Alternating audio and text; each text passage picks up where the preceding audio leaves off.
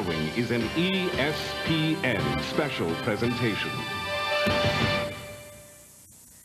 1,185 starts in a 35-year career. 200 wins, nearly twice as many as any other driver. But today, the king of stock car racing, Richard Petty, will end his illustrious career. The largest crowd ever to watch a sporting event in the state of Georgia is gathered here to not only see the King's last ride, but to witness the crowning of a champion.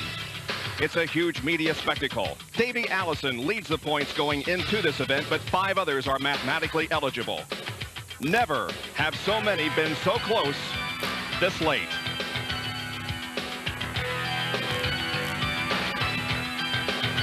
Thirty-eight Special and ESPN salute these wild-eyed boys of NASCAR as time runs out on this Southern Racing Classic.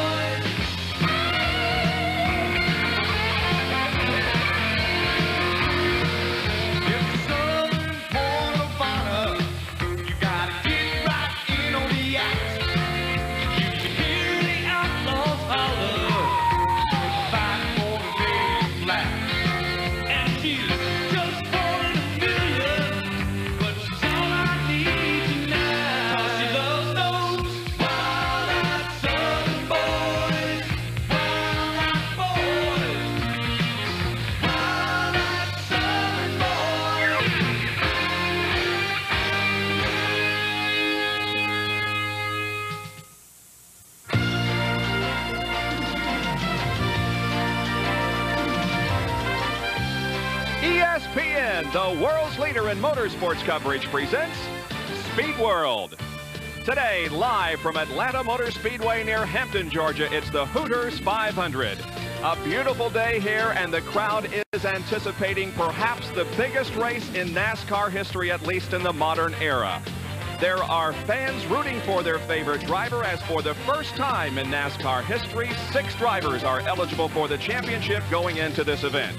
The quest for the cup standings show Davey Allison on top by 30 over Alan Kulwicki, but also Bill Elliott, Harry Gant, and Kyle Petty are eligible. And then Mark Martin is the sixth driver mathematically capable of taking the championship here today. And good afternoon. Welcome to Atlanta Motor Speedway. We here at ESPN very proud to bring you this final race of the 1992 season as we wrap things up. Not only a championship at stake here today, but perhaps as important, it's the final race for a guy who started his career back in 1958 and has become the king of stock car racing. It's Richard Petty's final ride. Here's more with Jerry Punch. Bob, I have never seen an atmosphere more electric, more emotion in the air. Richard Petty, last October, a year ago, you announced the Fan Appreciation Tour. Your chance to give something back, but they turned the tables on you. They wanted to say thank you to you. Now, on behalf of us at ESPN and the millions of fans around the world who didn't get a chance, thank you for all the memories. Well, we thank everybody. It's just been a great, great year. Uh, our race has not been too good, but everything else has been great, and we couldn't have been better from the fans' uh, part of it. Uh, you know, I started out to say thank you, fans. Fans come back and said thank you, Richard, and I've enjoyed all 35 years of it. Hope they have. Richard, we've all enjoyed it. Now, how about today? The STP Pontiac ran well in practice yesterday. Could you possibly give us one more memory? Uh, I'd be asking a little bit much, just to tell you the truth, but you can say one thing. We're going to go out there and try and do the very best we can, and, uh, you know, if the good Lord willing, uh, we'll, we'll be right there with them when it's over with.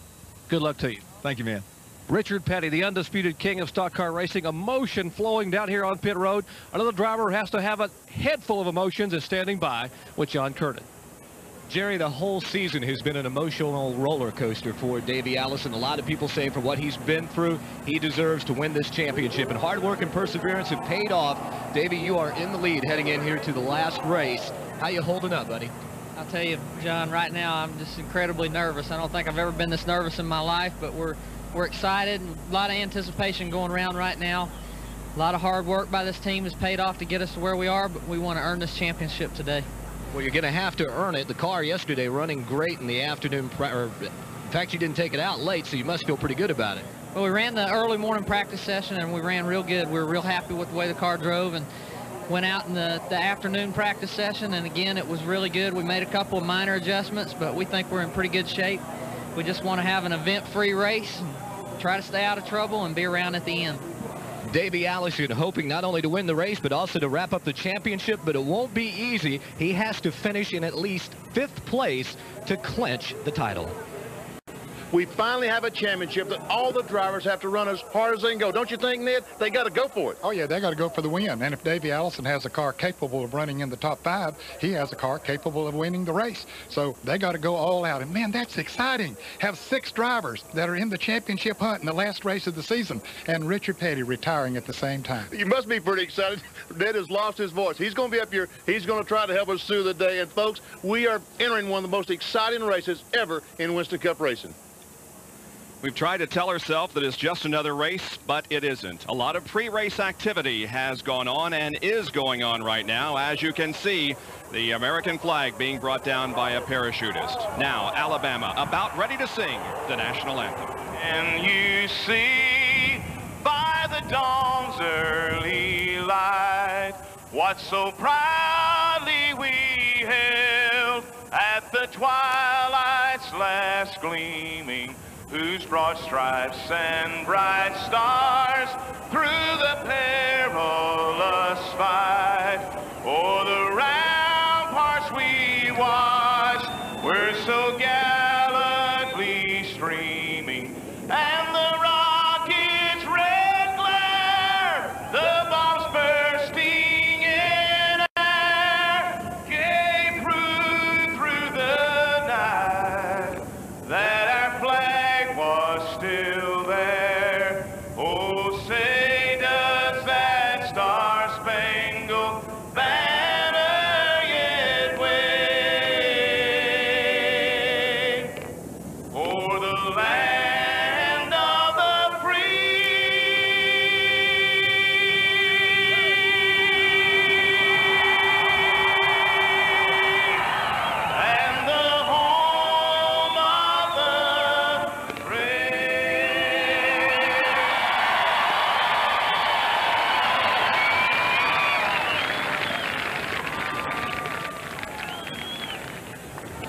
And now, ladies and gentlemen, again, I must ask you to clear the wheel pins.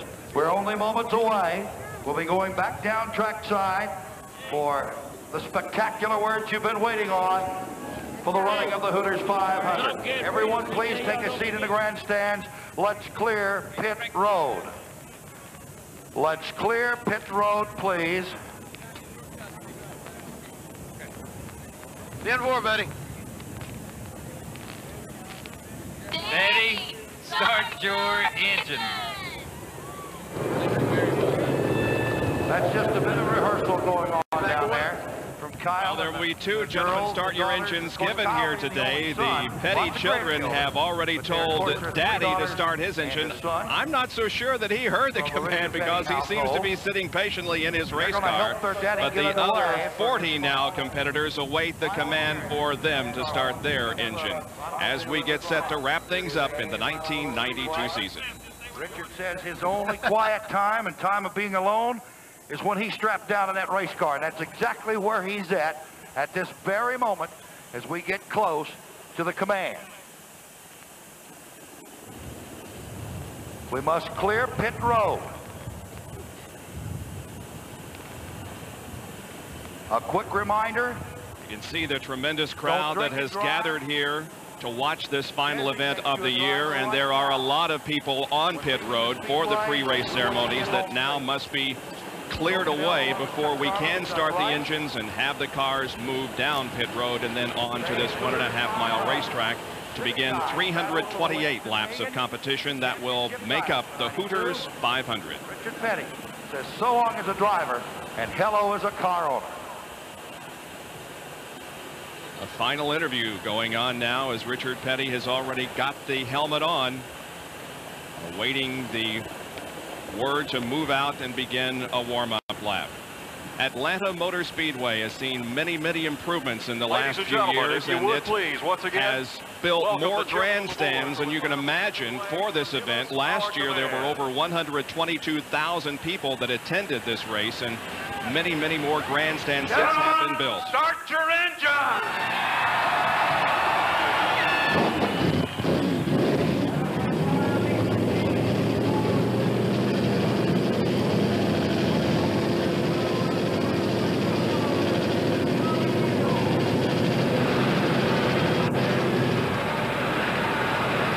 The balloons have been released from inside the pit area.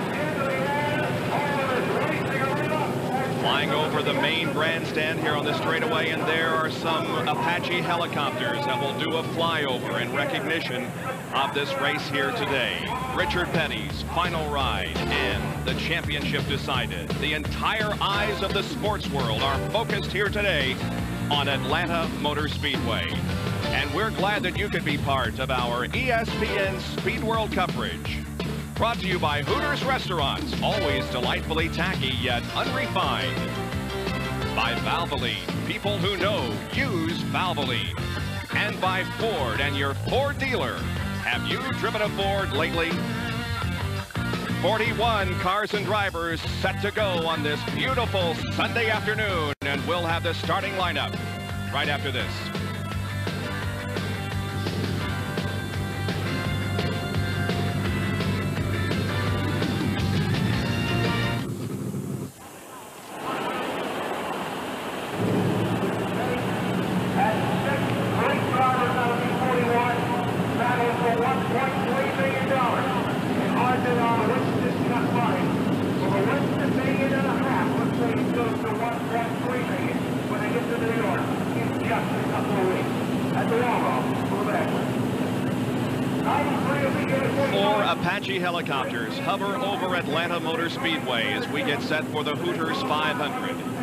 Command to start engines has already been given. The cars are warming up on pit lane, and in just a moment, we'll be moving out onto the racetrack for about three warm-up laps. Now, here is the die-hard starting lineup on the pole for this event. For the first time in his career and the first driver to crack 180 miles an hour on this facility, Rick Mast in the Flash Food Skoal Classic Racing. Car number one. Outside the front row will be Brett Bodine in the number 26 Quaker State Ford. The second row, the defending Winston Cup champion Dale Earnhardt in the GM Goodwrench Chevrolet, car number three. And then the first of those eligible for the championship here today in the Valvoline Ford, car number six, Mark Martin. Row number three, it's Ernie Irvan in the Kodak Film Chevrolet car number four, and then the Sunoco Chevrolet car number 94, driven by Terry Labonte. Dick Trickle will start in seventh position. He drives number eight, the Snickers Ford. Geoff Bodine flanks him in the fourth row, and number 15, Motorcraft Ford. Morgan Shepherd starts ninth in the Citgo Ford car 21, and then the Purolator Chevrolet car number 10, driven by Derek Cope. Bill Elliott starts 11th in the Budweiser Ford, car number 11, looking for his second Winston Cup championship. Alongside him will be his teammate Sterling Marlin in the Maxwell House Coffee Ford, car number 22. The seventh row, Lake Speed in the Purex Detergent Ford, car number 83, and second in points, Alan Kulwicki in the Hooters Ford, car number 7. The eighth row, it's Rusty Wallace in the Miller Genuine Draft Pontiac and Ricky Rudd in the Tide Chevrolet. Davey Allison will start inside of row number nine in the Texaco Havoline Ford number 28, and then Jimmy Spencer in the Raybestos Ford car number 12. The 10th row, Hut Stricklin, who's driving today the Kellogg's Ford number 41, and then Kyle Petty in the mellow yellow Pontiac. And as you look at the rest of the starting lineup, note that Jeff Gordon, who will be making his first Winston Cup start here today, will go from inside row number 11. And Jeff Gordon has been one of the fastest cars in practice. They were down here last week practicing. Jeff Gordon was fast. He's been practice. He's been fast Friday and Saturday. So maybe we could see something out of the 21-year-old. And I think it's fantastic that Jeff Gordon is running his first race when Richard Petty is running his last race. Yeah, as a matter of fact, uh, in the testing that they had down here last week, Jeff Gordon did achieve a lap over 181 miles an hour, but he had a few problems in his original qualifying, began, uh, rather took the second day qualifying and became the fastest second day qualifier. We have a true oval that we're racing on here this afternoon, uh, kind of unlike most other tracks on the NASCAR Winston Cup circuit of this size at least. It's a mile and a half in length. The pole speed is 180.183, a, a time of 30.409 seconds. We'll go 328 laps this afternoon, and the field is separated by just about eight tenths of a second. The problem with the racetrack, it is so, the corners are so long. Each turn is a half mile. Each straightaway a quarter mile. And there we see pit road, only one pit road on the front straightaway at the start finish line. There's turns one and two. Once again, a half mile long bank, 24 degrees. Same thing for three and four. So the the drivers, we can see the banking at 24 degrees. The straightaways are banked five degrees. And Bob, this is a tough racetrack physically on the drivers because of being in the corner so much. All the uh, drivers will say it's one of the toughest tracks because you are turning almost constantly. The Apache helicopters continue to hover overhead as the field now begins to get in formation. Richard Petty, as he has done at every race this year on the Fan Appreciation Tour, is leading this first parade lap, and then he will fall back into his regularly assigned spot, which today is 39. And we have an in-car camera riding with the this afternoon on his final event. There it is looking out the back to the other 40 starters. Jimmy Hensley will also carry one of our in-car cameras, the Phillips 66 in-car camera, as he is going through the banking in turns number three and four. There's Sterling Marlin in the Maxwell House Ford, car number 22. He also will carry an in-car camera for us here this afternoon. Yeah, I got you. There's Mark Martin's car. Car number six, the Valvoline Ford. With an in-car camera. Morgan Shepherd will have the roof cam. That ought to be fun. Ought to be fantastic. And what a crowd we have. Look at the fans. Oh, Waving to the drivers as they go down the front straightaway. Now Richard will fall back into his starting position, as you said. The Apache helicopters now end their hover and begin to chase the field as it goes around this one and a half mile oval. Looks like the race cars would win this race.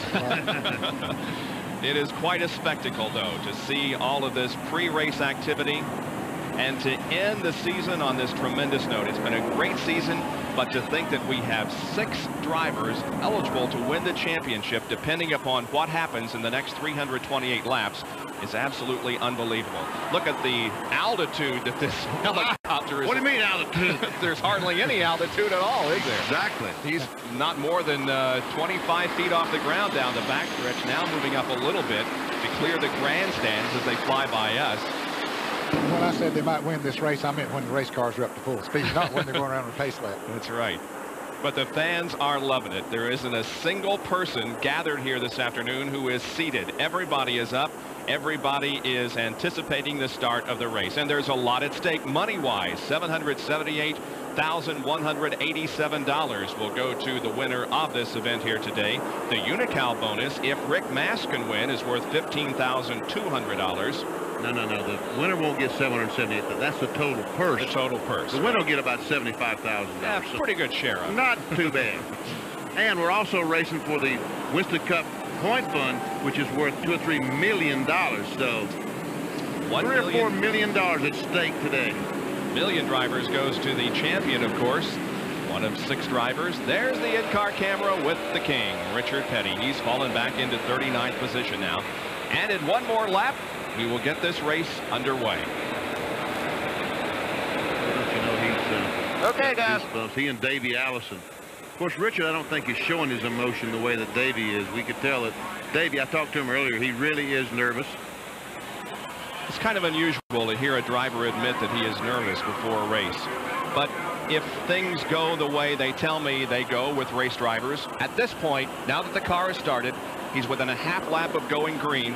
He's forgotten all that and is calmed down now and ready to race. The Apache helicopters salute the field now as they fly over the infield. And they will be going on past the second turn and all eyes will then be focused upon the field. And they'll go wherever the helicopters go. Exactly. Rick Mast winning his very first pole position in Winston Cup competition. 28 drivers have led a lap in 1992, but not Rick Mast. He has not led a race since Darlington in September of last year. Let's see if he does lead lap number one. Quite In a shock case, when Rick Mast won the pole position on qualifying Friday afternoon. The crowd rises to its feet, salutes the field as it comes down. The green flag waves, and the Hooters 500 is underway.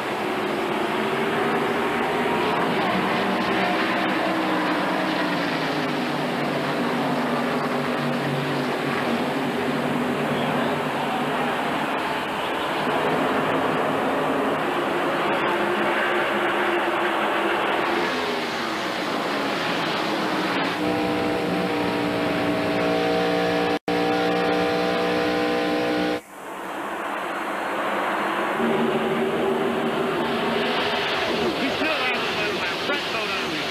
Brett Bodine would not let Rick let. Oh, and we have a spin. Bodine is in the fence. So is Rick Mast. Let, Oh, no. Davey got through. Kyle Petty got through. I think I saw Alan Kulwicki on the bottom of the racetrack getting through. There are four or five cars that are heavily damaged. The caution flag is Bill Elliott got through. Then they're racing back So to did the Kulwicki. line. They're racing back to the line, trying to lead a lap. Here they come. Mark Martin trying desperately to lead a lap, get five bonus points. But Dale Earnhardt won't let him. Rick Mast, the pole sitter, is heavily damaged in the right front and in the right rear of the car. The accident occurred as the cars went into turn number one after they had completed just one lap. Here's what happened. Bodine was in the lead as they crossed the stripe, but Rick Mast was right there on the outside, and then Brett's car got out from under him. Got out from under him. Rick Mast spins. And we see all the cars going by on the inside. And Mark Martin, what a great job he's doing saving that automobile. Kulwicki turned the car left. Now here comes, who is that yellow car? Is that 41? I believe it. Is yeah. that Hut I Stricklin in the Hut Kellogg's Cornflakes car? We see Kyle, Kyle Petty going right through the middle of that. Here's another angle. What happens is that Rick Mast on the outside of Brett Bodine takes all the cushion away, and he's not able to get any air. And Earnhardt run right up, ran right up under Brett Bodine, which took the air off the spoiler, and the cushion was gone from the outside. He didn't have anything to lean on. No, he had no air at all to lean on. From Airship Shamu hovering overhead. Good perspective of the crash and how most people avoid it. There is Hut Stricklin's contact with Brett Bodine. We see some sheet metal going across, and there is that Rich Bickle. Looks like Rich Bickle spinning out. And there is, looks like uh, maybe Jimmy Spencer also.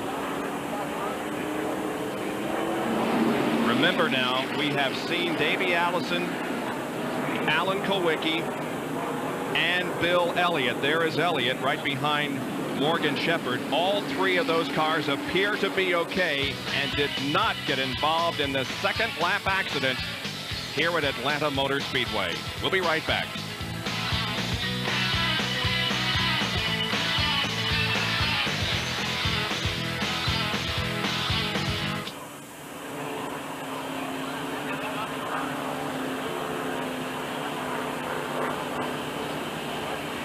Wondering.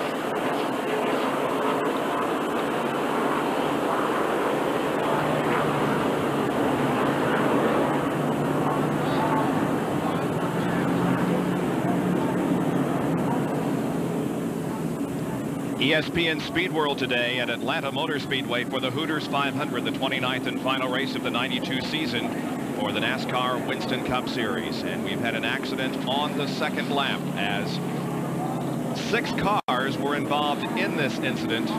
Wally Dallenbach Jr. and Rich Bickle spun. Four others have received some damage. They are Brett, Rick, Hut and Jimmy Spencer. Now the exciting Gillette Halfway Challenge is coming up in today's race. The driver leading at the halfway lap will win $10,000 and you a fan at home will have a chance to win a beautiful Chevrolet Lumina Z34. If you've entered the contest for this race and your entry is selected and you are called at home, you must name the driver who wins the Gillette Halfway Challenge $10,000 award to be eligible to win the Chevrolet Lumina Z34. Dale Earnhardt is the leader of the race while the cleanup goes on over in turns number one and two. Let's watch Davey Allison as he goes through the wreck. There's Jimmy Spencer right in front of him. Davey is trying to get his car slowed. Spencer goes high. Davey slows down dramatically. Kyle Petty, Jeff Gordon, that's Jeff in the 24 car. Ted Musgrave comes down. Luckily, he didn't run in the back of Davey Allison. Let's watch Bill Elliott as he gets through the crash. He's following Derek Cope. Sterling Marlin. There's Alan Kulwicki right behind him, and they drive into the smoke. See if they had any close calls. Ooh, Oh, yes. yeah. In Kulwicki, we saw him just turn left. Now we have cameras isolated on the three main contenders. That's why we can show you how each got through the crash. Here's Kulwicki. We're on the seventh car. Watch him turn the car left and almost get hit by Ricky Rudd as he turned left. Now they got to worry about the one car coming down. Both of them got by. Dr. Jerry Punch is in Davey Allison's pit. Guys, a lot of concerns down here in Davey Allison's pit. Now, Larry McReynolds behind me has been talking to Davey. Let me try to grab Joey Knuckles quickly. Joey, the concern is the damage on the left rear. What would that produce due to the car here early in the race?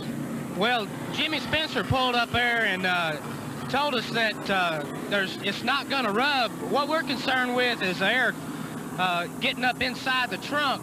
The way it's pulled out, it's pulled apart from our crush panel. So that's going to kind of act like a, a parachute. Uh, we'll run till we get a caution. We don't want to pit right now and get at the end of that pack. You know, the good Lord was looking out for us. That That's all that happened to us. But uh, we can fix her once we start pitting. We'll just push it in. And the crush panel now is the panel inside the tire well in the left rear that keeps air from getting inside the tire, and more importantly, inside the trunk that would create a parachute or balloon effect, as he said, and slow the car down drastically. You'll have to run with it for right now and hope for an early caution. Guys? I tell you, that was a big decision that they had to make. They got a caution right now. This is an early caution, but as Joey Knuckles says, they don't want to go to the rear of the pack here. But still, if that thing should give them any problems at all in the handling, you know, it could come back to bite them. Once again, here is a replay. And there's Davey Allison. There's 41 car right behind him, Hut Stricklin. Ooh, and Davey backs off. Hud goes in, hits him in the rear. And that shot Hut down into the uh, 26 car. Exactly. And I said Jimmy Spencer was in the crash. I think that was Bob Schacht instead of Spencer that I saw backed up against the wall. Well, there's Davey, and there is the damage that you can see on the left rear of that car. Mark Martin has made a pit stop. He's on pit road right now. So is Michael Waltrip. And Jerry, can you see what's going on there?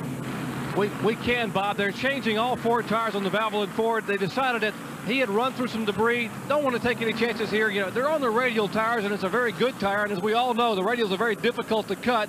But they ran across some sheet metal and some sharp objects up there in the turn and said, why take a chance? It's early on. We got a caution. We'll start back here and hope that we'll have no problems and we can pick our way through the field. So possibly a little bit of a gamble early on to come in and change all four tires. Here is a replay from Mark Martin's in-car camera. Let's listen.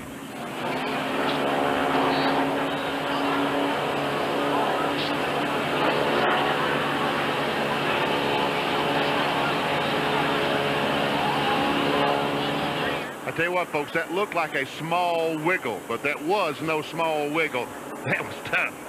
Mark Martin makes it through, but makes a pit stop here in the early going. Well, Dale Earnhardt is the leader of the race as we remain under caution here in the Hooters 500 at Atlanta Motor Speedway.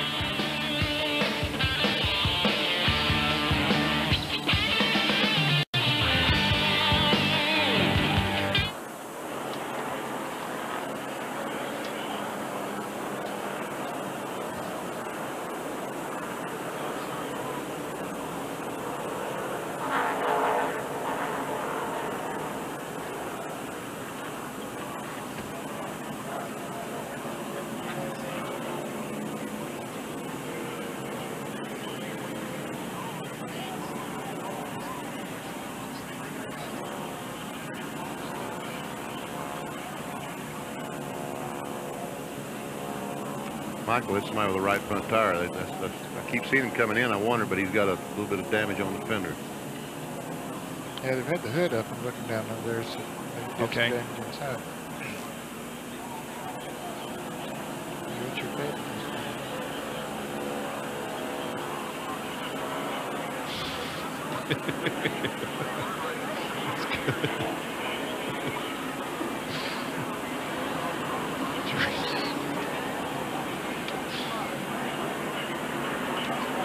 He'll be 61 years old when he achieves 1,185 stars.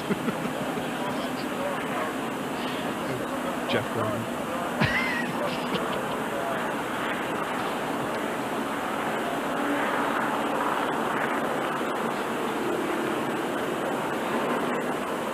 We under caution here at Atlanta because of an accident on the second lap involving about four or five cars. Brett Bodine, the car most heavily damaged. Rick Mast, the pole sitter, also involved. There's a hot air balloon overhead carrying the number 43. And at the conclusion of this event, we urge you to stay tuned for a very special salute. The Portrait of a King, a special progr program devoted to Richard Petty. It is, believe me, worth staying with us for after this event. Portrait of King immediately following our live telecast of the Hooters 500. Here's Jerry Punch. Bob, how quickly fortunes can change for a driver. Rick Mast picking up his first career pole is now behind the wall in the Skoal Classic Olds, and Rick still sitting in the car. Rick, what happened up there? Jerry, I'm not sure. We're going the corner, you know, the first lap of the race. Uh, I'm on the outside of Brett. I don't know what happened. You know, he he got into me, but I, you know, I, I think something must have happened to him. Somebody got into him or something. I'm not sure. You know, I was trying to stay high, just stay in one groove, so you know, it wouldn't be any problems. Boom, it's over with. We had a good car, but you know, we'll be back come Daytona. You talk about the emotion. You can see Rick Mast in the car. You can hear it in his voice. They're working on the car, but his day in the sun, guys, his pole, everything he was hoping for is gone. But we'll remember Rick Mast as being the pole sitter for this historical event here at Atlanta, despite the fact that he is not going to win the race. He was the pole sitter and the first to crack the 180 mile an hour barrier officially. There's Davey Allison, and again, note the damage in the left rear of that car. We don't know yet how it's going to affect the handling because we have not been under green since it occurred, but we will be watching it very closely when the green flag does come out. Alan Kulwicki and Bill Elliott are still okay. Their cars were not damaged in that incident. As the cleanup continues down in turn number one, we'll get some uh, breaks out of the way so you can we can bring you as much action as we possibly can on this historic day in Atlanta.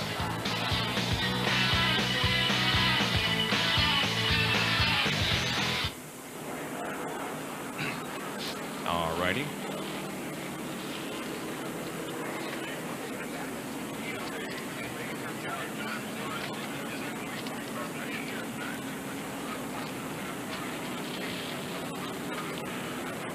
Sounds a lot better than it did earlier.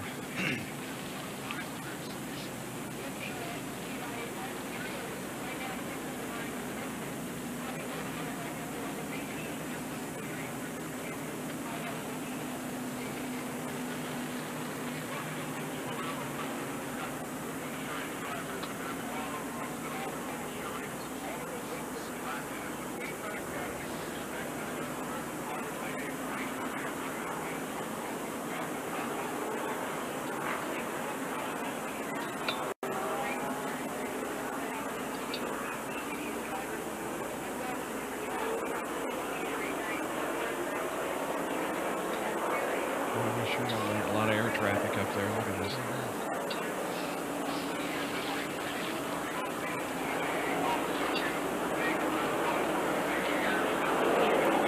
Well, joining us today is Airship Shamu. The SeaWorld blimp measures 194 feet in length, 67 feet tall. That's two-thirds the length of a football field and nearly seven stories high, providing some great shots from overhead. Atlanta focused in right now on King Richard Petty as he gets ready to restart this race and the word has been given we'll go green next time around. Now, Richard Petty was one driver. There were many that made pit stops during this caution, Bob. Some were involved over there, some were not. Richard Petty was not, but he did come in for a pit stop, so he's back near the rear of the field. Dale Earnhardt will lead them down for the restart. Ernie Irvan will go from second position. Lights on top of the pace car are out. Look at how close it was for Dale Earnhardt. I'm telling you. Oh, man. What was that, inches? Yeah, if Brett's car had slid just inches to the inside to the outside, they would have collected Earnhardt.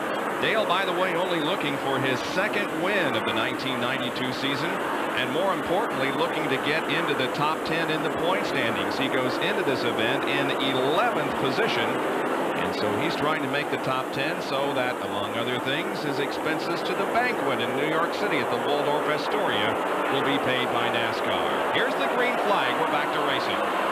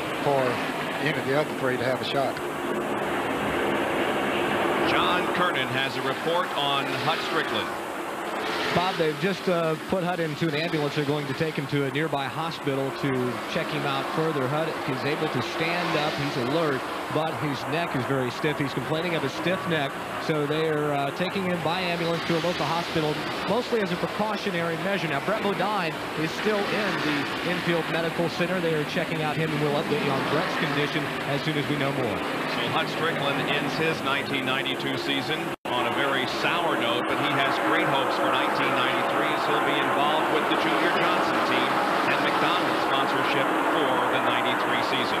Look at this, Morgan Shepherd. Ooh, he goes, almost collects Elliott. He had to get all the way out of the gas. And here's a lead change. Ernie Irvan, Kodak Film Chevrolet, has taken the lead from Earnhardt. Earnhardt's crew chief, Kirk Shelmerdine, has announced his retirement. This will be his final race as crew chief for the Richard Childress team and Dale Earnhardt. He's not uh, going anywhere else. He's retiring from the business. Right now, Earnhardt is second, following Ernie Irvan.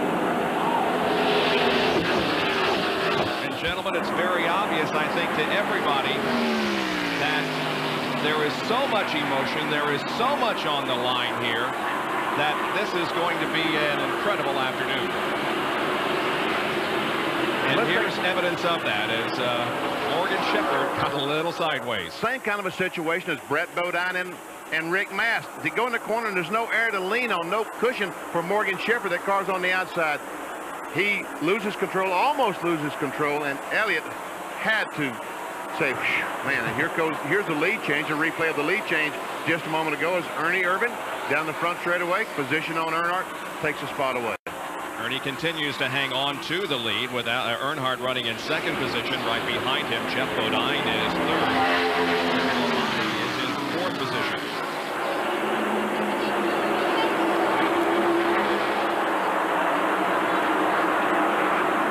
Ernie Irvan is 10th in the point standing. Red car, Geoff Bodine is gaining on the front two. Bud Moore's cars always run strong on this racetrack. Remember Morgan Shepherd, let's see, who won in his car here a few years ago? Yeah, Morgan Ricky Shepherd Rudd. did. Yeah, Ricky Rudd Rudd won won the here, race, yeah. and Morgan Shepherd won here. There's Napa Field summary, the way the cars crossed the line last lap. Jeff Gordon running in 16th position. Interesting statistic, and as we mentioned that Richard Petty is making his 1185th start in NASCAR Winston Cup competition. If the schedule remains the same at 29 or 30 races, Jeff Gordon will start his 1185th NASCAR Winston Cup race when he is 61 years old.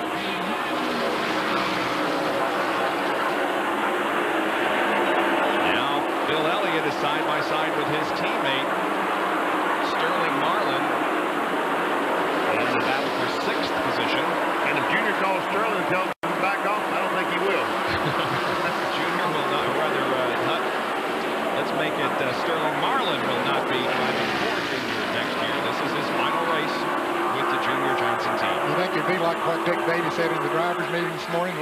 Les Richter, the competition director for all of NASCAR, introduced Dick Beatty. Of course, this is Dick Beatty's last race as the competition director for the Winston Cup Series. And uh, he said, uh, no, Beatty was introducing Richter and said, here's, here's my boss. He said, until dark. There is Davey Allison and Alan Kulwicki. So this is one, two. Kulwicki second in the Winston Cup standings. Davey Allison leading. Kulwicki took off like he had a good race car, like he was going to the front. He now is mired down and really can't make the passes. And Davey's car doesn't appear to be that much affected by the damage to the left rear. Well, he seems to be able to run with the crowd okay. There is Bill Elliott and Sterling Marlin.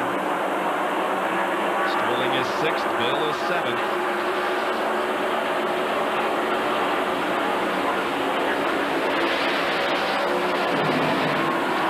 And Kulwicki, we see, Kulwicki, he was able to get by Ricky Rudd, so he moved up one spot. Fifth is Rusty Wallace. Fourth is Terry Labonte. Third is Geoff Bodine. Second is Earnhardt, and the leader is Ernie Irvan.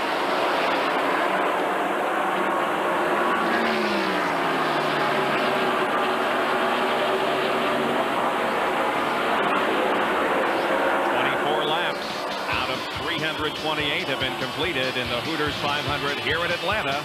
We'll be back with more live coverage after this.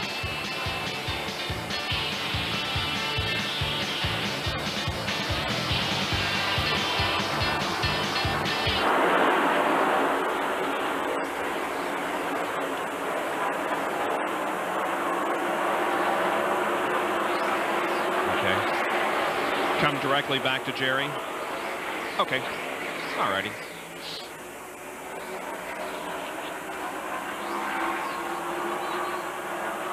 Is that Derek Cope? In front of Kulwicki. Just blew by Kulwicki? Yep.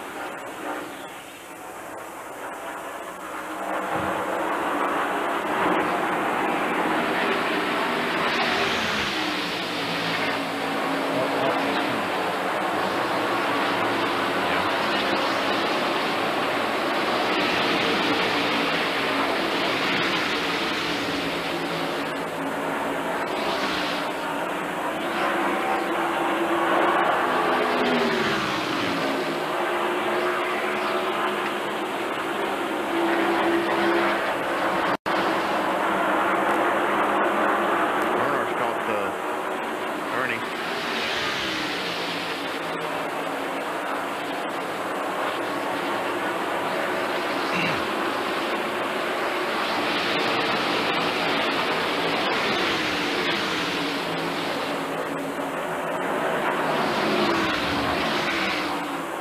Three-car battle up front in the Hooters 500 at Atlanta Motor Speedway, the finale of the 92 NASCAR Winston Cup season. Irvan, Dale Earnhardt, and Geoff Bodine are first, second, and third. The leader in the points standings, Davey Allison, is back in 11th position.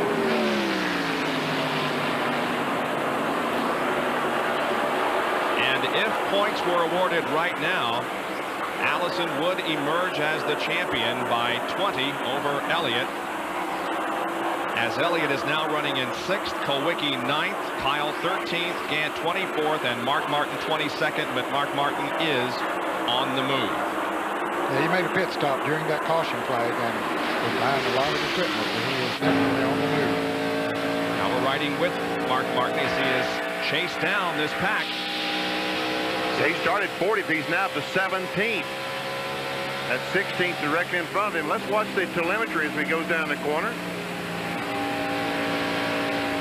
Accelerating off the corner, 171. Let's just see what kind of miles per hour he'll run at the end of the straightaway. Mile and a half racetrack, 100 and is not quite right. 189 miles an hour is the maximum we saw. Watch the RPM. Got up to 190. This is the third fastest racetrack on the schedule next to Talladega and Daytona.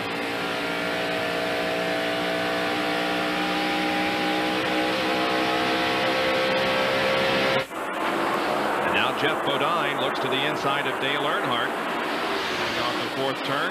And both these cars have caught Ernie Irvan, and I think right now they're in the ride mode.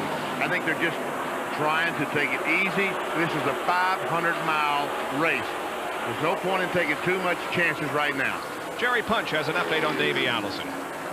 Following the damage on Davey's car, the crew just shared with me moments ago, Bob, that Davey said he's got a slight push just coming off the corner. Otherwise, Davey said, hey, guys, we might have gotten very, very lucky. Let's check in down with John Kernan at the hospital. John? Well, Jerry, some good news for Brett Bodine. Kenny Bernstein, his car owner, just told me moments ago that he is okay, but they will take him to the hospital to check out his head. Kenny said that Brett took a pretty hard hit on his head. They think he's okay. They just want him to go to the hospital just to make sure. So some really encouraging news from the Infield Medical Center. So the two drivers that we had medical concern about, Hut Stricklin and Brett Bodine, are apparently not seriously injured, although both will be taken to a local hospital. That because of the accident that occurred in turn number one at the beginning of lap number two. We see that Mark Martin has been able to get by Morgan Shepherd and Davey Allison, not that many cars in front of him. Davey trying to get by Derek Cope at Purolator Chevrolet. Now here comes Kyle Petty.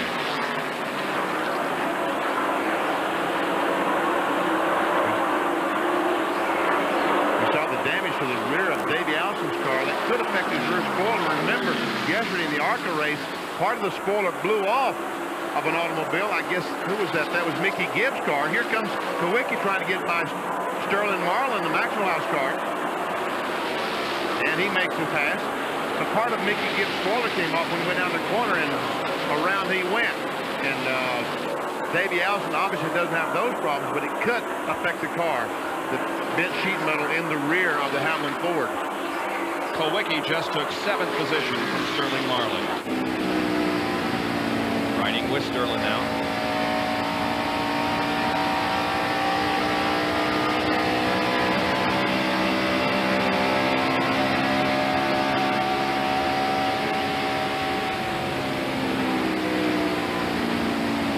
This fellow's riding up the center to the top of the racetrack. During qualifying, the preferred groove on the bottom of the racetrack. As the tires get worn, they move up the racetrack. Looking for Davey Allison. Here he comes out of the pack to try to pass Jeff Gordon in the number 24 car. And Mark Martin has gotten by Davey Allison.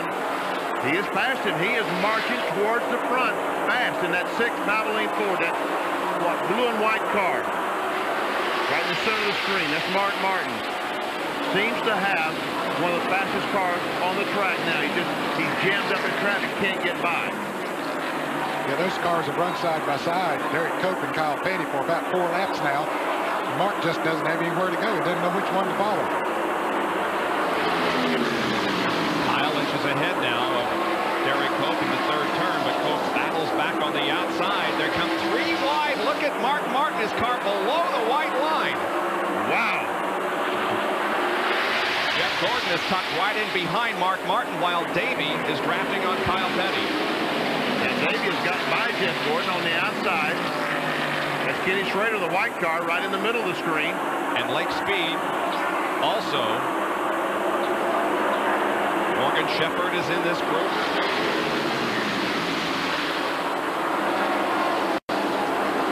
Davey tries to go by on the outside of Kyle Petty.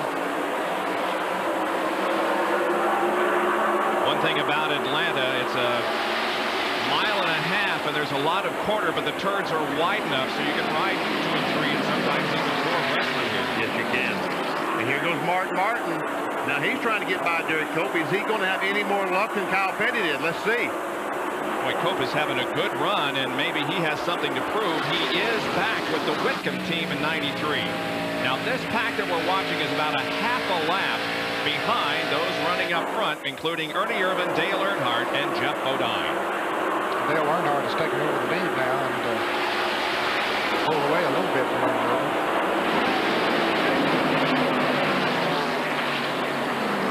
Martin once again, trying, trying, trying. He's clear of him now.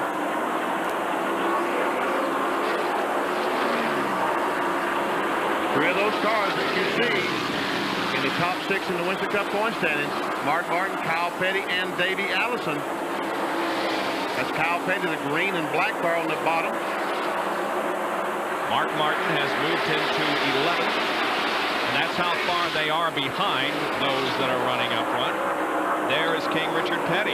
About to go a lap down to Earnhardt. Here's the leader, Dale Earnhardt, directly behind Richard. Looking at the camera atop Richard Petty's STP Pontiac.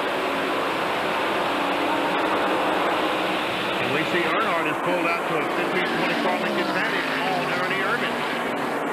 He found that high groove about 15 laps ago, Benny, and uh, it's working for him. The way his car is set up right now, Earnhardt, he just took off. So Dale Earnhardt is leading the Hooters 500 with Richard Petty down a lap now. Irvan, Bodine, Wallace, and Elliott complete the top five.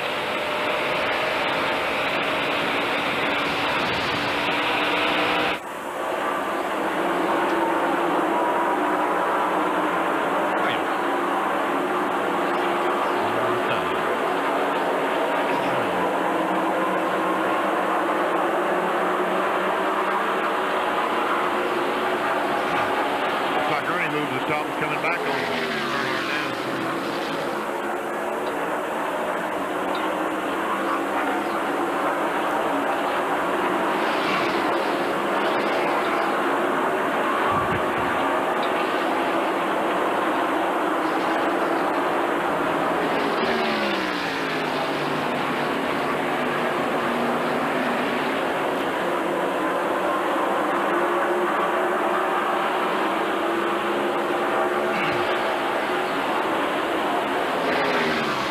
Wiki taking over a spot. Passing Labonte. That's sixth. All right, Terry's falling behind. Had he was running fourth a while ago.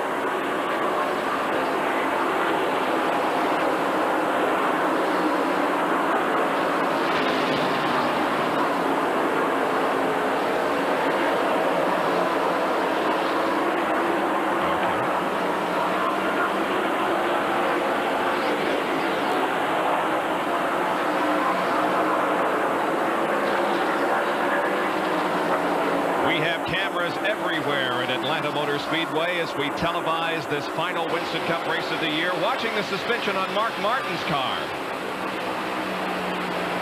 It'll take the beating, though. It does take a beating. It never stops going up and down, up and down. And now on Jimmy Hensley's car. It's a rear tire here. And again, once again, it's going up and down. Never stops. We can see through the wheel. And how about Morgan Shepherd? And isn't it interesting that uh, the sponsors have managed to find where we have our cameras and put their uh, signature on it? I tell you what, Ned, that's a trick spring there. I've never seen a spring like that in a rear car. I didn't know Citgo made a spring. No, I didn't. The top five, Dale Earnhardt, Ernie Irvan, Geoff Bodine, Rusty Wallace, and Bill Elliott as 44 of 328 laps have been completed. Points as of now, look how close it is. Four separating Allison and Kulwicki. Elliott is third in the points if they were to be awarded right now, but we've got a long way to go. And Ernie Irvan has caught Dale Earnhardt. Dale was several car lengths ahead a few laps ago, and Ernie now has caught up with him. Well, I think Ned pointed out that Dale Earnhardt started running the high groove and was able to pass Ernie Irvan. Irvan saw Earnhardt up there and said, hey, I think I'll venture up and see what's happening up there. When he did that, he closed up on the back bumper of Dale Earnhardt. Now, Geoff Bodine has been running on the bottom of the racetrack. He's ventured up to the top of the racetrack, and he seems to be getting a little closer. Well, we see him on the bottom right there, but he's closed up on the back bumper of Irvan, or almost on the back bumper. Jimmy Means goes a lap down in the Hurley limo car. Sponsorship on that this week. That's the black car there at the bottom of the racetrack.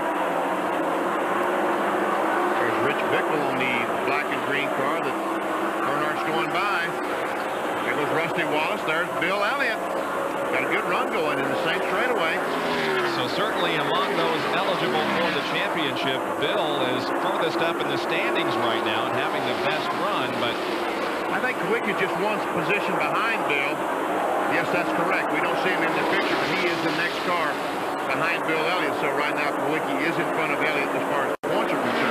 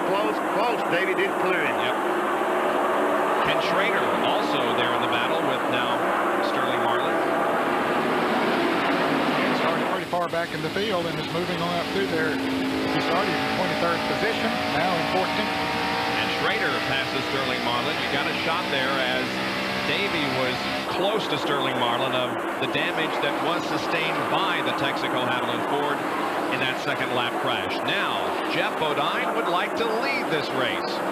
Drops to the inside, but cannot have the momentum to pass. Ah, boy. Running two distinct different grooves around the racetrack. Earnhardt high, high on the racetrack. Bodine on the bottom. They could run around this racetrack and never touch. And run almost at top speed in both cars.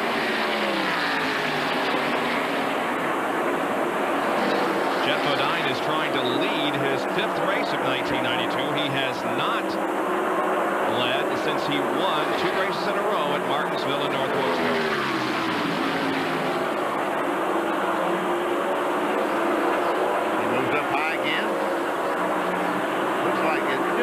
right now these three cars evenly matched. From Earnhardt in the black number three, Jim Bowman, red 15, Ernie Irvan to yellow number four. Jerry Punch has a comment on Dale Earnhardt matched. Richard Childress just told me a minute ago that Earnhardt radioed to Cruz that he thinks he may have broken a valve spring. The car is beginning to flutter a little bit, not running as strong as it was early on. He's, he's running awfully well, but he said the car is starting to flutter a little more. You won't know when they make their first pit stop, which should be in about six or seven laps. Well, I could believe that because what Earnhardt has done when he's moved up high on the racetrack, he's made it a larger racetrack, so the RPMs are going to be excessive, which the first thing that, on high RPMs, the first thing you break is a valve spring. We'll watch the situation very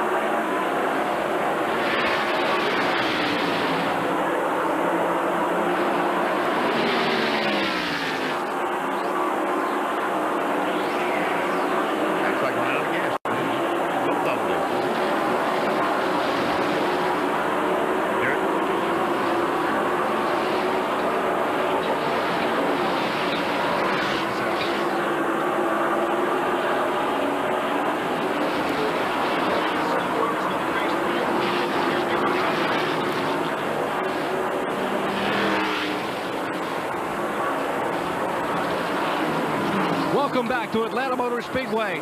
Dale Earnhardt and Rusty Wallace almost contact on pit road. Earnhardt has run out of fuel. He radioed the crew just a moment ago, said the fuel pressure gauge had fluctuated. Guys, I got to come in now. And Rusty Wallace is pushing him, trying to give him an assistance down pit road.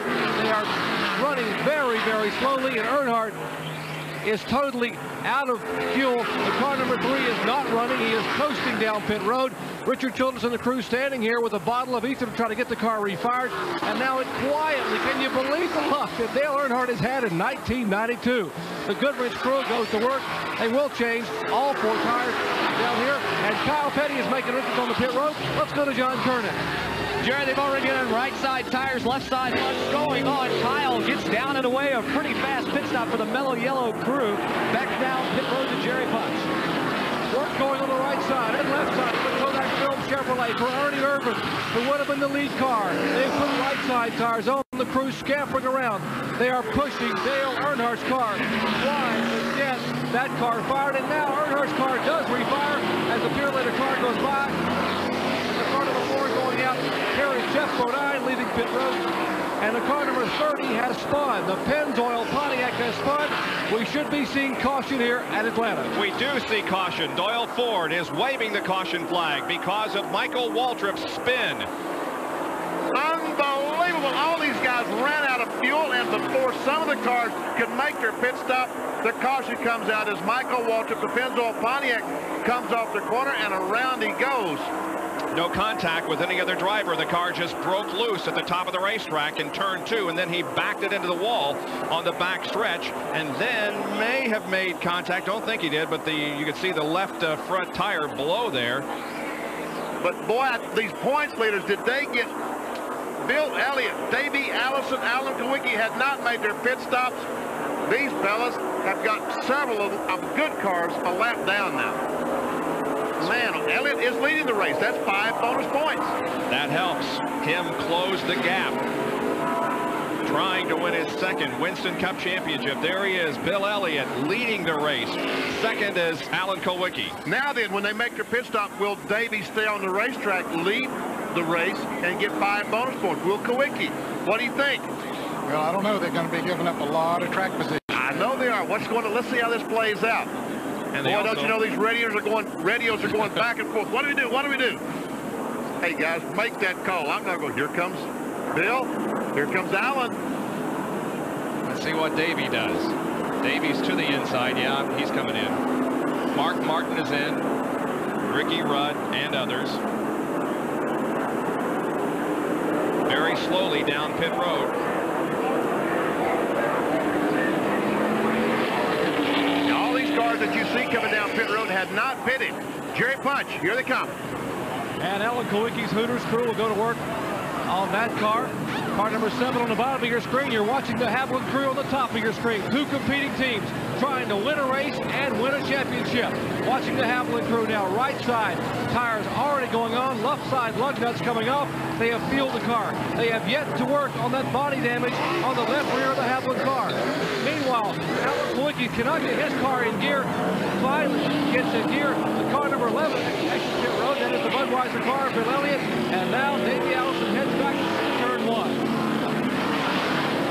Alan Kulwicki had exactly that same problem in Charlotte during the running of the Mellow Yellow 500. Made the pit stop. When they let the jack down, he let the clutch out. The car would not move. Can't imagine what's wrong with that car, but he had exactly the same problem at Charlotte. Elliott was the first to uh, get off pit road. And Kyle Petty, according to my calculations here, gentlemen, is the only driver of the six who are in the points chase who had made a green flag pit stop. He was coming out of the pits just as the caution was coming out. Certainly it hurt Kyle Petty's chances of winning the championship here this afternoon. But again, we've got a long way to go as the second caution waves over Atlanta Motor Speedway.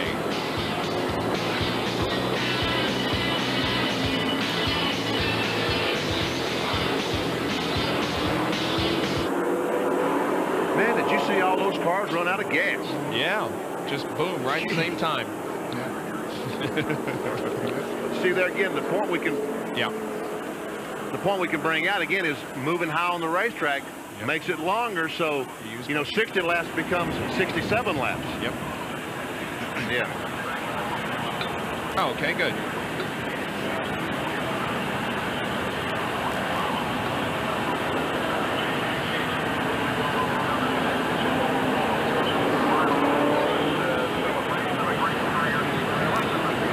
How did Sterling come back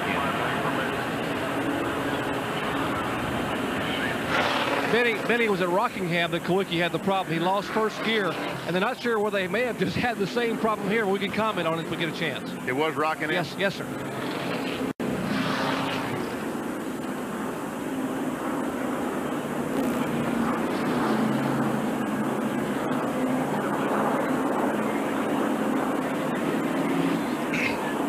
Yes, sir.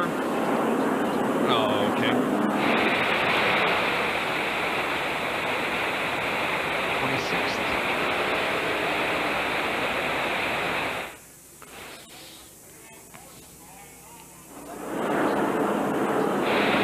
King Richard Petty in his final NASCAR Winston Cup race is currently in 26th position. 65 starts here in Atlanta.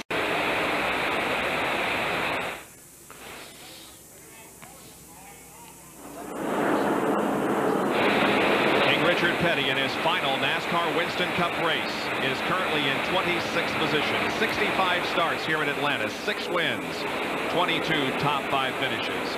And we now recall another magical moment in Richard Petty's history in this Petty memory. This Richard Petty memory is brought to you by the First Brands Corporation, makers of STP gas treatment. 1979, the championship is on the line between Richard Petty and Darrell Waltrip at Ontario, California.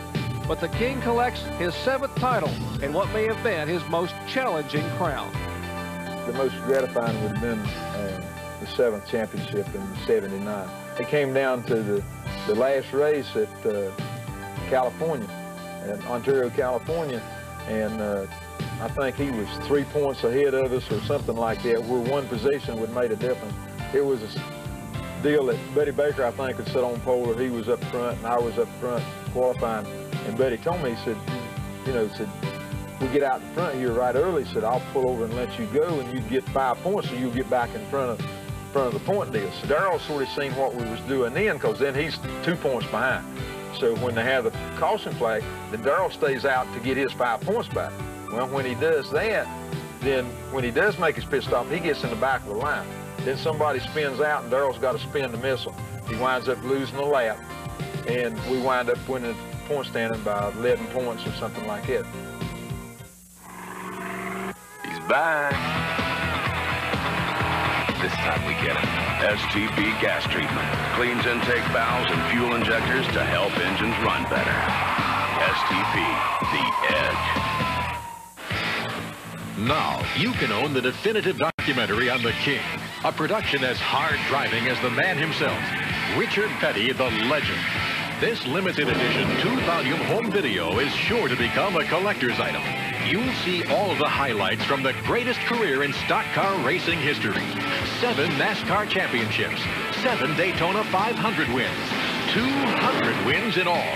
But you'll also see Richard Petty, the businessman and family man, including never-before-seen home movies from the Petty's personal collection. Along with your video, you'll also receive this limited edition Petty Collector's Car. And if you order now, you'll also receive this free commemorative poster. To order, call 1-800-547-4343 or send $38.95 plus $5 shipping and handling to Richard Petty, the legend. 805B Franklin Court, Marietta, Georgia 30067. Back at Atlanta Motor Speedway, and we are getting set to go green, but boy, the field looks pretty ragged, doesn't it? Yeah, They're it not going to start them. They're No, not no, going to no, start them. No, they can't start them this way. See what happened? There were some of those drivers that had made pit stops under the green. They did not come in now. Bill Elliott is the leader of the race, but there's about four or five cars in front of him that technically are in the lead lap. Elliott was trying to pull up on the outside. He can't do that. He's got to line up behind those drivers who are still in the lead lap in front of him. See, Earnhardt is a lap down. He's two laps down. Think He's, about he's two laps down. I mean, he's a lap down, and uh, two laps down once the leader should go by. Does Alan Kulwicki have a problem, Jerry? Bob, let's find out. We heard Alan having trouble leaving pit road. Danny Glad, is there a problem in the transmission? Yeah, Jerry, the, the problem we run into is on these bigger racetracks where we have to run a taller rear end ratio. Uh, we have to run a lower first gear to get the car moving, and it's a brittle gear. They make a real expensive gear just for the application. We run it, but it's just a very brittle, it's, it's hard on it. And we tore first gear out of transmission. We'll have to leave the pit road on, in second gear, but we'll be all right. Alan Kulwicki minus first gear, guys, early on. Let's take a look at the top five now. After 68 laps, it's Elliott leading. Kulwicki is second, followed by Ricky Rudd, Mark Martin, and Harry Gant. Now, the points as of this moment. Allison is in sixth position, but still maintains the points lead. Kulwicki is second, only 10 behind, and Bill Elliott is the leader of the race, and Elliott Kulwicki right now tied in the points. Back for the start after this.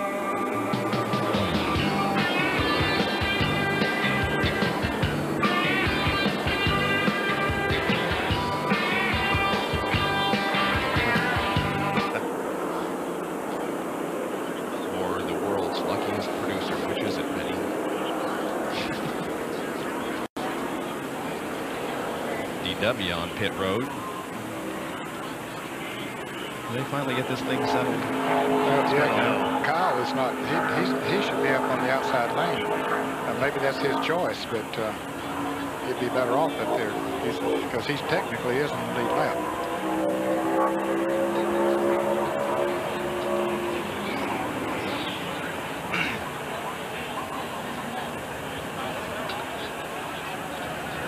Elliott's the guy they put back. Yeah, and that was right. That was exactly right. So Earnhardt and and uh, Irvan are at the tail end of the lead lap. Well, no, Earnhardt is, he's Two tail down. end, two down, but Irvan is at the tail end of the lead lap. Geoff Bodine and, and uh, Kyle Petty Dale Jarrett and Terry Labonte, all of those are at the tail end of the lead lap. They made pit stops.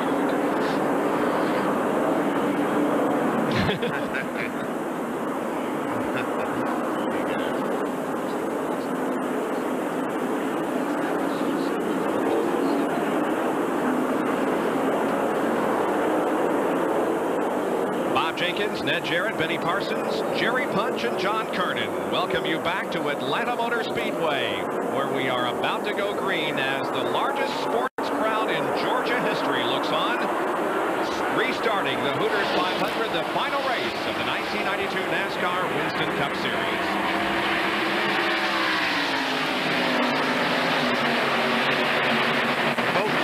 you wouldn't believe the guy running about 10th is leading race, but that's what's happening. Bill Elliott is the leader, and all these cars in front of Elliott laps down, trying to stay on the tail end of the lead lap, and hope the caution flag comes out so they can get that lap back.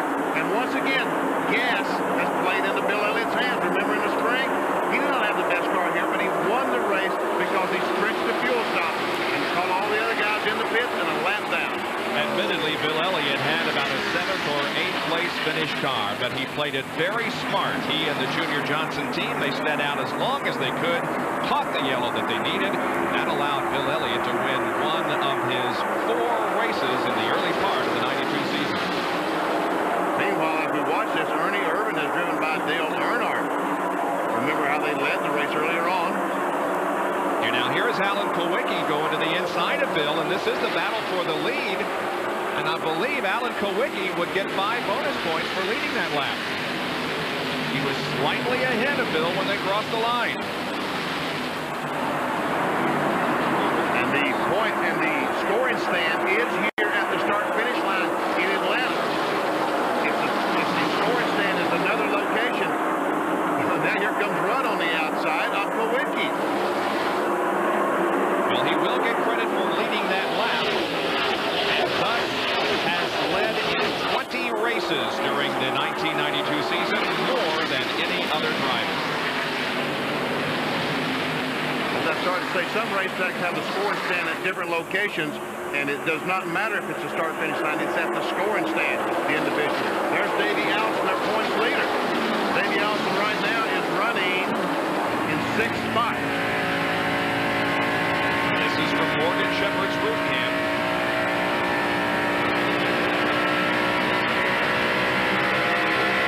Good documentation of damage there on the left rear of Davey's car sustained in that second lap accident that took out Brett Bodine, Hut Stricklin, and sent them to local hospitals, but they are not seriously injured. At least that is the preliminary report. There's Harry Gant right ahead of Davey, and Harry is another one of those six that has a mathematical shot at the championship, but the word is that Harry is not feeling well. He has the flu and may, at some point, get relief. John? You're exactly right, Bob. I was talking with his car owner, Leo Jackson, this morning. He said the car was great, everything was great. The only thing that worried him, Harry had been sick all weekend with the flu. During that last caution period after making the pit stop, Harry radioed back in and said, hey, you might want to think about going and finding my Skoal teammate Rick Mast to see if he will relief drive, drive for me if it gets to that point. But complicating that factor is the fact that Rick has finally got his car put back together. Rick is back out there on the racetrack. So Harry's hanging with it right now. We There is no relief driver yet who's reported to his pit area, but we will keep you apprised of the situation. Rick Mast is on the racetrack. He's going very slowly. He was the point sitter of this race, certainly not on pace, but just trying to pick up some points in the standings. Looking back on Davey Allison from Richard Petty's in-car camera. Davey goes to the inside of Richard and passes him.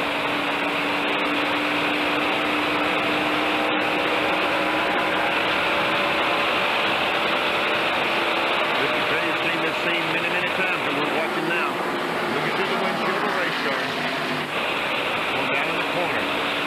1,185 races. And both of you guys have uh, had the experience of watching that car either run in front of you, behind you, but probably more than not ahead of you. Most of the time in front of me, yeah. He was always right there. As we watch Petty and Harry Gant once again now Earnhardt, he's gotten back by Ernie Irvan. So I guess they're all a little more going on in front. Harry Gant is fourth in the points and is 97 points behind. But right now he is behind the three front runners on the racetrack.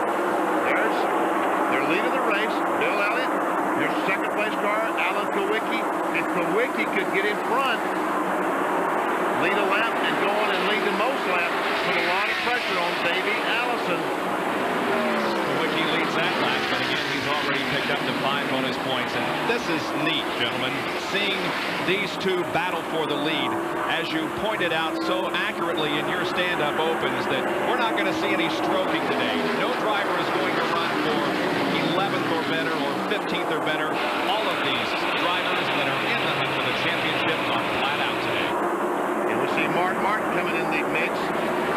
He's had an awfully fast race car all afternoon so far. And another one of the six eligible, or at least mathematically eligible to win the title. Look at Mark come Look up. at his come up on these two. Wow.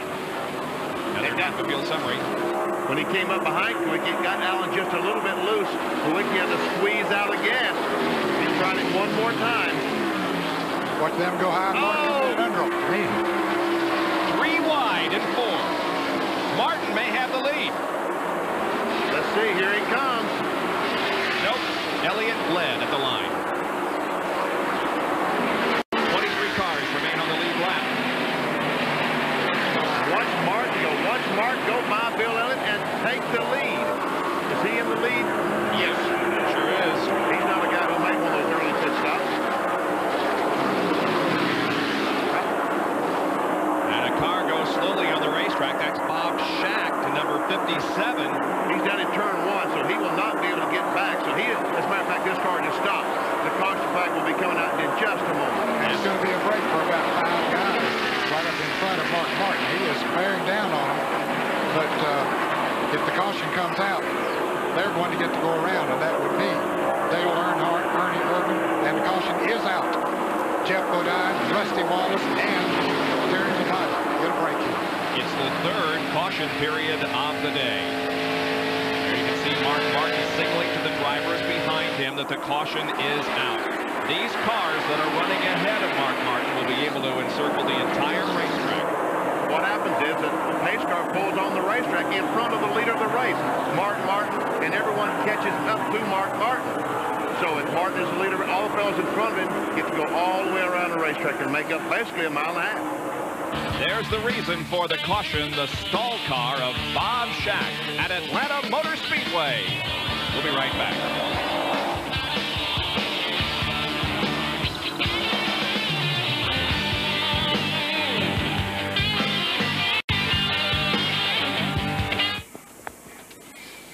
Yes, sir.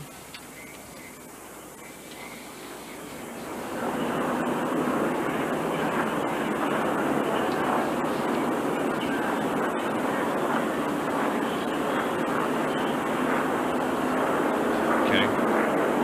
Let me let me uh, get everything I need to get here. I need a secretary up here. Here we go. All right. Actually, Lynn, let me give you all this. Okay, I, I got it. What I need, but I'll give it to you.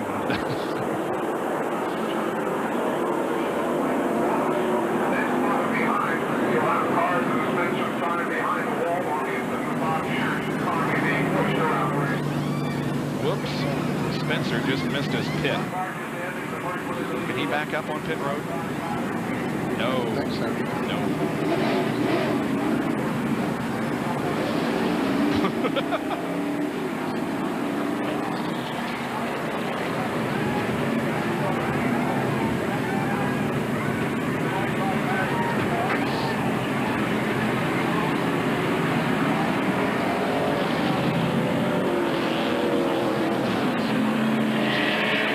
ESPN Speed World today at Atlanta For the Hooters 500, the finale of the 1992 NASCAR Winston Cup season. We are under our third caution period of the day because of Bob Schacht's stalled car. And the field now on the backstretch, but this is how they came out of the pit area after their pit stops. First car we see on the end of pit road is Mark Martin. All these other cars coming in the pits. Jimmy Spencer was going out of the pits. Davey Allison comes out in first. Davey Allison is going to lead this race, Ned. And Davey Allison will pick up five bonus points. So evidently they changed two tires or something to get him back out in front. I think they did. Well, tonight here on ESPN, it's the battle of the New York Giants against the Denver Broncos. The FC West leading Broncos, led by strong-arm quarterback John Elway, take on the 5 and 4 New York Giants, who are battling to capture an NFC wild card. 8 o'clock tonight, 5 on the West Coast, the Giants and the Broncos. NFL Sunday Night Football here on ESPN. Once again, today's race includes the Gillette Halfway Challenge. $10,000 to the driver leading the halfway lap, and a lucky fan at home could win a new Chevrolet Lumina Z34. If you have entered the contest for this race and your entry is selected, and you are called at home, you must name the driver who won the Gillette Halfway Challenge $10,000 award to win the Chevrolet Lumina Z34.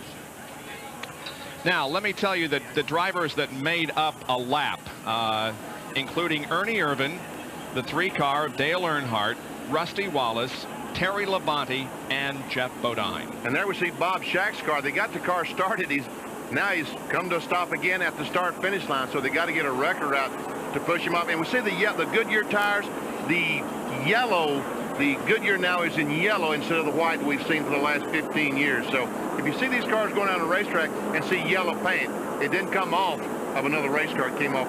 The tires are now yellow. Here's Jerry Punch. Guys, answering your question, Davey Allison did change just two tires, two right side tires. That'll explain that quick pit stop. And also explaining Alan Kulwicki's problem. He does not have first gear, as you heard Danny Glad say. And remember, NASCAR rules prohibit a crew from pushing a car out of the pits. It's a safety move, but NASCAR will allow you to push a car if you've lost a gear. And they've now given the Kulwicki crew a chance to push their car out of the pits, and that probably saved Kulwicki maybe five or six seconds getting the car moving here on this pit stop. Well, they were holding Bob Schacht's car at the starting line. It did not stall. They were just holding it until the field came around. So we are still under our third caution of the day, and we'll return with more live action right after these messages.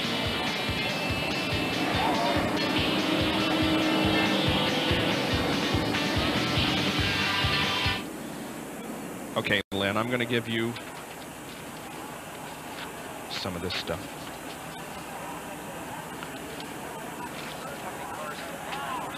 I'm going to give you Gillette, SeaWorld, and all of these. These are the promos.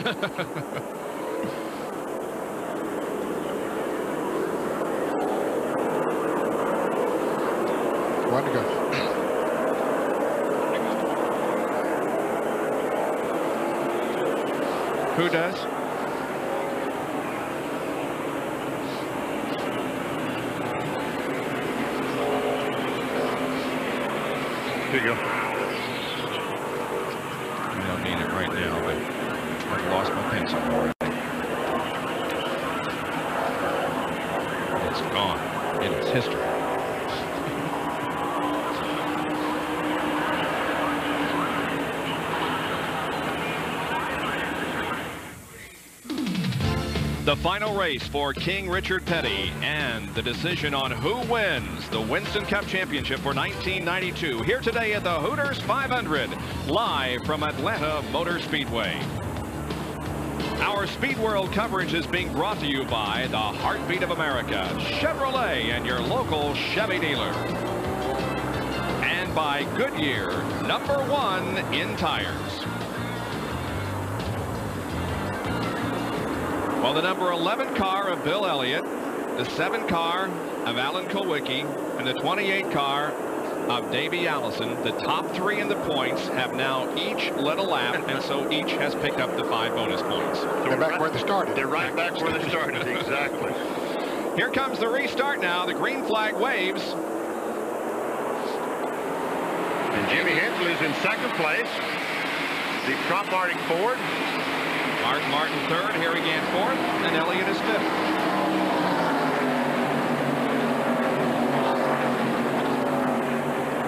Here comes Kyle Petty, the Mello Yello Pontiac, trying to get a lap back, trying to get by Davey Allison. Kyle, of course, was one of those drivers that made a green flag pit stop just before the second caution came out. Dale Jarrett right there, he also was one of those drivers. But Mark Martin's going to take care of both of them. So.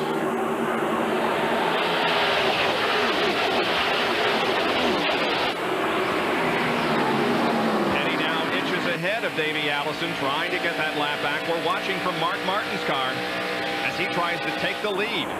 Kyle Petty gets by Davey Allison, moves up in front of him, and now here comes Martin trying to take the lead back. Kyle Petty is fifth in points, Mark Martin is sixth in points. So they're involved in a battle of their own somewhat, although again, Kyle is now at the tail end of the lead lap, the lap that Mark Martin leads. 15 points separating the two, Kyle Petty and Mark Martin. Harry Gant now is third, just behind Davey Allison.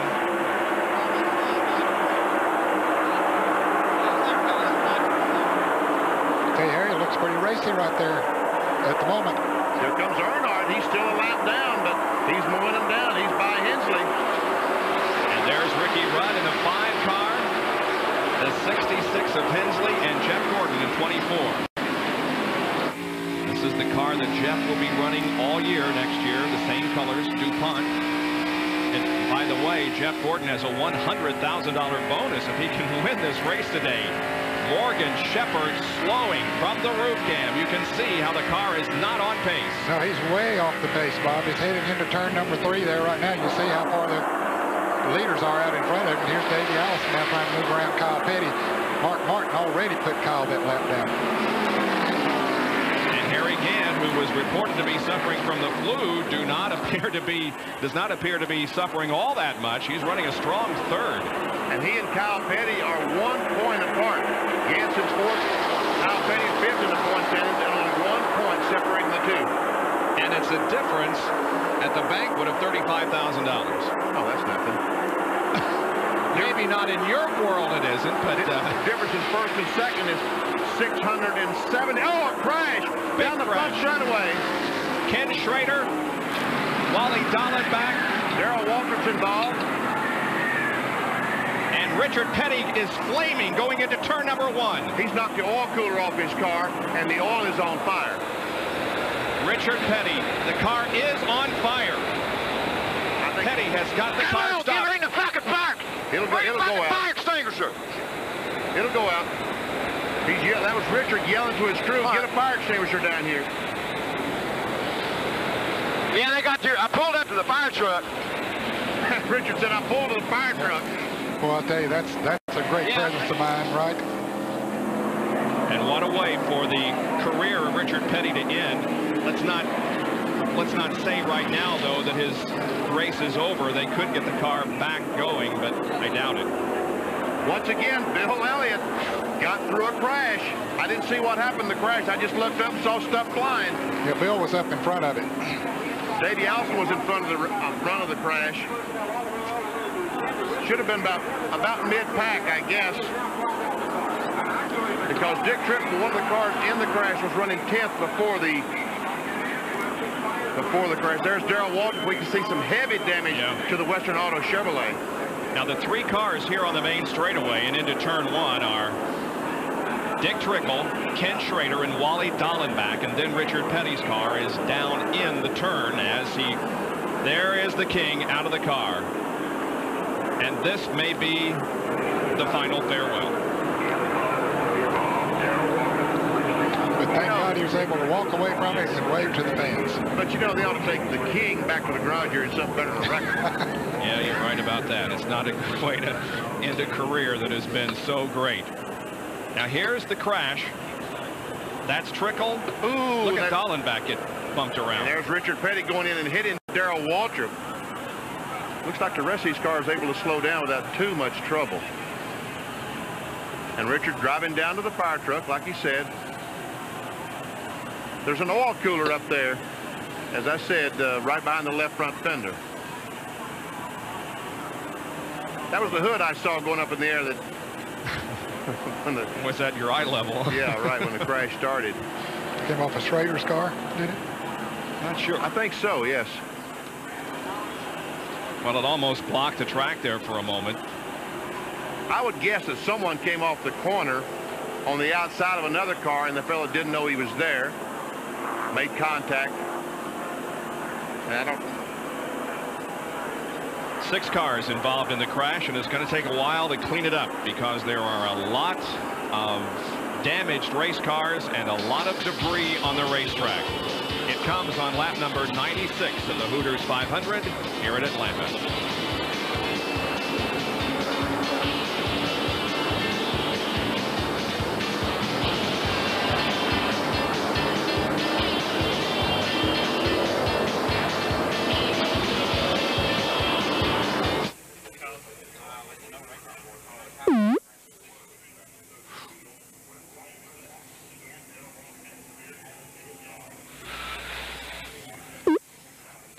Don't do that. What's causing that?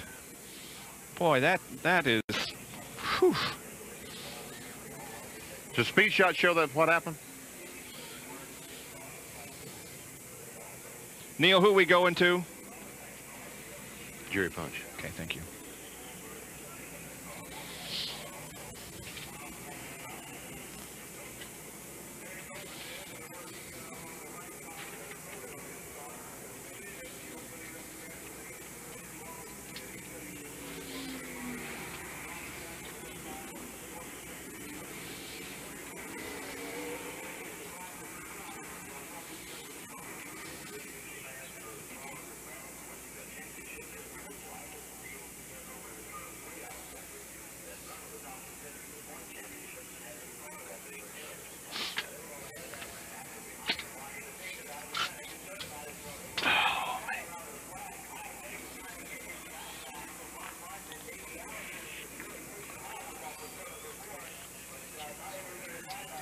Yeah.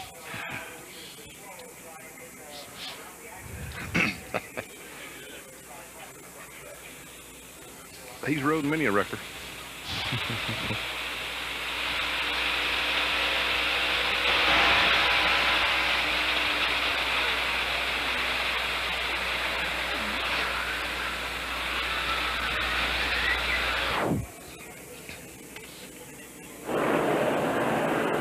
The 500 here at Atlanta Motor Speedway under the fourth caution period of the afternoon because of a five, make that six car crash here on the main straightaway that involved Darrell Waltrip, Dick Trickle, Ken Schrader, Richard Petty, Wally Dallenbach, and Rich Bickle. And here is the replay. There we see the Ken Schrader car, the white car, spinning. Also Dick Trickle, the dark car, spinning. As they go down the straightaway, other cars start going in the crash. There's Darrell Waltrip spinning. Dallenbach hits him. Bickle's in the mix. And Darrell and Richard Petty runs into Darrell Waltrip and knocks the oil cooler off his car. The oil goes back on the exhaust system. And there's where the fire came from. Look at that hood way up in the air off Schrader's car. Schrader spinning, spinning. He finally comes to a stop. Well, Kenny Schrader got knocked around pretty good in that crash. And here's Jerry Punch. And the good news, Bob, is Kenny is okay. Kenny, what happened out there?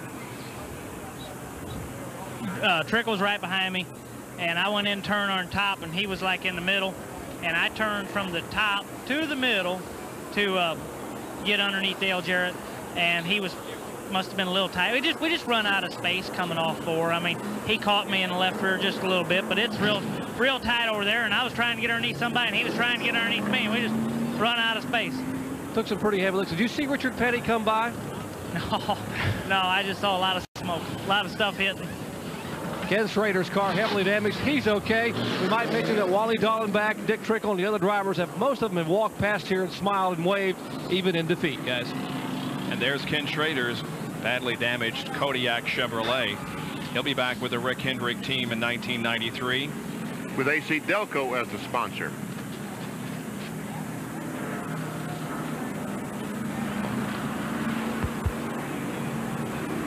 Now here's a replay from the in-car camera of Richard Petty. Oh, this ought to be good. There's Dallenbach right in front. Uh-oh, smoke. Oh, that's Trickley. I mean, Rich Bickle ran into. Mm-hmm. I thought it was Waltrip too. Well, he hit Waltrip after Bickle had hit Waltrip and and spun him around. Yeah. And you can see the uh, flames coming out. We'll take a look at it again here in a moment. The car of uh, Wally Dallenbach Jr. on the rollback. He took a good knock too. But everybody apparently is okay after six cars involved in a tangle here on the main straightaway. We'll be back with more in just a moment.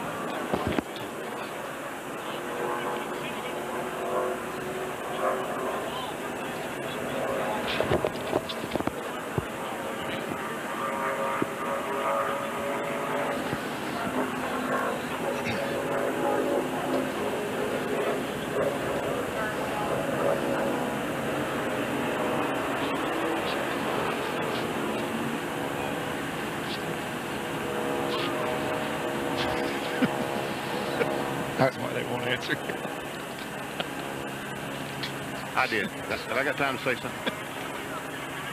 You got any more of those?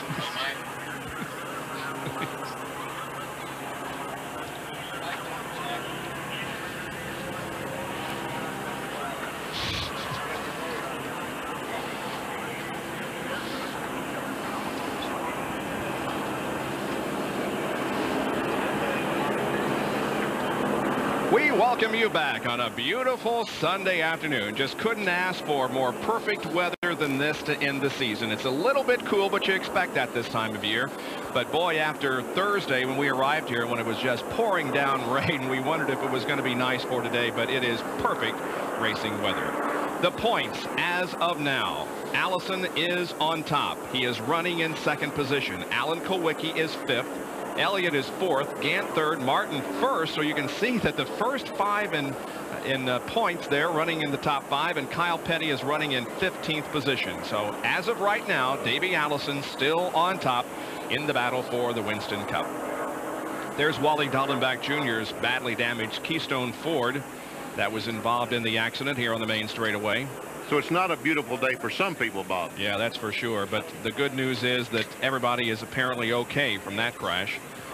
Again, we had an accident on the second lap that sent uh, Brett Bodine to the hospital. Here's Jerry. Well, we've already seen Davey Allison, guys, avoid a couple of incidents. He could certainly have been knocked out already in the first uh, 100 laps. You may be asking, does Davey have a good luck charm? We've all seen rabbit's feet, we've seen Buckeyes, but guys, have you seen a good luck pumpkin? That's what's in the Havoline pits. Now, when they went to Phoenix a couple of weeks ago, they picked this good luck pumpkin up at a Mexican restaurant on Friday. We all know what happened. He won the race, reassumed the lead in the points championship. They painted a happy face on the front, and they painted a sad face, what's left of it, on the back. Now, this pumpkin has hit the wall a couple times. You can take a look there. But right now, while Davey's running well, they have the happy face showing. And believe me, folks, this pumpkin has been guarded more than the race car the past two weeks. So Davey's good luck charm so far working its magic.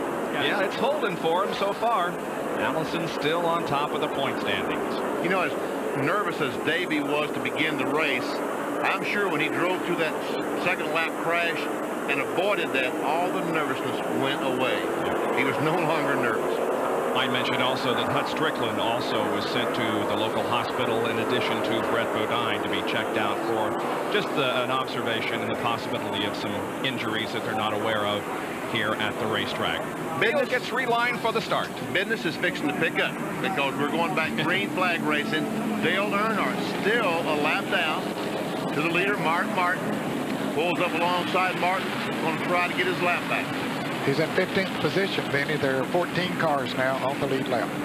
And if you're just joining us and you've noticed that uh, Ned isn't saying a whole lot today, it's not because he's mad at us, I don't think. Ned is suffering from some uh, laryngitis and uh, couldn't utter hardly a sound yesterday and last night, but we're glad you got at least what you got today. it's amazing. The biggest race of the year. And Not the way it goes. Go away, yeah. As they're getting ready to go to restart, Darrell Waltrip's car sitting on the pit road, and they're trying to adjust the toe in on it. The hood's damaged, the rear end's damaged, but they're trying to get him back on the racetrack. There's the Western Auto Chevrolet. Well, the attendance here will far exceed last year's attendance of 122,300. The track officials estimated they would sell 60,000 hot dogs, 40,000 hamburgers, 100,000 sodas, 800 pizzas, 40,000 cups of coffee, and 40,000 cups of hot chocolate for this event. And that was before they learned that Benny would be having lunch here. okay, let's go. Green flag waves.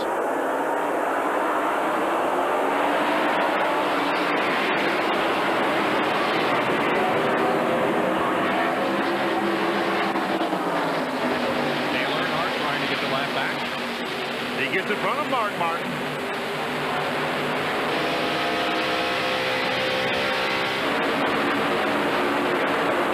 Big cluster of cars behind the leaders. Bobby Hamilton, Harry Gant, Bill Elliott. That number nine car is being driven by Chad Little and has Mayflower Moving sponsorship on it. And speaking of moving, there is Ernie Irvan. He's moving through the pack, isn't he? body alongside. Kyle Petty almost moved into the wall up between turn three and four. He really did a great job of driving that car. I don't know if there's something wrong with it or not. But yes, there is. There's something wrong with Kyle Petty's car. He's just not up to speed. You can see him there on the outside, the black car with the green numbers. Here he is now going into turn three. Might have got a little bit of help there from Sterling Marlin. Oh, yeah. That's why he went so high. Yeah. Okay. Wow, got a little bit of a bump from him. Yep. And He was still trying to get his heart beating down in turns one and two when he started slowing down. Kyle's running okay now, looks like. That's Rusty Wallace right beside him, now behind him. As we look from the Phillips 66 in-car camera being carried by Jimmy Hensley. Good run for Jimmy. He's being shown in 12th position. No sponsorship yet for that team for 1993. Cale Yarborough Motorsports, they're looking, hoping to keep things together. There's a host of Pontiacs. Kyle Petty, Rusty Wallace, Michael Waltrip. Lots of announcements made here at Atlanta in the final race among them. Harry Gant will be switching to Chevrolet next year. And big surprise, Rick Mast, after he won the pole, said they'd be switching to Fords. Really? Yeah. Huh. The, the Richard Jackson team. And also Bill Davis, remember, he, he's the guy that owns the number one car, the Baby Ruth Ford on the Busch Grand National Circuit. He signed a five-year deal with Maxwell House as Bobby Labonte as his driver to run Winston Cup. Five years. And the worst kept secret in racing, Rick Wilson as the replacement for Richard Petty. That was officially announced on Thursday.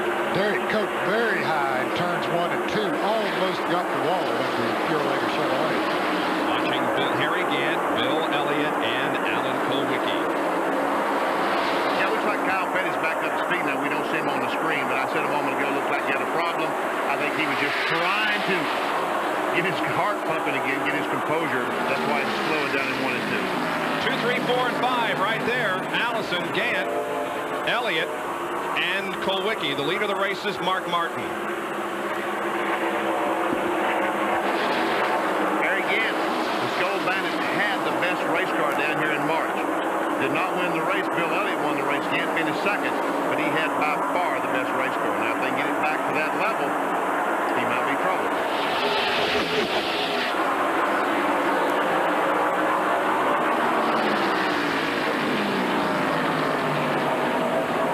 Race is about a third over. There are 328 laps in this event, and we're now at 109. If points were awarded right now, Allison would be the winner of the Winston Cup. He's running second. Kulwicki would finish second in the points. He's running fifth, and Elliott would be third. And now, but, uh, Mark Martin is trying to put Dale Earnhardt a lap down again. He's closed up on the back bumper of Earnhardt. And he's, Earnhardt's running high. Mark Martin running low. And a good battle back of those guys as Alan Kulwicki has pulled alongside of Bill Elliott and now tries to take the position away. They come down the back stretch and boy, it looked like they may have touched as they came off the corner. They were awfully close, there's no doubt about it. There was a million dollars at stake. The Winston Cup champion not only wins that title, which is in the stock car world enough, he also wins a million dollars. See Kulwicki going down. That time drove in alongside Bill Elliott. Here they come off the corner once again. Very, very close to touching as they go down the back straightaway. You see Kulwicki back off this as they go in the corner. Remember that second lap crash between Brett Bodine and Rick Wilson? You see, he doesn't want to go in there and not have that air to lean on. That's why he backs off going in the corner. Now Alan, I was going to say he gets cleanly around him, but no, Elliott just won't give up while Ricky Rudd says, I may make this a three-horse race. I say Rick Wilson, I meant Rick Mast. You can say Rick Wilson next year.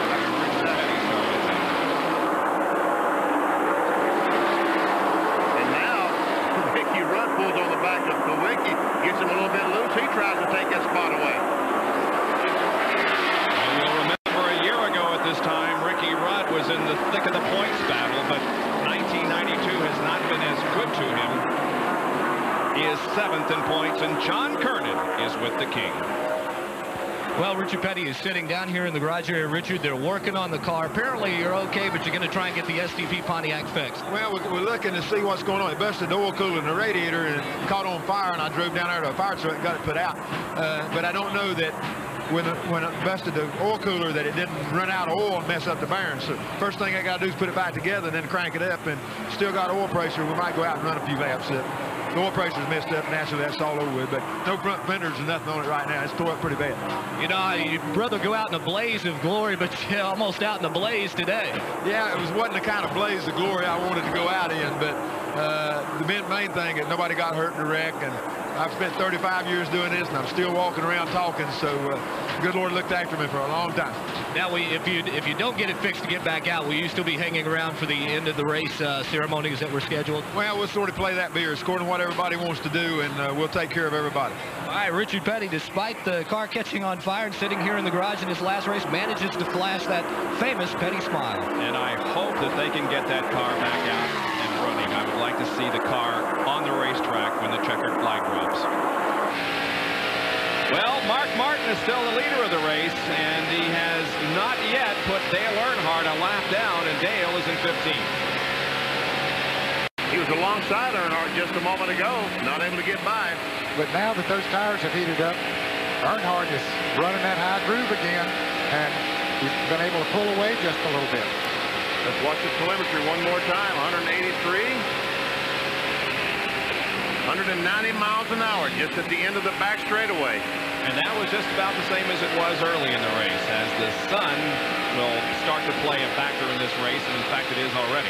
I tell you what, it's going to be miserable at the last 100 miles of this race. The drivers will be driving in turn three with very little, very little visibility.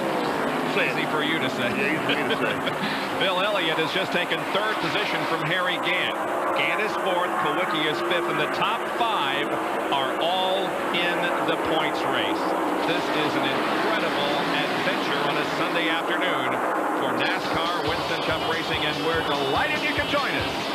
Back in just a moment.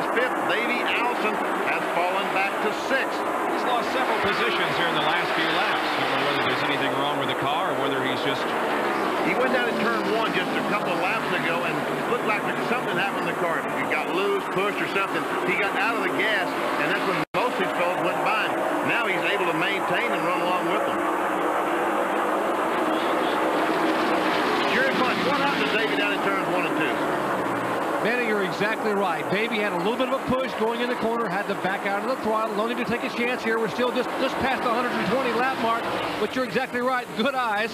The car went in the corner, and the car began to push as Elliott was going by Davey Allison. Davey had to back out of the throttle just a little bit, which allowed Bill to zip right on by almost effortlessly. Bill Elliott now is in second position, and Davey Allison is back to, what, sixth? Yep, back in sixth spot. We're getting closer to the halfway lap. If you have entered the Gillette Halfway Challenge and you are called at home and can name the driver who won the Gillette Halfway Challenge Award, coming up, you will win the new Chevrolet Lumina.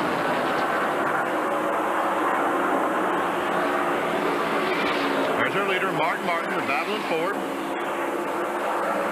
Good lead over second place man Bill Elliott. And Dale Earnhardt continues just to inch away a little bit from Mark Martin. Earnhardt just hoping for a caution. He's already made up one lap, now wants to make up the other one. Earnhardt might have the fastest car on the racetrack currently. Yep.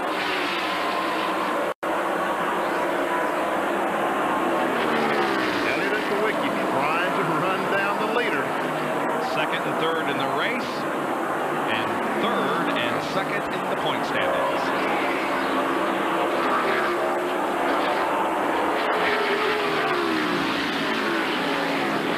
I wonder if they're asking, in Bill Elliott's situation, asking Tim Brewer, Alan Kulwicki's situation, asking Paul Andrews, their crew chiefs, what's happening to Davey? Where is he? What's he running?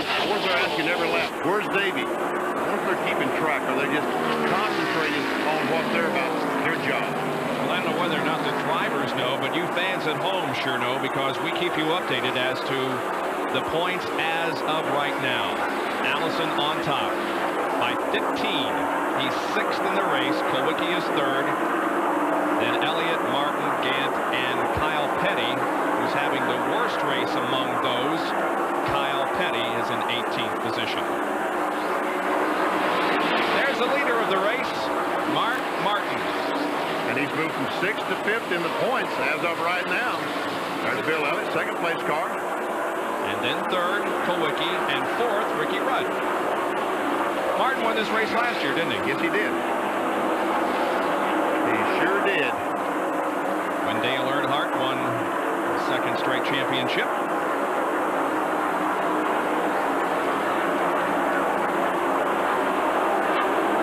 There's Davey.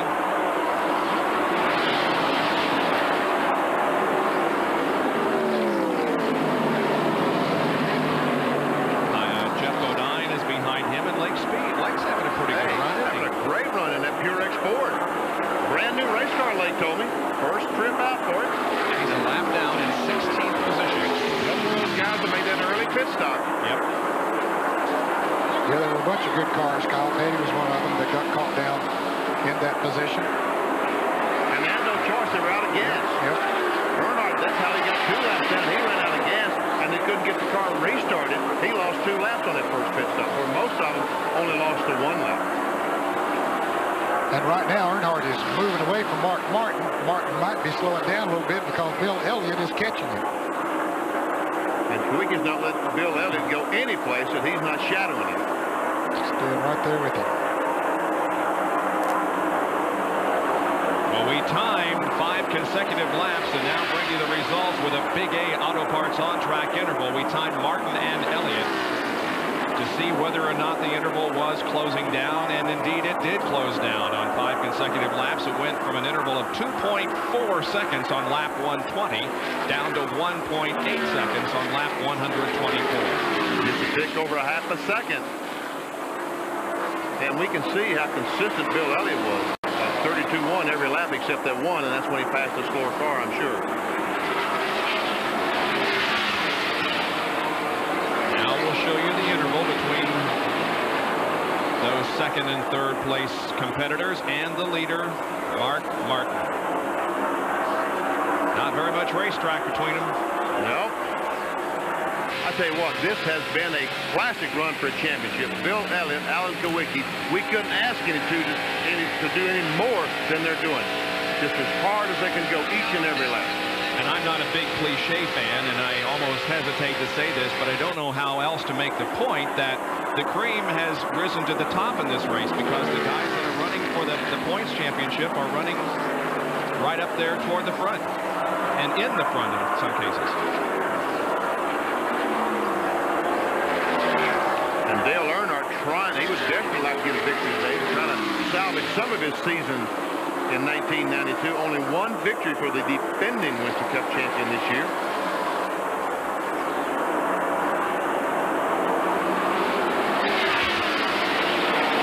Here's an Autolite field summary for you. Watch for your favorite driver. This is how they crossed the line last time around, one lap ago.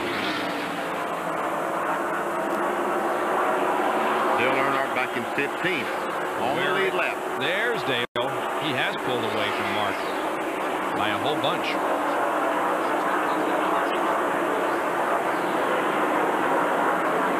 There goes Earnhardt. Dick Trickles out of the race. And Ricky Rudd is slowing. Our fourth place car slowing dramatically. The winner at Dover not too long ago, Ricky Rudd. And the guy that is seventh in the point standings is off the pace, and the report is he's lost his power steering. Oh, man. Big struggle trying to wrestle that thing around with no power steering. The problem is to they didn't have power steering, but they adjusted the front end so he could drive the car. Now with power steering, the front end adjustment makes it almost impossible to turn it, like most cars on the street. But remember, a few years ago, of course, it has changed some with radial tires in particular with the different settings of the front end to accommodate the radials. But Earnhardt lost power steering, wasn't it, at Bristol, one of the toughest tracks on the circuit, went on to win the race. Yeah, I do remember that. Yep. Rudd has an 82-point lead on Darrell Waltrip in the point standings. There's King Richard Petty, who is at the moment out of the Hooters 500, being led by Mark Martin.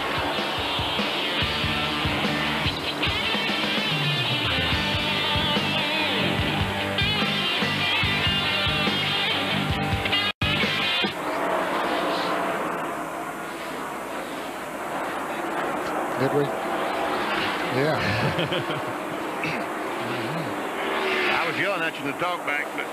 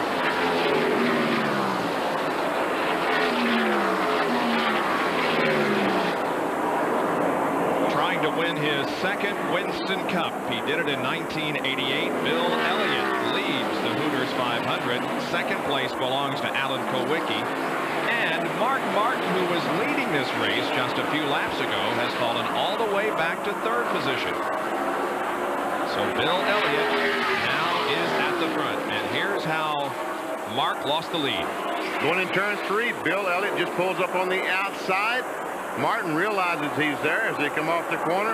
Elliott has the momentum and just shum, goes right by. Not too long after that, Alan Kulwicki took the second position away from Mark Martin. Now here's Davey Allison involved in a battle with Geoff Bodine in number 15. Lake Speed is also right there. And the number 12 car driven by Jimmy Spencer. Spencer having another great run in Bobby Allison's car, currently shown in eighth spot. And this battle between Davey Allison and Geoff Bodine is for sixth.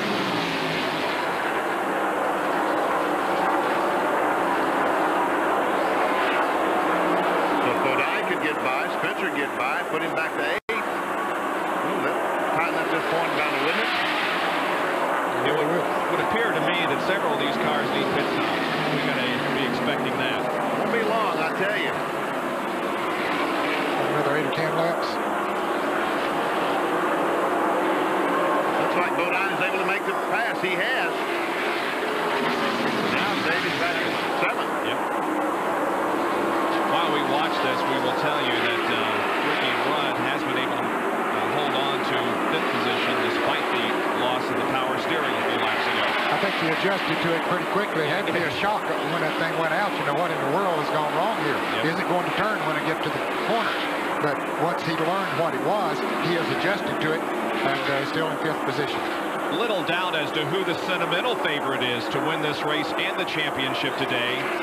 It is Georgia's Bill Elliott from Dawsonville. Now they're second and third. Kulwicki, a Wisconsin driver, and Mark Martin, originally from Indiana. Jerry, what's the problem on that car?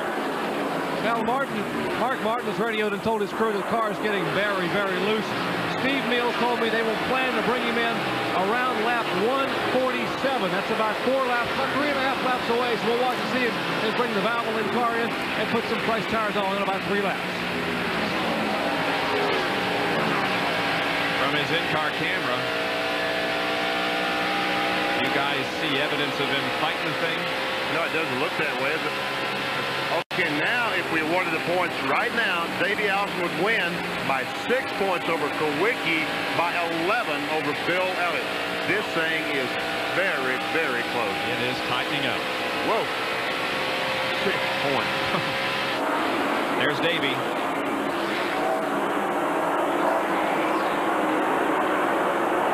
And there is Spencer in the number 12 car.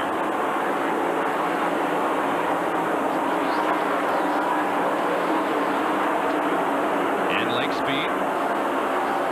Once again, late in the lap down to these two cars, but his car running equally as well as Allison's or Spencer's.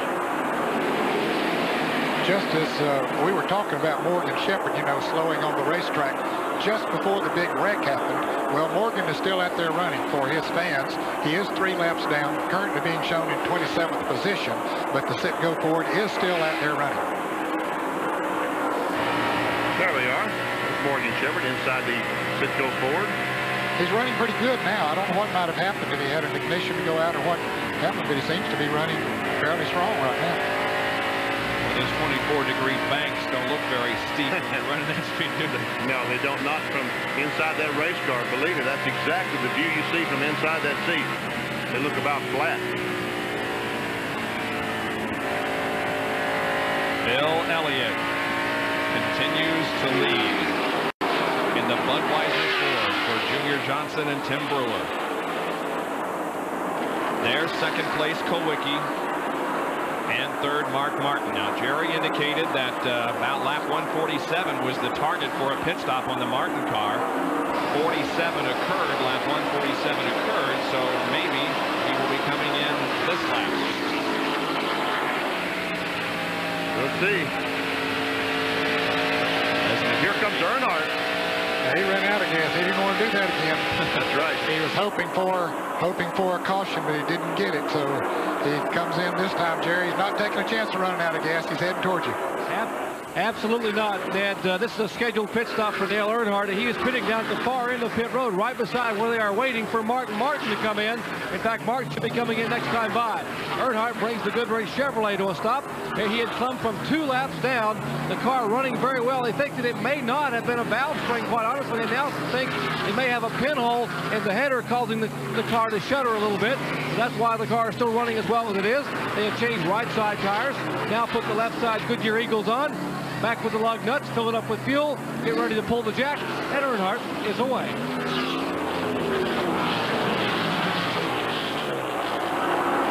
Now he'll find himself until the leader's pit about two laps down.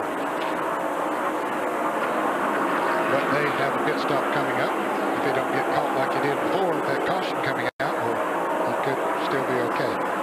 Earnhardt's most recent win here in Atlanta was in 1990 in the Motorcraft Spring Race. Last time he won a fall race was in 89. There's Elliott continuing to lead. And looks like he has stretched out the advantage a little bit on Kulwicki and Mark Martin. Martin staying out there.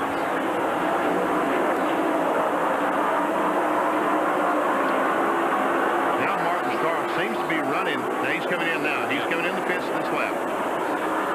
Down off the banking. Making sure he observes the speed limit on pit road, which is 55 miles an hour. Jerry from the roof cam, we see him headed toward you.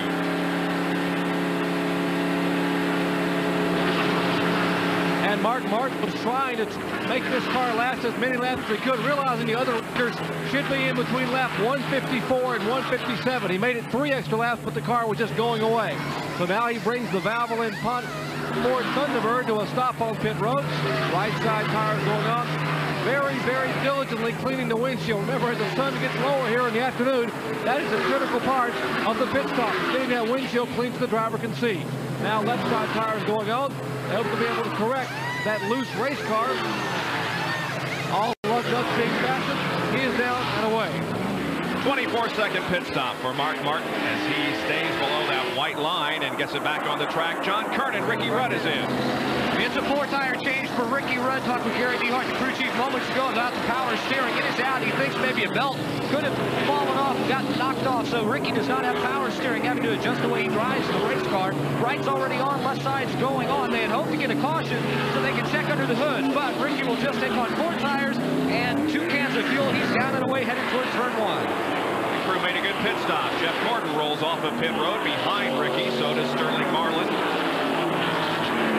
There's Jeff going out of the pits right now, and here comes Sterling. He's already gotten four new tires on the Maxwell House 4 and is building back up to speed as he heads into turn number one. Then shift into third gear. Play with the gas. Now as he drives up on the bank, he'll shift into fourth gear. Yep. Alan Kulwicki about to come into the pits. His crew there ready for him with the board out. And when he does, he'll relinquish second position.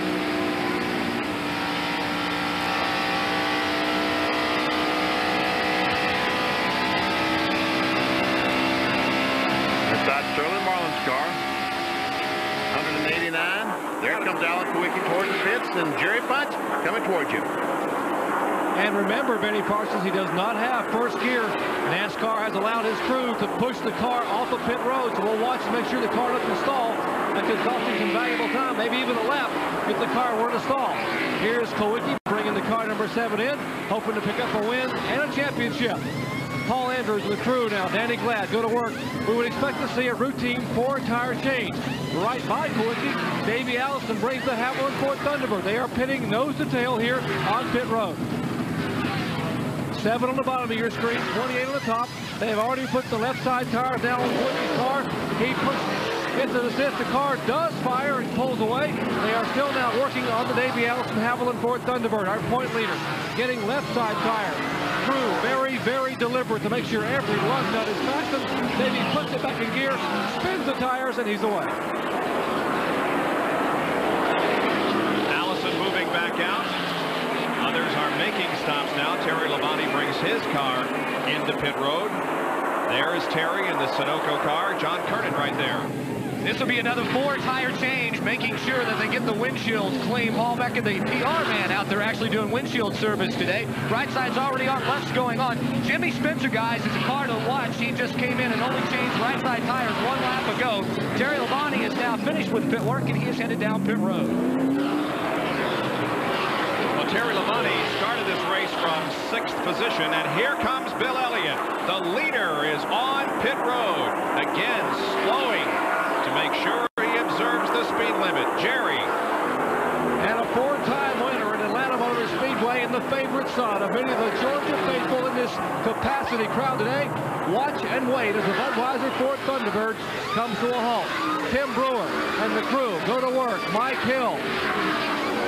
They all are changing all four tires, fueling the car. Henry Benfield lugs that 75-pound fuel can, shoves it against the left side of the car. Left side jack the car. Lug nuts going on. Fresh Goodyear Eagle, Bill sitting very patiently. And now 21.3 seconds. You heard Elliott squeal away.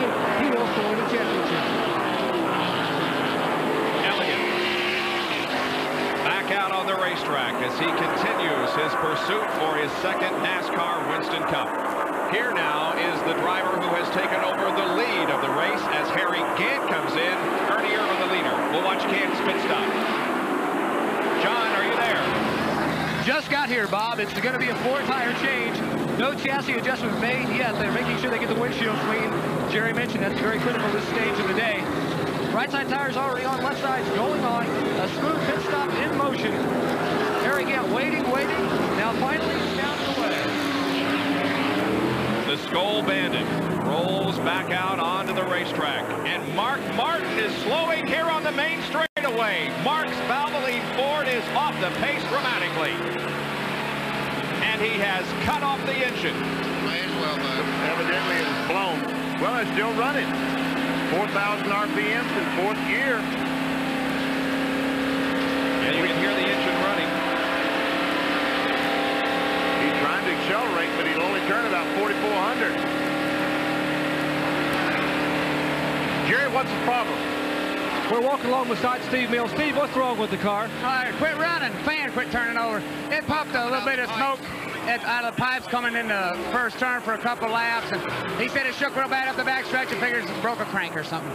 We'll let him go into the garage area. Thank you, Steve. Steve headed to the garage area here, talking to his driver, and apparently the day is over, and so is the championship hunt for Mark Martin. So there are now five still in contention for the NASCAR Winston Cup as Mark Martin, who won this race last year and who came into this event sixth in the points, 113 behind Davey Allison, coasts down pit road and will be, we presume, turning in to the garage area. He's still on pit road and in fact is going to keep going. But break a crankshaft because it wouldn't be turning 4,000 RPMs with a broken crankshaft. Nope. He has some other problem. There's the leader, Ernie Irvan. He has not pitted yet here. He's getting good gas mileage on that, sure is. Jerry, uh, got an update? Guys, as Mark Martin came by us on pit road, I was standing beside Steve Hmiel, who was running toward the garage area. We both stopped. The car came by, was sputtering. It seemed to catch fire, started sputtering again, so Mark continued back on the racetrack. They're hoping possibly it may be something less than inside the, the engine as they get the halfway point here in the season finale. And while all that was going on, we get a indication of why Ernie Irvan stayed out on the racetrack as long as he could because the halfway lap has arrived. And Ernie Irvan is about to pick up $10,000 as the leader at the halfway point and winner of the Gillette Halfway Challenge. There the cross flags. Ernie Irvan is the leader and the winner of the Halfway Challenge. He takes home the $10,000 reward, and if you have entered the contest and are called at home, and you can correctly identify the winner of the Gillette Halfway Challenge, you could win a Chevrolet Lumina Z34. Again, the name to tell them, Ernie Irvan. Mark Martin's car is behind the wall. And Bill Elliott, who has made his pit stop, finds himself in fourth position. Back up to speed. But Irvan coming into the pits, Ted Musgrave had stayed out there. He was ahead of Elliott, but he's coming in right now. And it looks like Jeff Gordon might have a problem on the backstretch. He's going very slow. Maybe run out of gas. Going slow down pit road is Ernie Irvan. Jerry. And somewhat of an obstacle, he has to go around the car of Lake Speed and it's stalled on pit road. Also get around the car of Morgan Shepherd here the Kodak crew working on Ernie Irvan's car. We mentioned Ernie Irvan won $10,000 for leading the halfway point. A $25,000 bonus just went to Davey Allison for winning the most halfway points this year in the Gillette program. The only other ones who could have gotten that were Bill Elliott and Alan Kulwicki. But by Ernie Irvan winning the 10 grand, as you watch his car exiting pit road in a little over uh, 20 seconds with four tires, that would give a $25,000 bonus to Davey Allison. Jeff Gordon is on pit road. His car very slowly down the backstretch. He was able to make it into the pits, and may, might he have run out of fuel? No, I don't know. They haven't put any in it yet. He stopped just a few laps Okay. ago, so he did not run out of fuel. Evidently, had a flat tire, something wrong with one of the tires. Probably had a vibration, didn't know which one it was, and so he's uh, putting all four on. Davey Allison working his way through the traffic, racing with Sterling Marlin. There is Bill Elliott and Alan Kulwicki. We will be back in just a moment to update you on the points in this 1992 season finale of the NASCAR Winston Cup Series.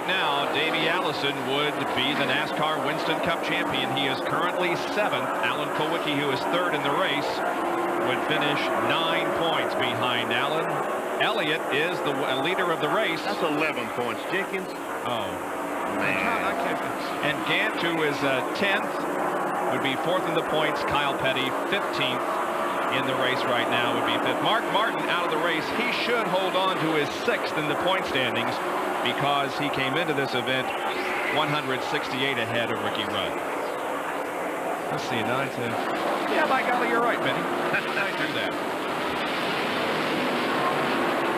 There's the leader, Elliott, and Jerry is with Mark Martin. John Kernan is with Mark Martin. Like, I, like I've told you many times, we sure look alike, Jerry and I, sometimes. Standing here with Mark Martin in the garage area. And, uh, Mark, we can see on the telemetry your RPM's just cut right now down to about 4,000. Do you know what happened? Acted like it burned a piston or something. Uh, started smoking out the pipes and, you know, the, the 42 and the 33 were at full song. There wasn't much we could do. We could have tried to run 60, 70 miles an hour around a racetrack and offended NASCAR and everybody else, but we weren't going to be able to do anything about the situation. But, you know, just park it, and I'd have to just say I'm awful proud of Jack Roush and Steve Hmiel and this whole Valvoline team, and I want to thank uh, Goodyear for putting us on the greatest greatest radials I've ever driven o- on here, and and uh, and thank uh, uh, Folgers for hanging in there with us this year. We've had a real good year, and we've got a lot to look forward to next year. That's right. They certainly do have a lot to look forward to. In fact, Steve Neal says they're already working towards 1993. Bob? Two wins in 1992 for Mark Martin at Martinsville and at Charlotte. And his year is over as the Valvoline Ford is behind the wall. Things have kind of settled down here as we have completed 174 laps of this event. Bill Elliott is leading over Alan Kulwicki. We'll be back in just a moment.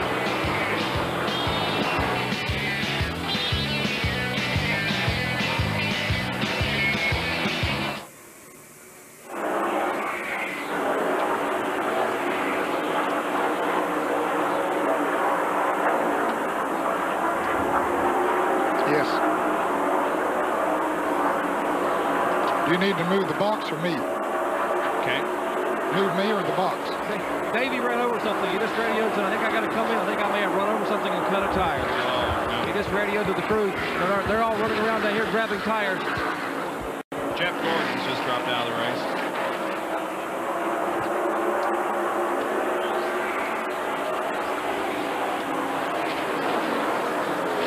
Okay, I'm on a new headset. I sound okay? This is Benny on a new headset. Sound okay?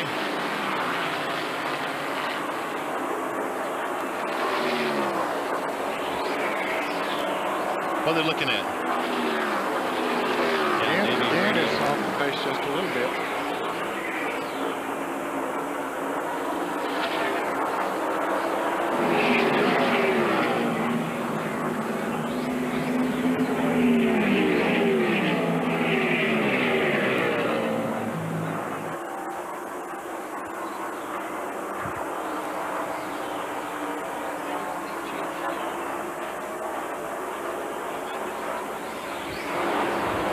The Texaco Havoline crew of Davey Allison watches their driver very closely. They have been told that there may be a problem with the car. Now there is Rusty Wallace on the racetrack trying to pass him. Davey hasn't seemed to uh, have slowed up very much. But we'll watch that situation very carefully. Jerry, can you update us? While we were in commercial, Bob, Davey just yelled to the crew, I think I've run over something on the track and cut a left front tire. They all scampered up to the pit wall with tires. Davey said, whoa, whoa, wait, wait a minute, wait a minute, wait a minute. He said, I, I, it may not be cut. It may just be a vibrating exhaust pipe. So he ran another lap. He backed off the throttle for about half a lap.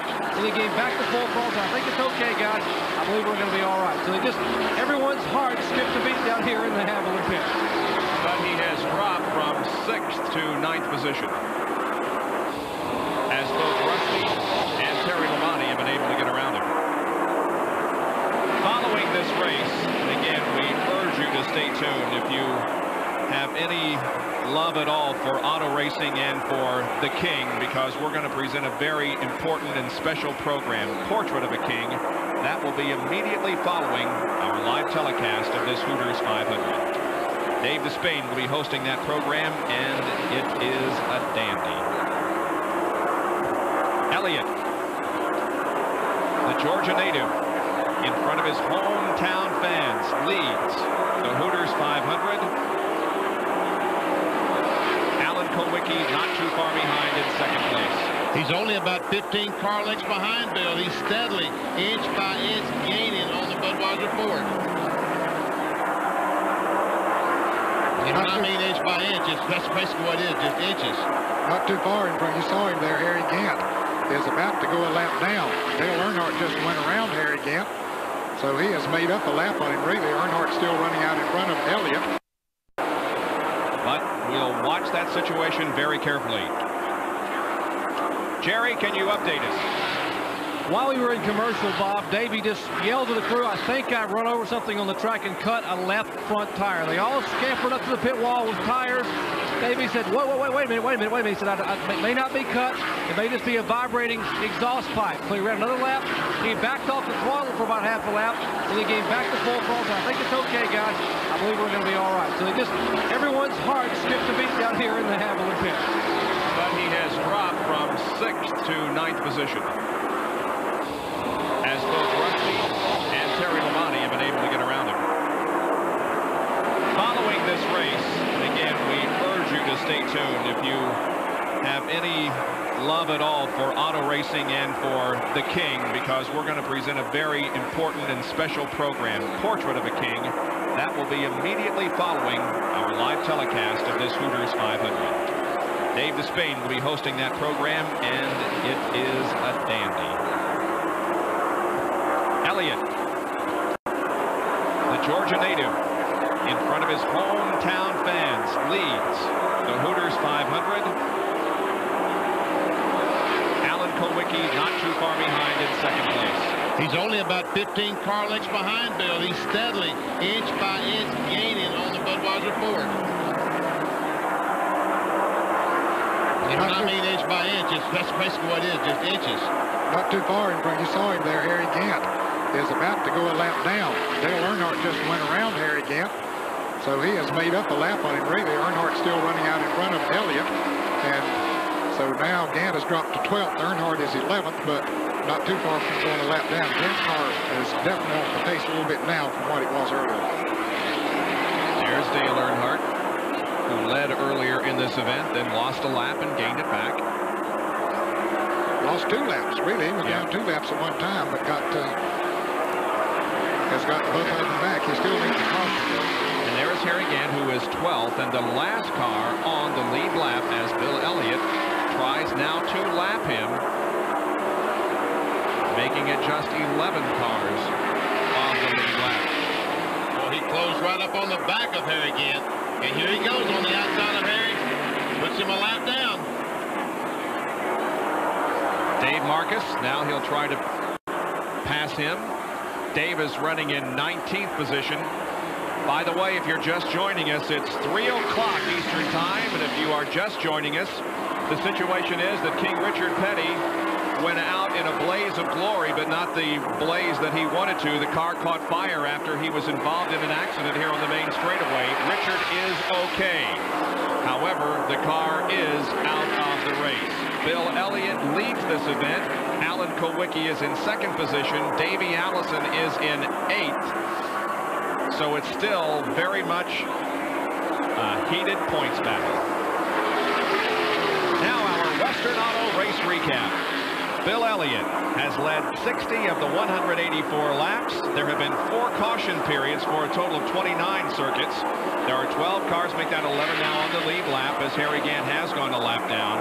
Eight leaders and 16 lead changes and the average speed is a little over 127 miles an hour.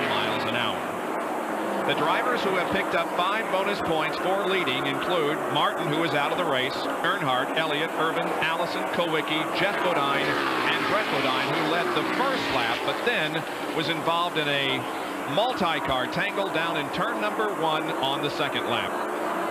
Out of the race, Stricklin and Brett Bodine were both taken to a local hospital to be checked up. They were not seriously injured. Stanley Smith, Dick Trickle, Ken Schrader, Bob Schacht, Richard Petty, Wally Dallenbach, Rich Bickle, and Jeff Gordon have all gone to the garage area. Jeff Gordon, the most recent. Tony Glover leads the Mechanic of the Year standings from Western Auto as we see Harry Gant in the pits in the upper left of your screen. Steve Hmiel is second in the Mechanic of the Year standings, followed by Donnie Richardson, Danny Glad, and Tim Broom. Unscheduled pit stop for Harry Gant in the Skoal Bandit Oldsmobile. Uh, he had slowed on the racetrack, not dramatically, but he was definitely off the pace a little bit. Apparently had a vibration or something, and uh, could be a bad shock, uh, but he thought maybe it could be tires, so they've changed all four tires now. Let's see. Keeping you updated on the point situation all race long. If they were awarded right now, Allison would have a two-point two, victory.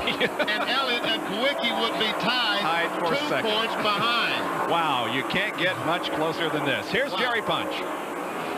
Guys, you think we're watching it upstairs? I'm in the Davey Allison pit. Now, this sheet, statistical sheet you're looking at right here was developed by Bob Latford, who actually helped develop the current point system way back in 1975. We have Davey Allison in this column, Alan Kulwicki, and Bill Elliott. Davey Allison currently, what, an eighth spot? That's how many points he would have. And if you turn and look at Alan Kulwicki in second or an Elliott in first, that's what he would have. So they are watching very closely a statistical chart to see every single spot and every single heart is beating rather quickly here in the Allison pit, guys. And thank goodness for people like Nelson Crozier, who was holding that sheet. Nelson's one of those behind-the-scenes guys that play a very valuable role in presenting these NASCAR Winston Cup telecasts to you throughout the season. Bill Elliott of the Budweiser Ford leads the Hooters 500 as Jeff Gordon has dropped out of his first NASCAR Winston Cup race.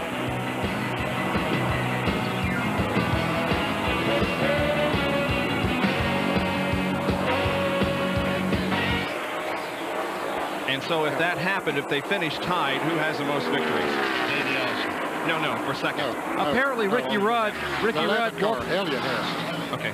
Apparently, Ricky Rudd wants relief, and they went to get Jeff Gordon, but now, of course, they won't let Jeff Gordon get in the car because he's a rookie. So they're having to find someone else because Rudd, Rudd fought that power steering problem. Oh, okay. That's a, He's a rookie. Still a rookie. Yep. No, not, no rookie can, can relief drive. Now, if Kulwicki catches Bill Elliott and passes him, it's a momentous occasion because that would put Kulwicki in the lead for the Winston Cup. well, I mean, I don't think it's the first time this year, but yeah. if, if, it, if points awarded right then, he would be the leader. That's right. Okay.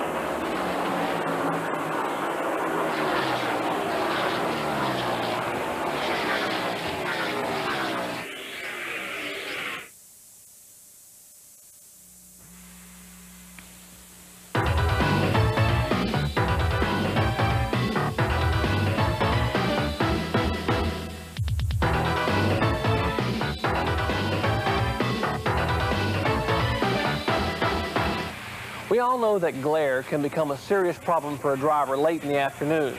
Well, in years past, the solution was quite simple. You merely tint a major portion of the right side of your windshield, thereby minimizing the glare from the setting sun across the turn.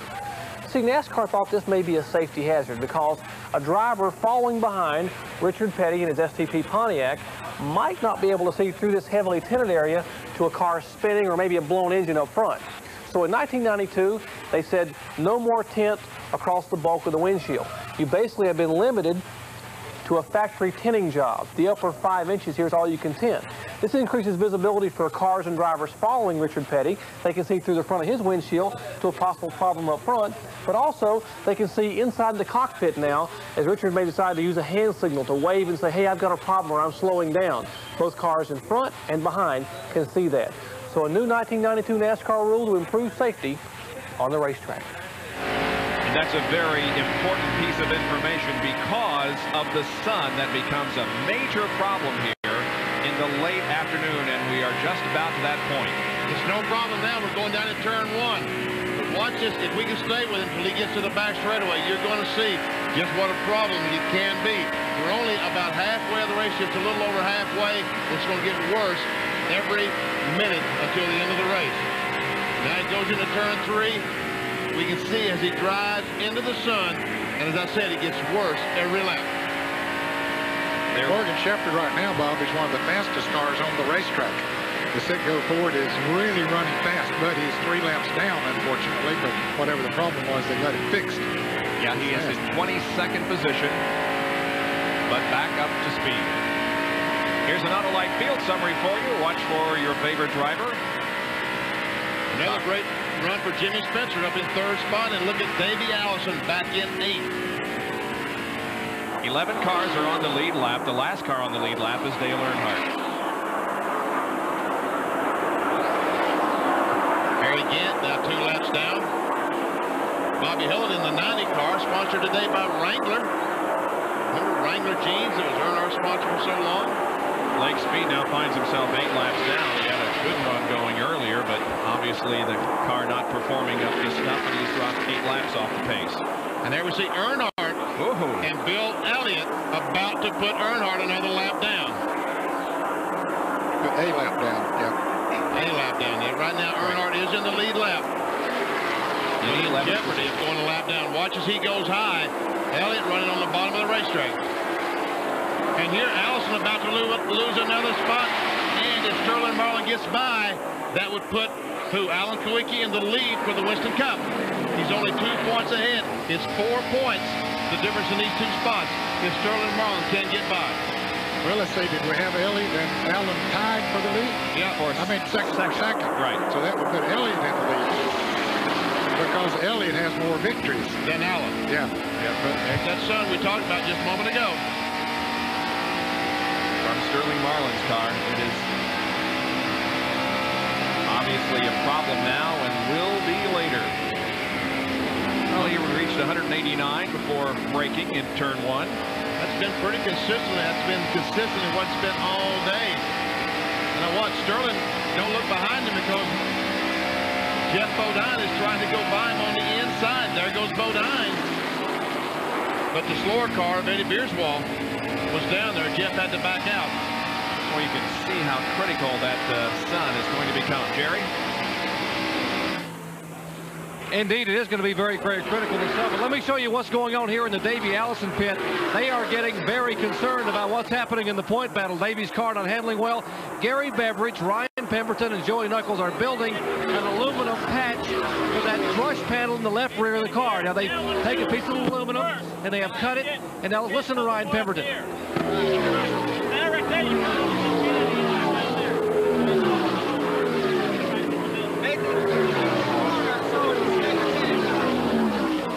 They're saying the car catches wind going in the corner and pitches to one side, causing Davey to lose a lot of time. So they're going to try to come in on the next scheduled stop, pull the left rear fender away, put this aluminum patch in, and hope that it works.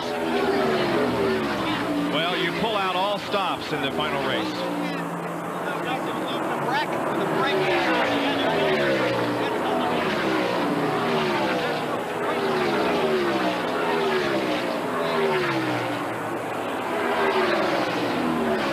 lot of thoughts are being traded down there, and we'll see what they do when Davey comes in for his next pit stop. Meanwhile, Geoff Bodine has gotten around Sterling Marlin, and now Geoff has his sights set on Davey.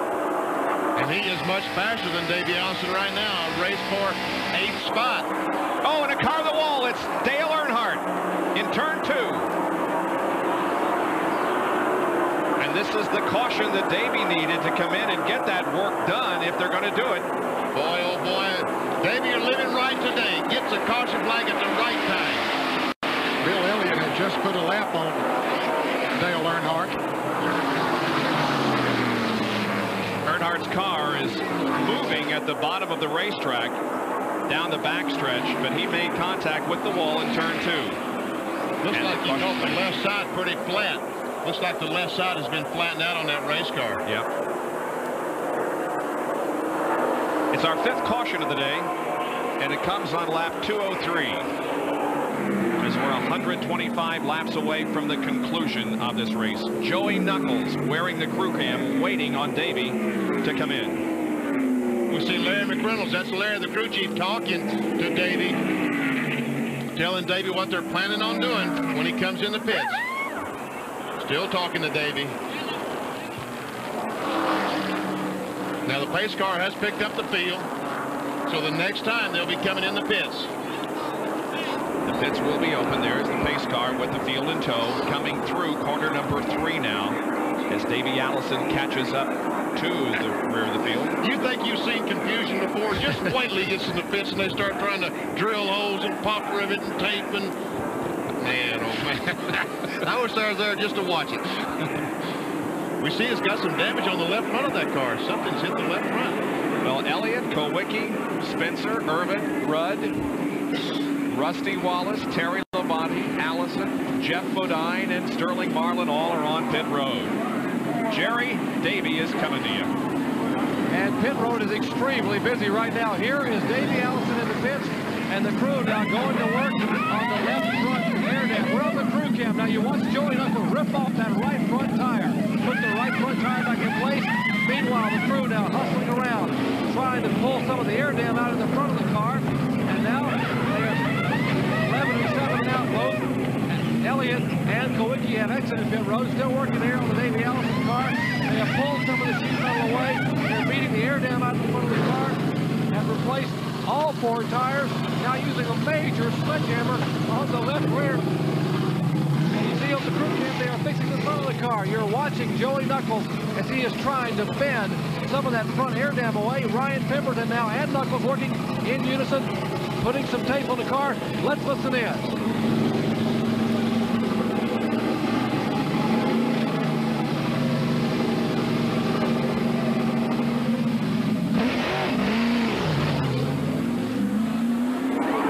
Allison's car beat up in the front end, beat up in the rear end.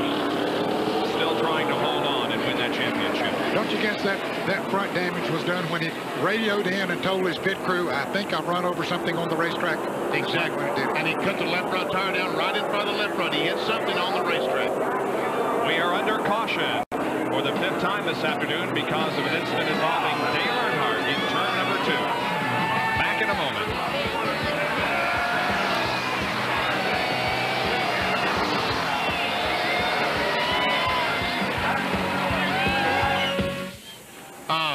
the shot of Davey coming down pit road, we can see a spot in the front air dam where something has hit it. Remember I said he's he's hit something with the front air dam? That's what they're working on. They're not working on the left rear. They're working on the left front. And he had radioed in way back there and told his crew that he thought he ran over something. Put up on the road, Scott. Trying to put the Probably power that steering. help, Trying to, yeah. yeah. This is the first, time, first opportunity they've had to do that. That, that front air dam damage was somewhat of a surprise to the guys. Remember, they cannot see that low on the racetrack as the cars come by due to the pit wall. The wall separating the track and pit road. So when he came down pit road and they saw that big indention in the air dam, they said, yeah, you definitely hit something. But uh, he was fortunate he didn't cut a tire. They're bringing him back in here to do some more work. They're trying to get ready for it. Is there any damage to Earnhardt's car? Come, on, come back, Benny. Oh. Are you down by Earnhardt? No, I'm in Davey's pit. Okay.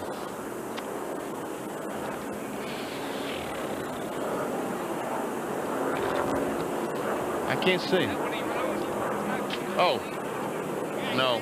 The, the shot from turn one. Okay.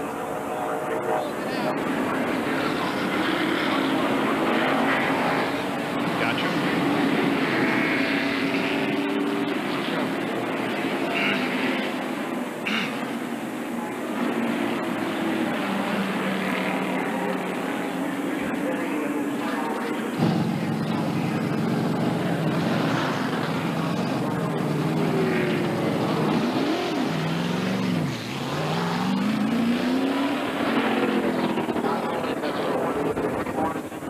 Davey Allison pulls off pit road after his second visit there in this caution period. They have already signaled the field that they'll get the green flag next time around. So Davey will now start from the rear of the field, and if points were awarded right now, Bill Elliott and Alan Kulwicki would tie in points for the NASCAR Winston Cup Championship, but Elliott would get the crown because he's won more races. Allison, who is currently 10th in the standings, would finish in third. I tell you what. Six laps completed. Bill Elliott leading the race. Alan Kulwicki running second. We're seeing a race for a million bucks. If that seven can pass the 11, it's worth about a million four. Whoa! That's pretty good sum That's pretty strong, isn't it? Just about to go green in the Hooters 500. The green will come out on lap 208. Poor Kulwicki knows that. He'd have a heart attack if he does, so don't tell him, whatever.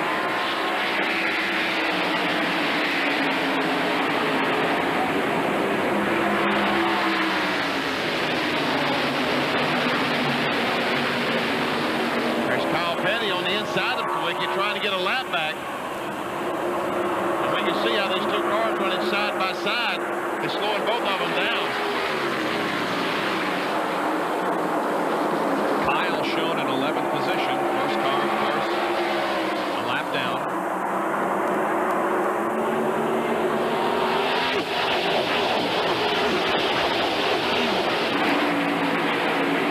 Jimmy Spencer and Ernie Irvan are battling for position. Should be in that third place. Yep. Dale Jarrett in car number 18 being shown 14th. Maybe a little contact there in the backstretch. It was close. Spencer goes by. Rusty Wallace is running fifth. We're looking at third, fourth, and fifth. And here comes Ernie down on the inside again. He dives off the fourth corner to the inside, and at the line, they are virtually side by side. Elliott's car still sits on pit road. They're working on the GM Goodwrench Chevrolet. Here's Kulwicki trying to get by Elliott. He takes the lead and would win the championship right now, the Nordic Funds. Uh-oh, but spoke too soon. Look at Bill. He's coming back on the outside, but no. Kulwicki is going to lead this lap by a half a car length. Here comes Bill back. Takes the lead back. That's the way to race for a championship. That's the way to go for a championship. And the fans at home, I hope, are loving it, because we are. And Ernie Irvan watching all this. He's getting closer and closer. He sure is. Watch, he's right on the back bumper of both these cars now. Yeah, he wants to get up there and spoil that party. Kulwicki holding the inside line and Elliott holding the high the racetrack and take the lead from Elliott.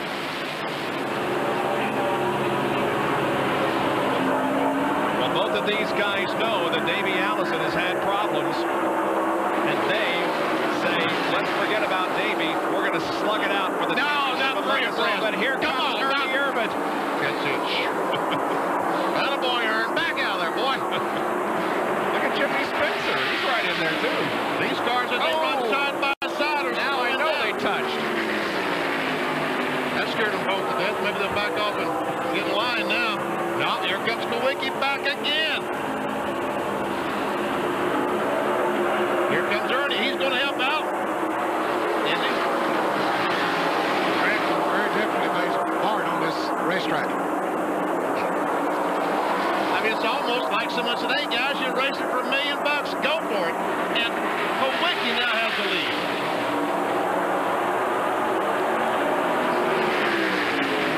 Irvan to challenge Bill Elliott for second. And Ernie Irvan does pick up second position. I don't know. Here comes Bill back. They're side by side, one and three.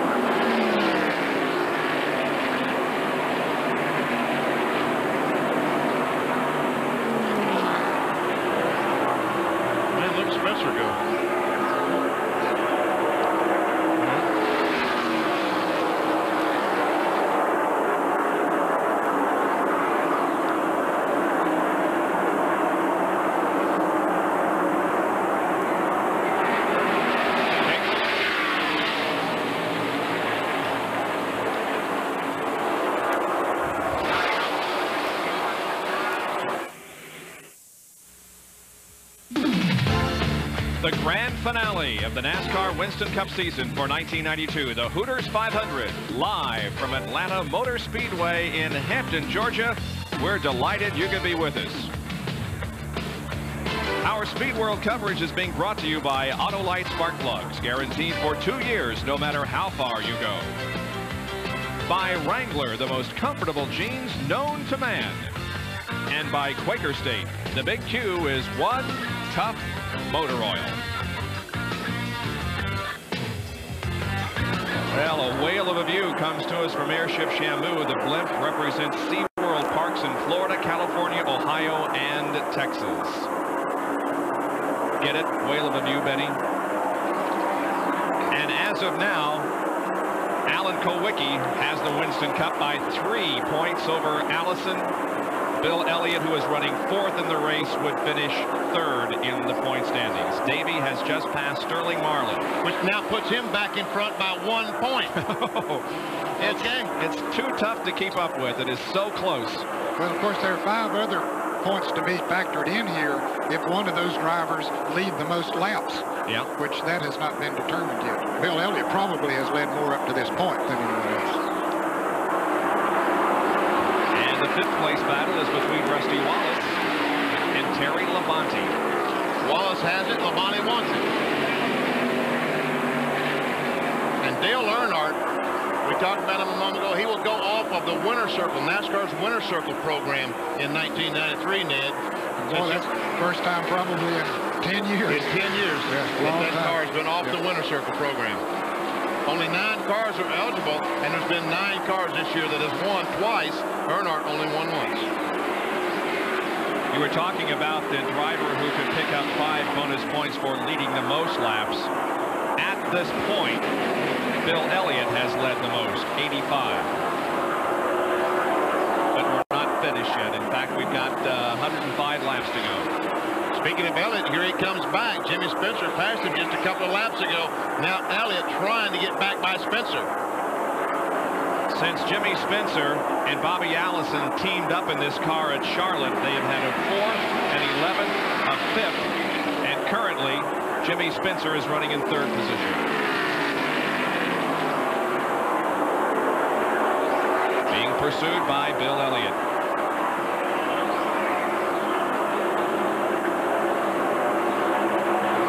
If you tuned in the Busch Grand National race from Hickory last week and you saw Jimmy Spencer bump Joe Nemechek, uh, everyone thought it was deliberate. Uh, I talked to Spencer about that, not on tape, but I talked to him about it. He said, I would never be that stupid. I like the boy. He said there was a car coming down pit road. Honest to God, I thought the guy was coming on the racetrack, so I went up in the middle of the racetrack. Here's a field snapshot as you watch for your favorite driver and use the clock to tell how far behind the leader he is running on the racetrack. He started the clock when the leader, Alan Kulwicki, tripped the line.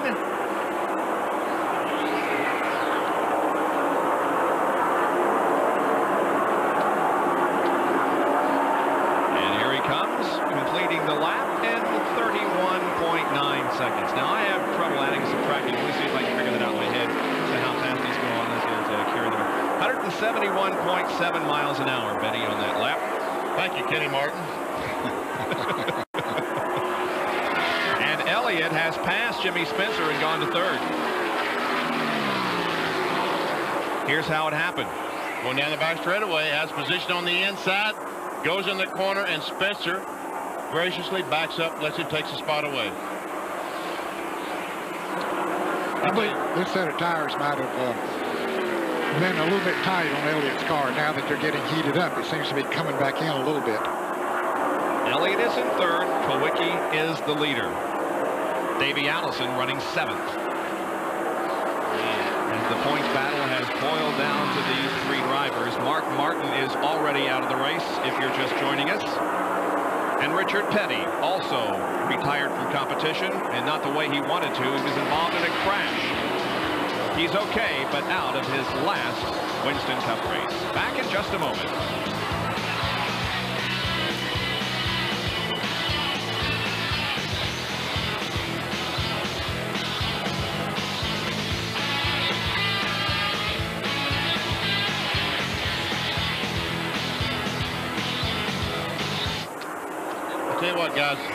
Exciting stuff.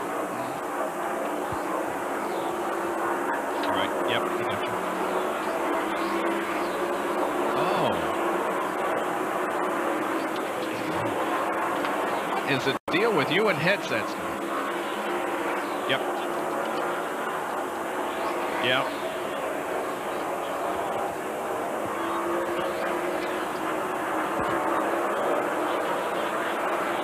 Hello.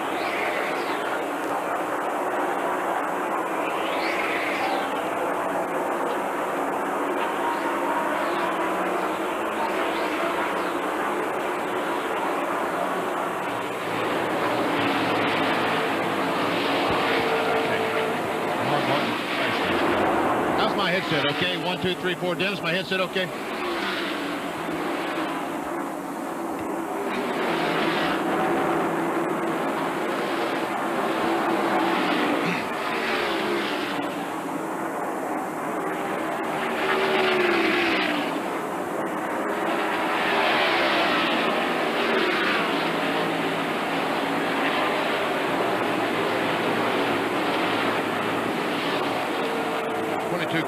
Coming in the pits, unscheduled.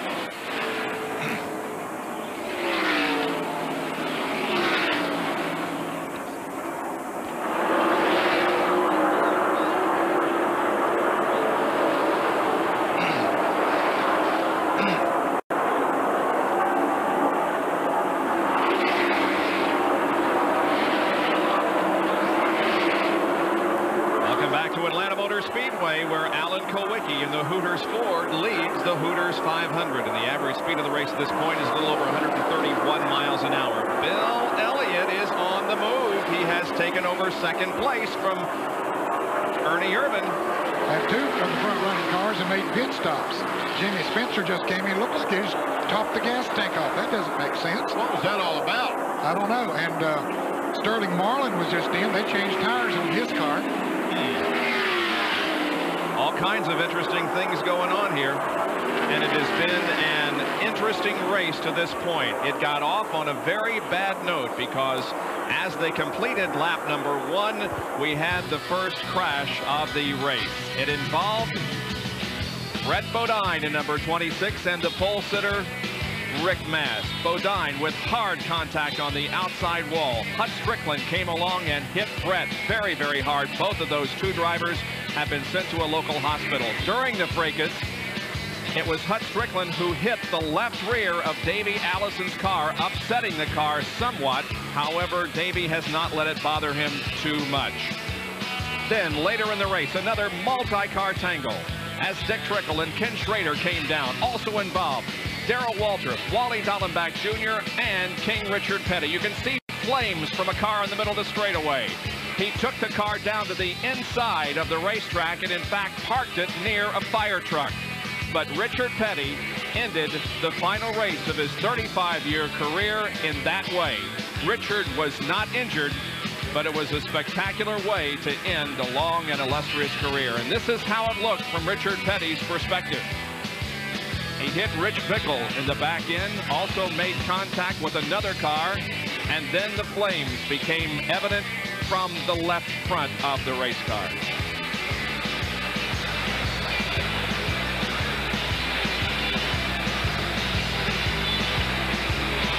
Hello, get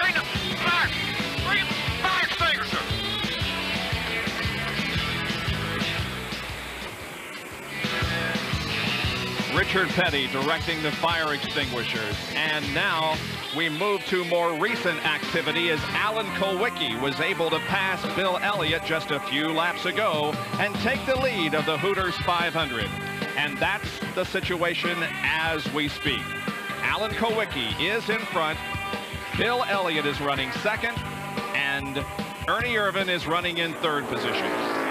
And there's a live shot of Alan Kulwicki down in turns one and two, exit in turn two. He's doing everything he can to win a championship. Davey Allison, meanwhile, doing everything he can to protect his championship. Allison has now worked his way up to the sixth spot. And those two incidents that you mentioned, namely uh, the pit stops by Spencer and Sterling Marlin. Sterling Marlin actually helped Davey. Oh, yeah, moving up two position. That's 10 points. There's Bill Elliott. Actually, I think it'd be nine points from where from where he was, but uh, definitely helped. There's Elliott trying his best to do all he can do. He has led the most laps of anyone. Looking for the 28 car. There he is. Just ahead of Ricky Rudd. He has passed Rudd. And Rudd did fix his power steering problem the last time. Yeah, they had the hood up on the Tide Chevrolet, and they did uh, make some repairs. Let's find out why Jimmy Spencer came in for some gas, John. Complicated than that, Bob. He came down on pit road because there was a big piece of paper stuck to the grill, and the engine was overheating. He may have stayed out a little bit too long because the crew just told me that they think the motor's about to blow. And also, Sterling Marlin changed four tires. He apparently felt like he had one going down. Update on the uh, 12 car. Sterling Marlin's mentioned also came in for an unscheduled pit stops, and both of those came just 30 laps after their regularly scheduled pit stops. We may be a little premature in telling you that Richard Petty is out of the race because they're working on the car. Hopefully he'll be on the track when the checkered flag drops. If points were awarded right now, Davey Allison would be champion, Kulwicki second, and Bill Elliott third.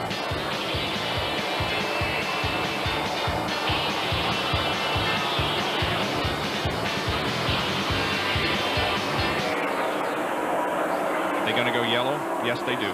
Yellow is out. He dumped it big time. Who? Bobby. Oh. Yes? Yeah. Oh, okay, good. Hey. Okay. Hey, guys, the thing with Ricky Rudd, they have tried to find different relief drivers for him, but on that last caution period, they were able to put the belt, the new belt on. Okay, they got good. the power steering fixed. They got Mark Martin back in here, and Mark was going to go in and drive, but Ricky decided he could go ahead and handle it. They were looking for Ken Schrader. They had Jeff Gordon in the pits, then he had to leave, and then Mark Martin came back to the pit area, but they don't need him now. Okay, good, thank you.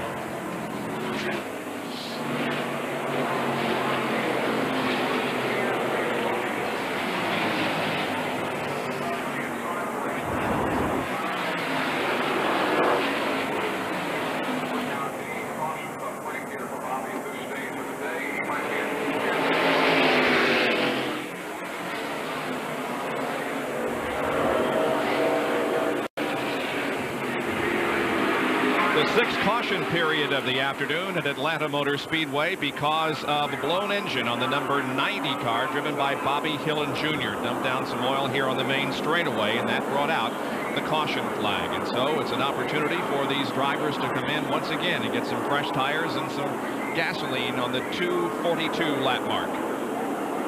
I don't, I don't think they'll be able to make it the rest of the way on this fuel, so there'll be at least one more stop. Here comes the leader, Kulwicki, down pit road. Here's Elliott. And Jerry Punch will be calling these pit stops. And Benny, answering your question first, they will not be able to make it all the way unless Bill Elliott gets extra very good gas mileage. We're talking about 86 laps from here to lap 328 as they make their way down pit road. Seven on top of your screen, 11 on the bottom, seven come 11. They're rolling the dice here in Atlanta. Watch the crews go to work as Alan Kulwicki's Hooters crew will change four tires on the top of your screen. All the Budweiser crew now going to work on Bill Elliott's car on the bottom. These two drivers vying for $1.4 million here in the last 86 laps at Atlanta. Here's number seven exiting pit road, four tires being changed there. And you see them from turn one, they all are scampering back on the track as Kulwicki beats Elliott back on the racetrack and they resume positions here under the caution. Just barely did he beat Bill Elliott out. and Rusty Wallace comes out in third position. We'll take another break while we are under caution from the Hooters 500 at Atlanta Motor Speedway.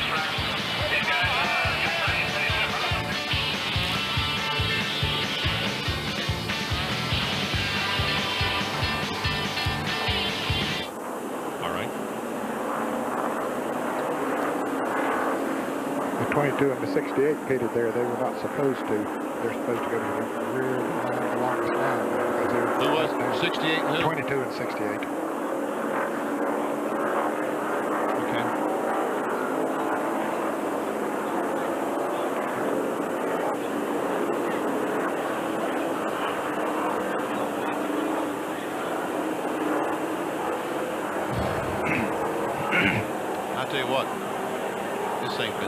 assume. Man.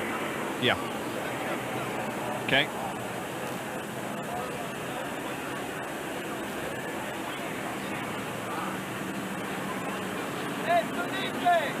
Okay. Yep. Gotcha.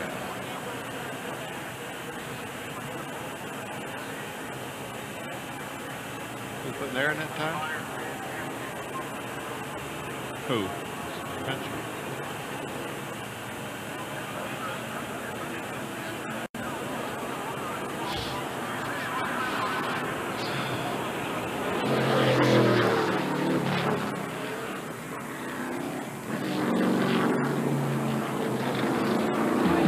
Still under caution. Here are the top 10. Alan Kulwicki leads. Bill Elliott, Rusty Wallace, Ernie Irvan, Terry Labonte.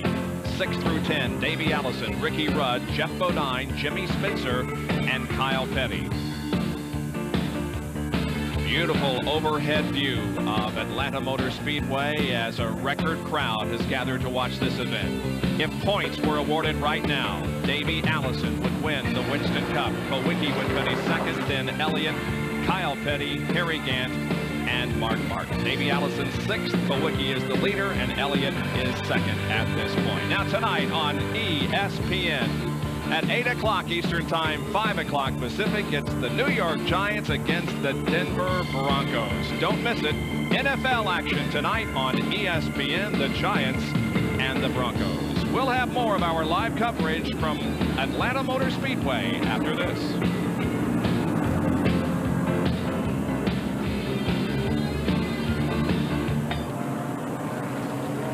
What are they doing to Rudd's car down there?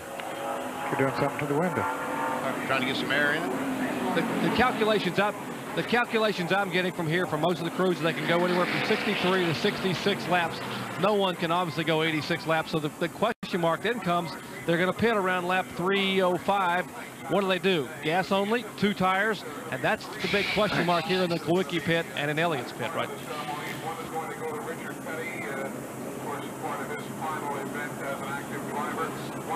You're doing Gillette first? Okay, while ago with the belt, the alternator also is not working, so they're having to change the battery, and they've had problems getting that little side window off of there. So now Ricky's gonna, they've got it off, they're gonna send him back out. He'll come back in the next time, and they'll drop that battery in there. They've got that quick change deal. I almost read that letter.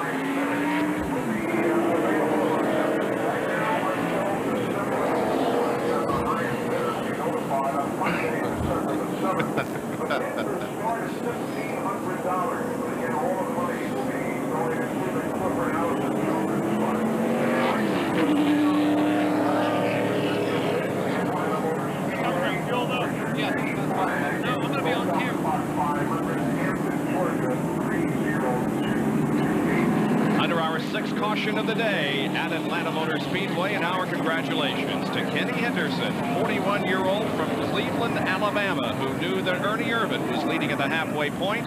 And won a beautiful Chevrolet Lumina in the Gillette Halfway Challenge. We congratulate Kenny Henderson.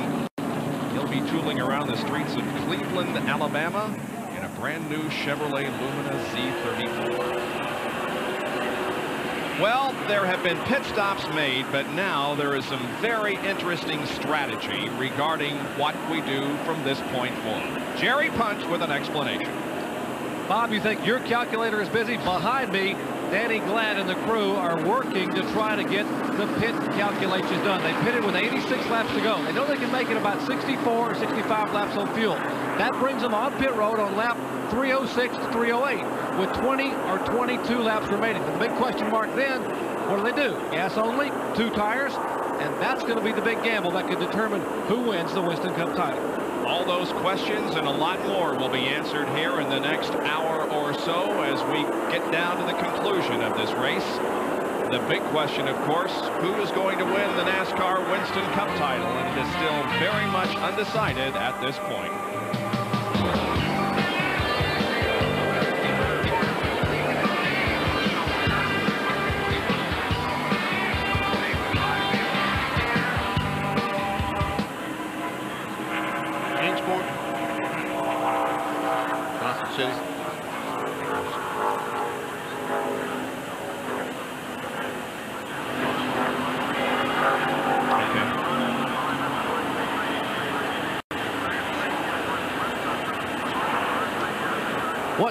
Felix was talking to Paul Andrews about is that Kyle's a lap down. That if, if Alan would let Kyle by, let Kyle back in the lead lap, that'll put Davey further back in the field and give Alan actually five more points on the position change.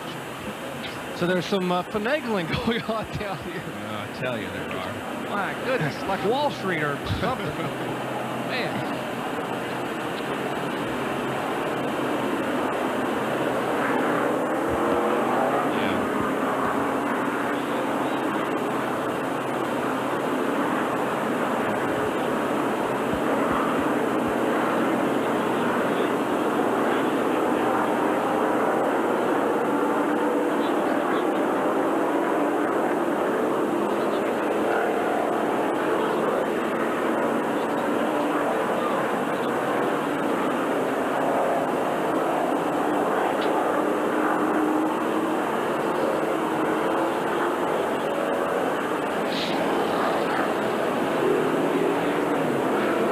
They've been told that they'll get the green flag next time around and we'll resume the Hooters 500 being led at the moment by Alan Kulwicki.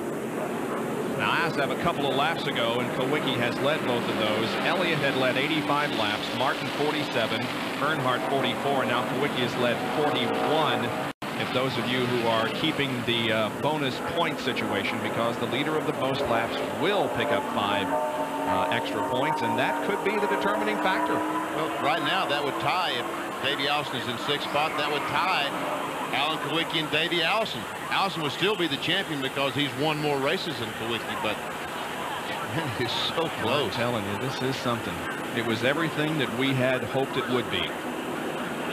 Two abreast formation being uh, aligned on the backstretch. Al is a lap down. Still has a fast car. Hasn't been quite fast enough to get back in the lead lap. There are nine cars on the lead lap. Kyle is 10th. Look at Elliott. Giving uh, Alan a little encouragement, huh? He's not trying. He's not going to let Alan get any advantage on him, is he?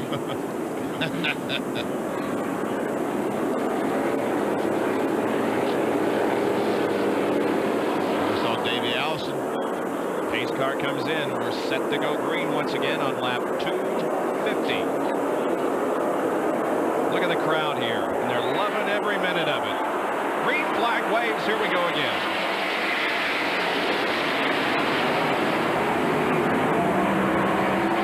A lot of oil dry here on the main straightaway because of Bobby Hillin Jr.'s blown engine. Don't let that concern you. They'll kick up some dust, but it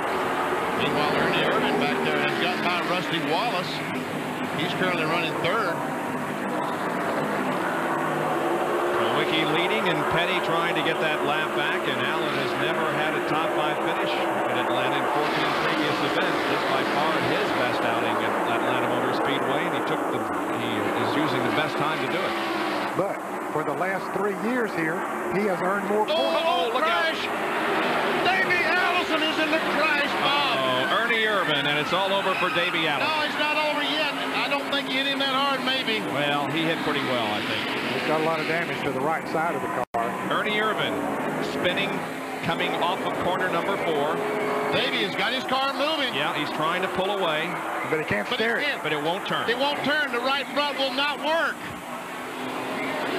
Oh, no, the right front won't work. The- He's broken the tie rod end off the car, so when they turn the steering wheel, the right front tire won't turn. And there he's a lap down. Kyle Petty got his lap back. He beat Alan Kulwicki back to the start-finish line. Davey desperately trying to get the car to turn, but it won't happen. The car will back up, but he cannot turn the car and move it ahead to clear Ernie Irvan. He's broken a tie rod on the right front. Like I said, when he turns the steering wheel, the right front tire won't turn. And now it's going to come down to two. Will it be Alan Kulwicki or Bill Elliott? Davey Allison's long, tough, emotional season has come to an end. And folks, I hope you don't think that I'm pulling for Davey Allison or Alan or Bill Elliott. I just hate to see it because we had everything going so much. Their Ernie goes up high. We see the four car, and all of a sudden the car just goes around. He loses control. When he saves it, he comes back right in front of Davey Allison. I think that was the only two cars involved in the crash. So often uh, we're criticized for uh, showing partiality to one driver or another. I really have no concerns as to who wins the championship. The best man will win it. But I'm glad to see the Davey Allison's out of the car okay. Yeah, he knows his, Yep, it's over. championship hopes are over. But there will be other years. There's no question about that. And I'm sure as Davey will tell you, if we do have an interview with him, he waves to the fans as he gets in the ambulance that uh, regardless of what has happened here, he's had a tremendous season. Once again, we'll watch Rusty Wallace. Ernie goes by when he gets the car sideways. Rusty gets by. But comes back across the racetrack right directly in front of Davey Allison. Jerry Punch. Guys, obviously the mood here in the Davey Allison pit is quite somber, but let me tell you what Larry McReynolds said. You talk about a competitor. Now, Larry McReynolds is the crew chief for Davey Allison. He turned and said, guys, the championship may be over, but we're going to fix this car and still fight for third, fourth, fifth, somewhere in the points. We're not going to quit. And off they took running up pit road to try to wait for the car to be pulled in. So believe me, there is no quit here in this Havoline team. And only for the second time since 1979 will the points leader going into this final race not win the Winston Cup Championship. Davey Allison's Texaco Havoline Ford is on the record, headed back toward the garage area. And Davey Allison is in the ambulance. He'll be checked over at the infield medical center, but he was okay when he got out of the car, waving to the fans as they saluted his attempt to win the Winston Cup that has come to an end here near lap 254. We'll take a break and be back with more from Atlanta Motor Speedway.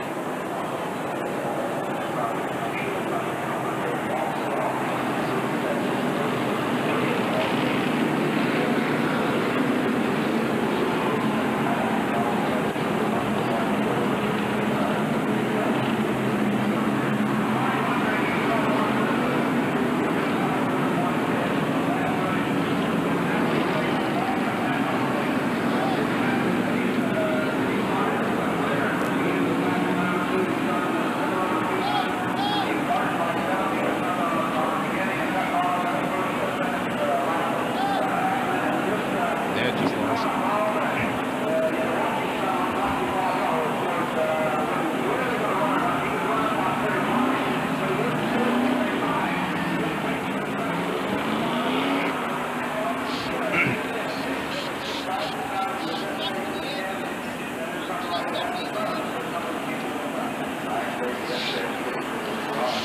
Yeah. Did he get out of the car real quick? Yeah. I don't think he did. Yeah, he got out. Oh, he did? I didn't see him. Yeah. He walked to the ambulance.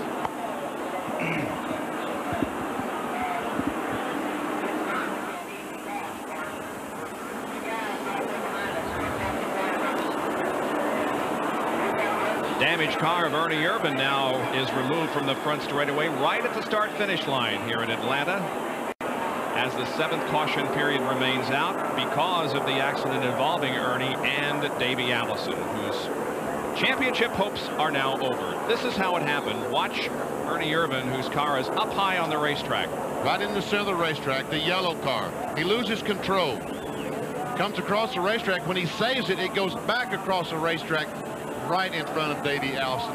And again, that was the only two cars involved.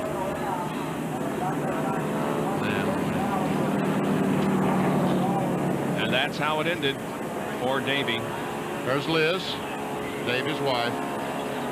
Ryan Vandercook there, who does public relations for uh, Havoline Texaco. You can see that Liz obviously is very disappointed.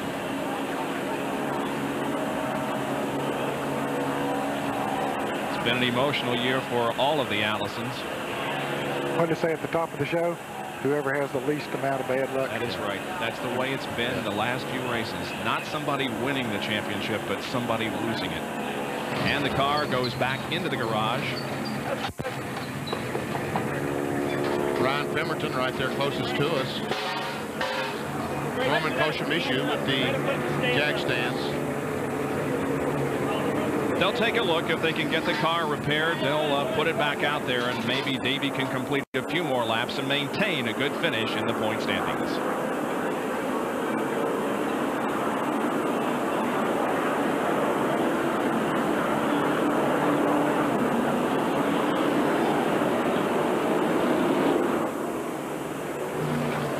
It looks like Alan's going to try a gas and go here in just a minute and see if he can make it all the way. Good idea, Alan.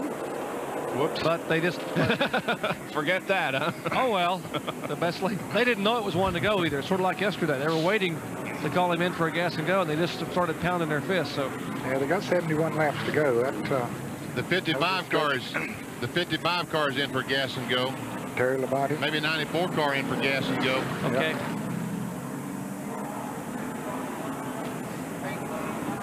Elliott probably could make it. he didn't march. Yeah.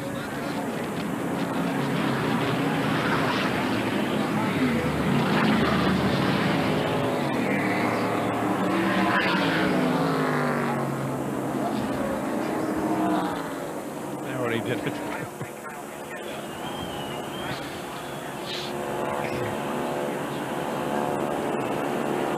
And we're still not factored in the most led laps, right? Yep. Oh, yes. Okay.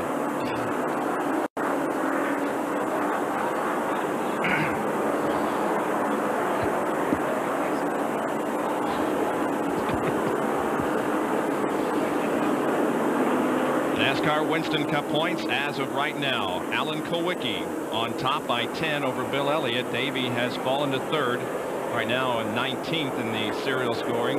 Kyle Petty is 8th, Harry Gant 17th, and Mark Martin is already out of the race. And by the way, being factored into those point standings are the number of laps being led.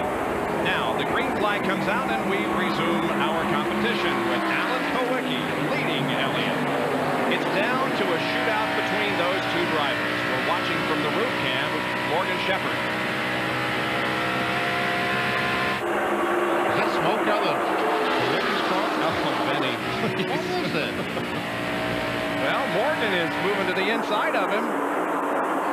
Ooh, look out, boys. Don't have another one right here. Oh, man.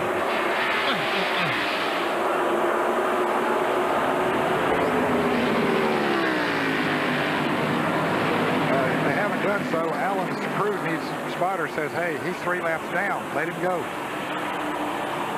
Yeah, but here comes Elliott. Now he's closing up right on the back number, but that's because these cars are running side by side and slowing both of them down.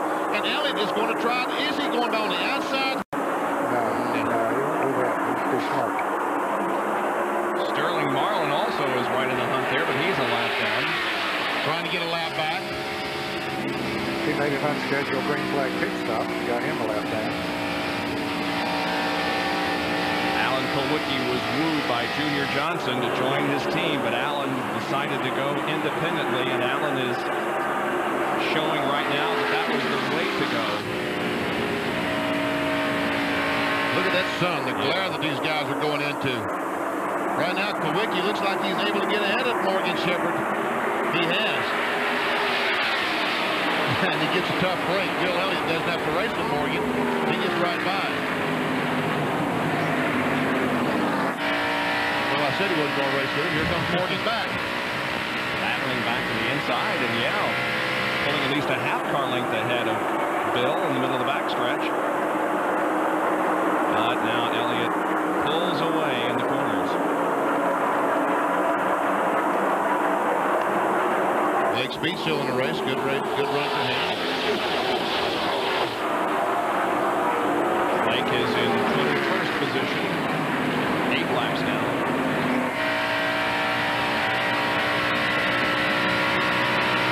What a strange twist turn of events we've had today. It It has been an interesting season. It has been an even more interesting race. And here comes Bill Elliott. Now what he has to do is pass Alan Kulwicki and keep him from leading the most laps. That's exactly right. And I'm sure that Tim Brewer, Junior Johnson, those guys are smart enough to realize, Bill, you've got to pass that seven and lead the rest of the way. If you do that, we can win this baby. Because they would be tied if he can do that. And Elliott has won more times this year than Kulwicki would make him the winner. Exactly what he do. He's going for it. Here he comes. Closing in. Not able to pass. This is the interval of about two car lengths. Are you as nervous as I am, Bob? I'm, uh, yeah. I just hope these two guys don't do anything silly and take each other out. But there is a lot of work going on back in the garage area as Larry McReynolds and everybody else tries to get that Ford back in operating conditions to at least be around when the checkered flag drops. And to finish third in the point standings because Kyle Petty might, I don't know if he could or not, but he might be able to overtake Davey Allison and take third away from him. Here's Elliott. There's Davey. Davey and Liz emerge from uh, the medical center.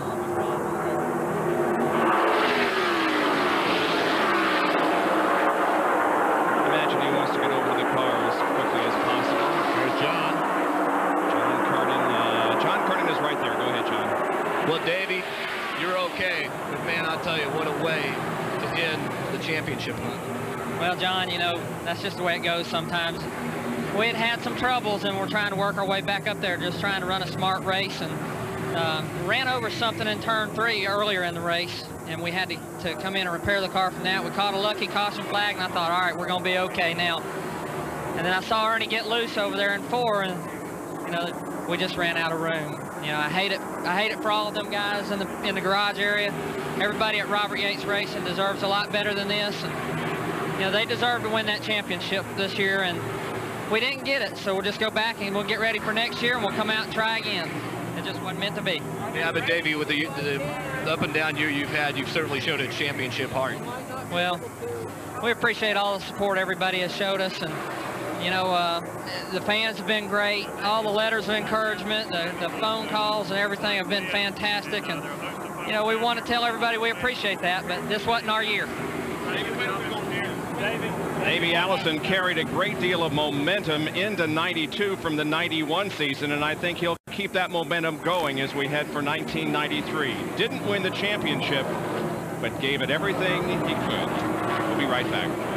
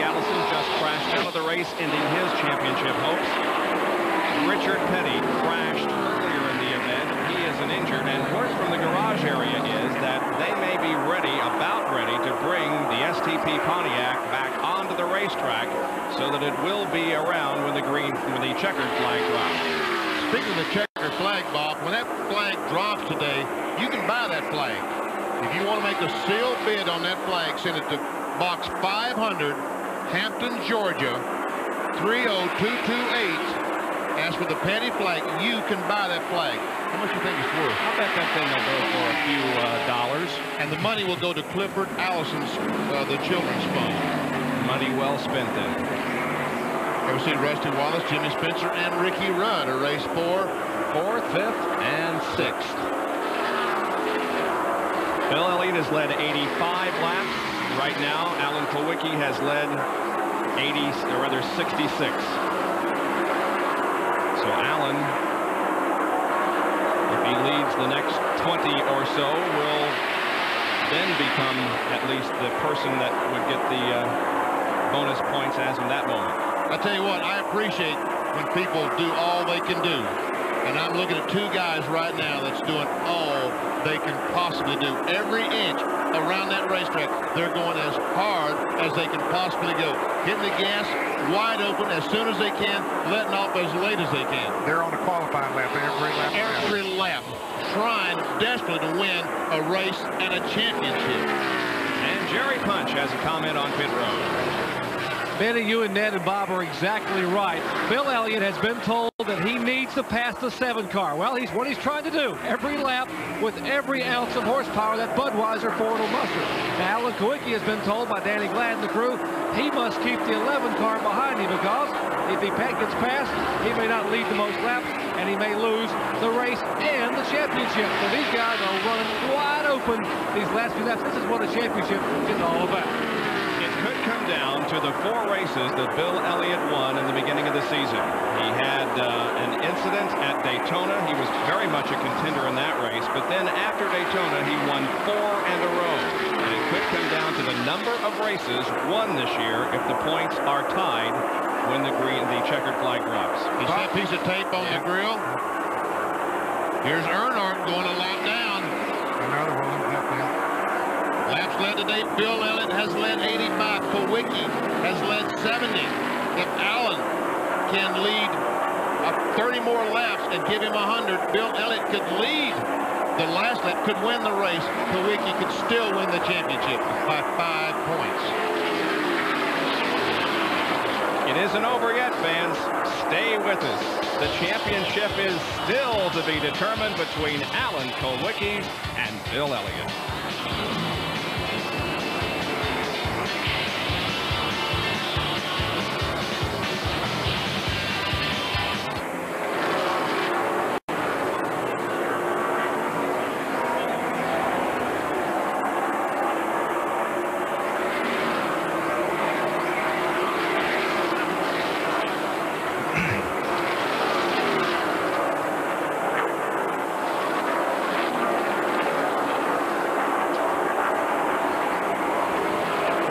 Video the other day at the Kulwicki's shop. Yes. For these people. And in the video, I said, this guy's a winner, you know, the motion of the car. We did all this and finally said, well, you know, we ought to do a different one. Dave? This guy's a winner, the 1992 Winston Cup champion. Dave, the, the hole they fill on your piece may be Petty's crash and fire. That makes sense to you? Good. it doesn't to me, but I'm glad you understand. He understands.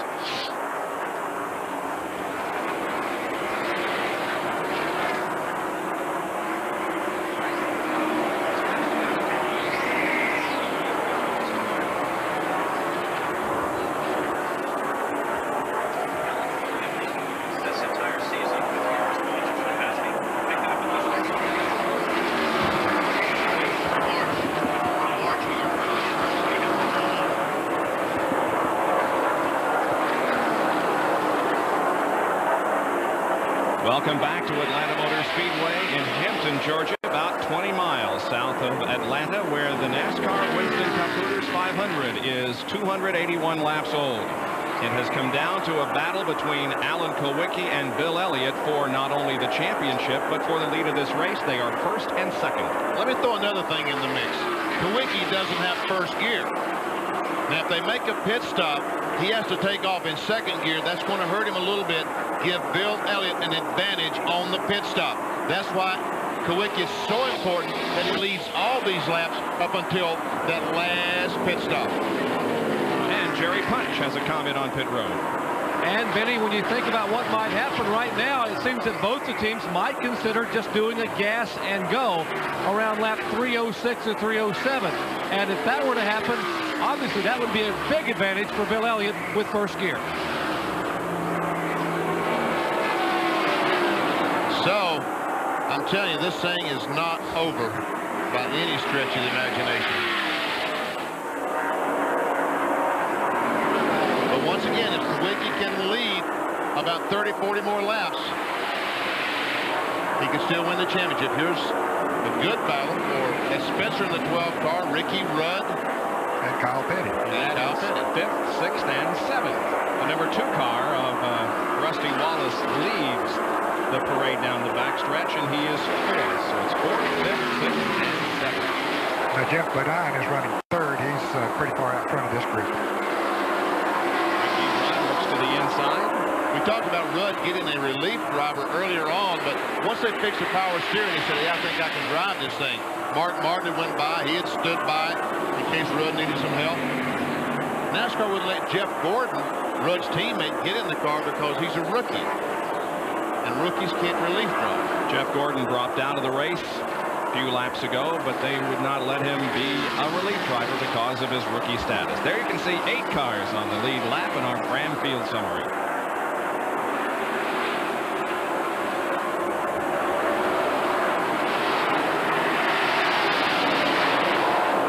The reason we're not watching the lead because right now Bill Elliott just can't catch Kulwicki. Kulwicki's pulled out to about a 10-12 car length advantage. This is the best race on the speedway. Positions aren't being uh, changed here very regularly, but these cars are running a lot closer together than they are up front. Now Kyle Petty looks to the inside of Ricky Rudd. Petty takes that car right down on the white line.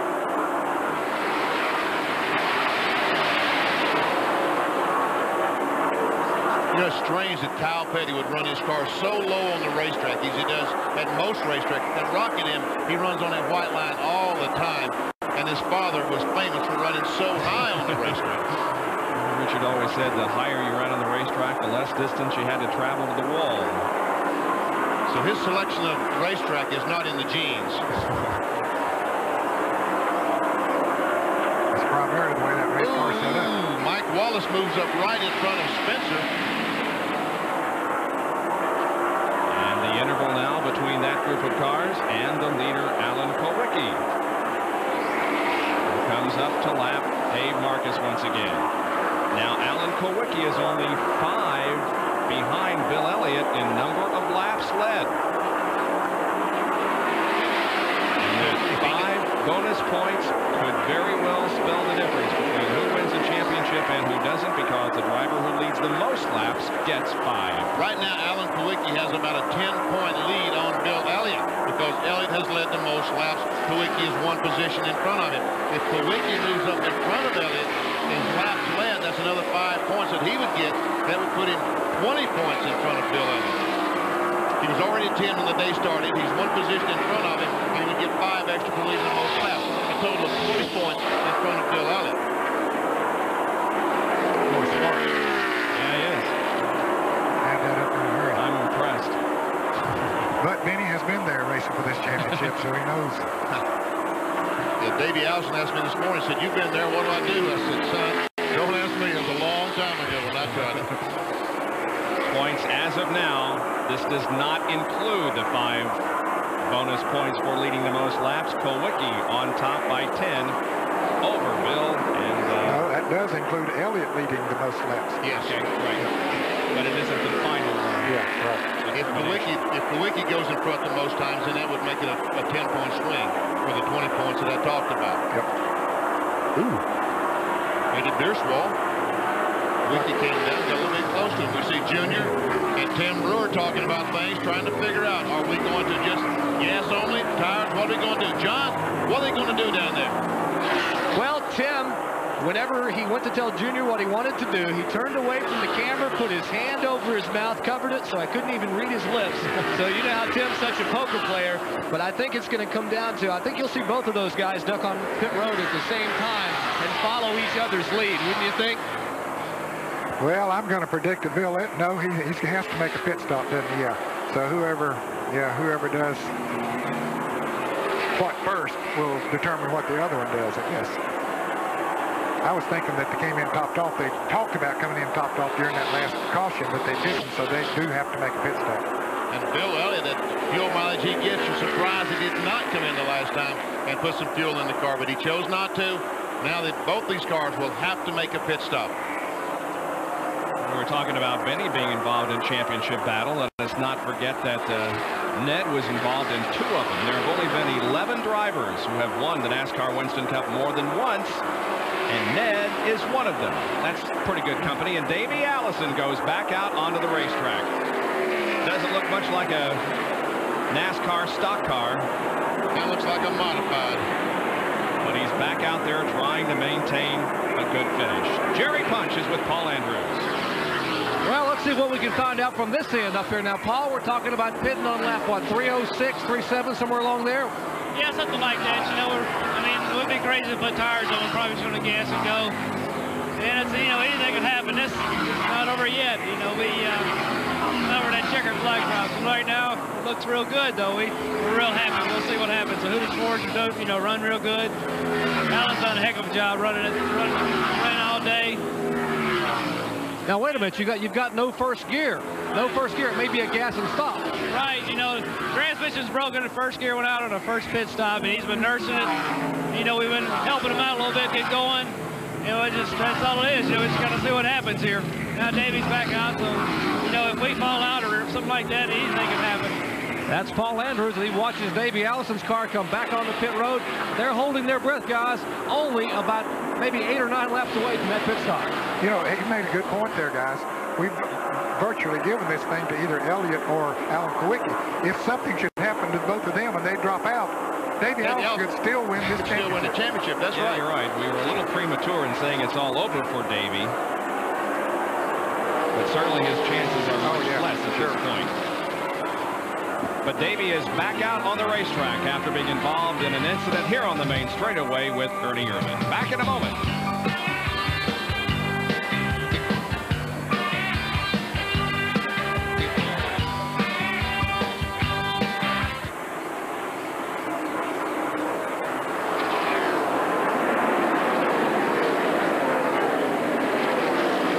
So Davey's 42 laps behind, and there's 30 laps to go. I don't think David No. can win. Well,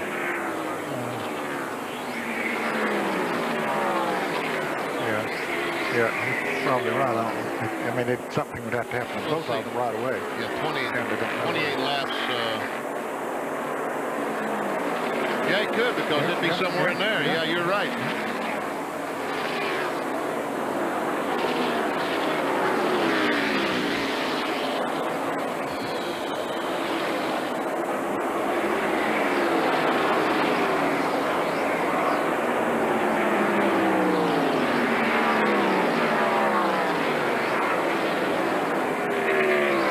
Yes.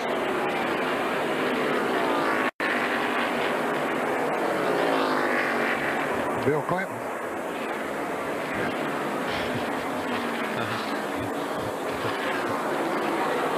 Alan Kulwicki continues to lead the Hooters 500, and he has now led the most laps today, but has not yet clinched the five bonus points. Bill Elliott is running in second position as we are near the 300 lap mark. 299 have been completed. There is Elliott in second position. Running in third spot is Geoff Bodine. fourth is Rusty Wallace, and fifth is Jimmy Spencer, and the average speed of the race is near 130 miles an hour.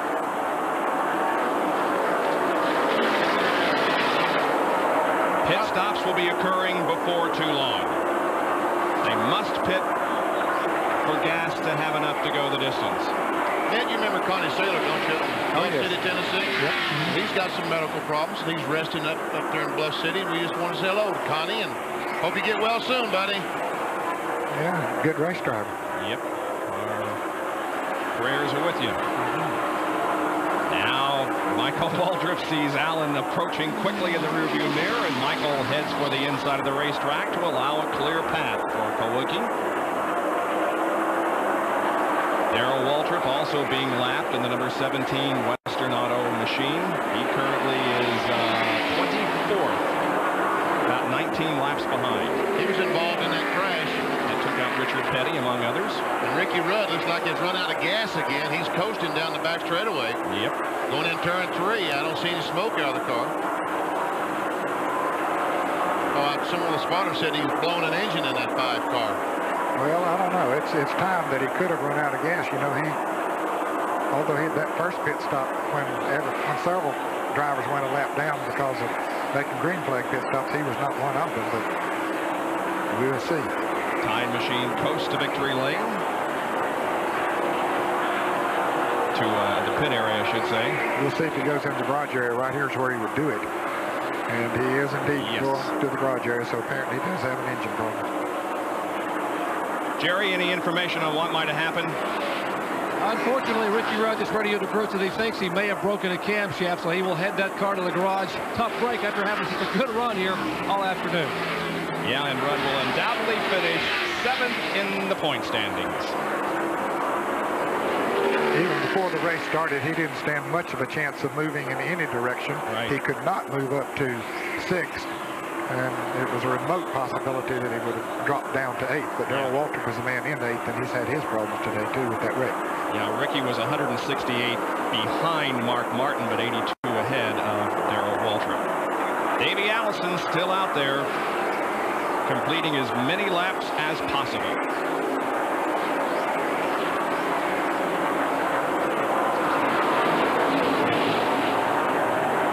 There's Davey Allison. He's got to be awfully frustrated out there on the racetrack. There's Richard Petty getting ready to go back on the track. I knew that the STP Pontiac would be back out on the racetrack if at all possible. And it looks like, although we're only about 24 laps from the end of this event, that Petty, with helmet on, is ready to go back out there and be around at the checkered flag. Changing left sides on the 15 car. I guess they feel like they need enough gas to make it the rest of the way. They can change left sides while they're putting the gas in, so at least they get that many tires on the car. Bodine gives up pit position to come in for the pit stop. That's pretty good strategy, man. They can change those left side tires in about 10 seconds, and they needed to put that much gas in it, so Yeah, because they don't have to go around the car to change the right sides. That takes three or four seconds extra. As we near the end of the race, we would like to, uh, as per usual, thank all the NASCAR officials that have been so cooperative and helpful to us in our presentation of their events. Bill France, Les Richter, Dick Beatty, who's retiring at the end of this race. We wish him well in his retirement. Chip Williams, all the NASCAR people who are very helpful to us. I would just like to say to Dick Beatty, buddy, you have been one of the best things ever happened to Winston Cup racing. We all love you dearly. We know that when you made a decision, it was a fair decision. And here's a decision about to go down the... Kulwicki, we understand, is just trying to conserve fuel, maybe. That's why Bill is closing in. Jerry, is that right? That's exactly right. Now, by calculations, Kulwicki would be really close at lap 307. But right now, guys, hey, it's lap 307.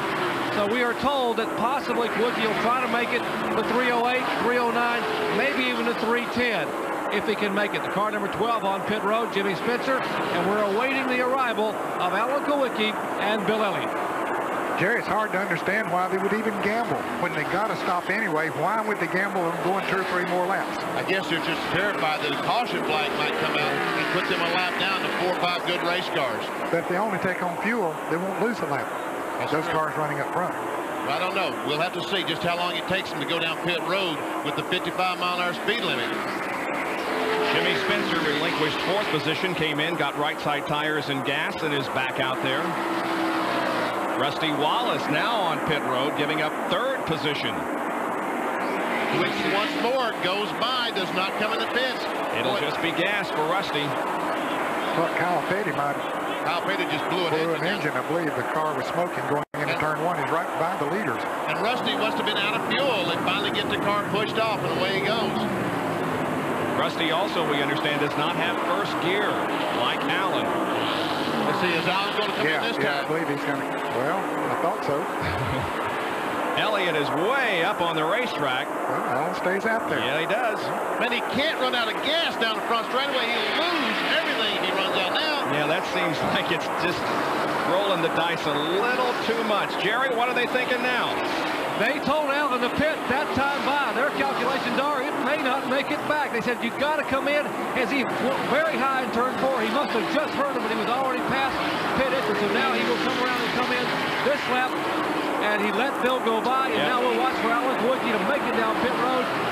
It will take him to get gas only and be able to get back on the racetrack. Drama playing out here in the final laps at Atlanta Motor Speedway. He raised a hand and said, Bill, you go right on. I'm headed for pit road because I need some gas. And here he comes down slowly, 55 miles an hour.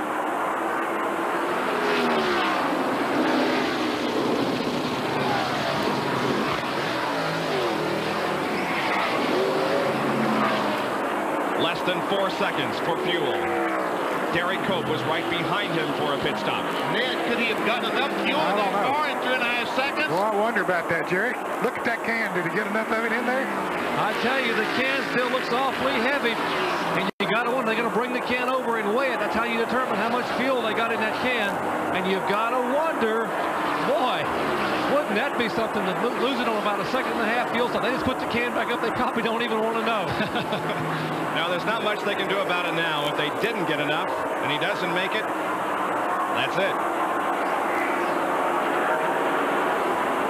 I don't know how quick a can will empty nowadays. They they have uh, certainly got it down to a science so that they can get it out of there in a hurry. They might be able to get uh, 10 gallons out of there in about eight or nine seconds. So he was, what, 3.4 seconds that we clocked him there? Yep. And you're right, Ned. He did not lose a lap. Bill Elliott uh, is about a half straightaway behind him. The leader of the race is now Bill Elliott. Here comes Bill. Here comes Elliott. Elliott drops down off the banking. Here he comes, Jerry. Bill Elliott heads down pit road Ford Thunderbird. This could decide the Winston Cup Championship. Kyle Petty, smoking Pontiac, leaves a trail of smoke, and Elliott must drive through here on pit road. Tim Brewer and the crew standing by. Watch Henry Benfield. He's a veteran gas man. Cass going in the car, sitting out 3.4 seconds. Elliott is away for an identical pit stop. 3.4 seconds for both these guys. Who got enough fuel in to finish the race? Both with identical pit stops. Elliott goes back out onto the racetrack. Here comes Alan Kulwicki through turn number one.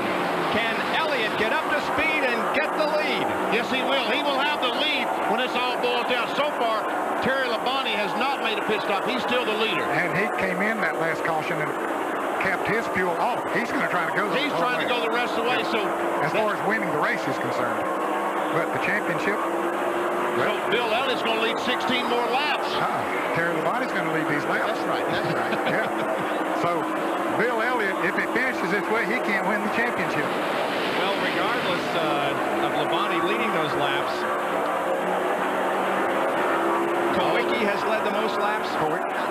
Not officially yet. All right, we'll wait. Boy, this thing is going to go down to the bitter end. It's lap 315, and we still don't know who's going to win the Winston Cup. Stay with us.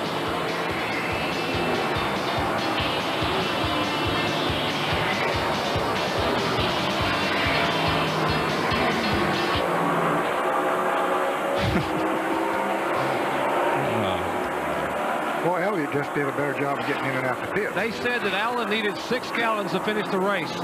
They figured that you can put 11 gallons in in six seconds. When you put two cans in on a 12-second stop, So they was here about three and a half seconds. That means they probably got just enough six gallons of gas to make it. Wow. We could, that's, that's by calculations from Danny Glad. So that'll be interesting.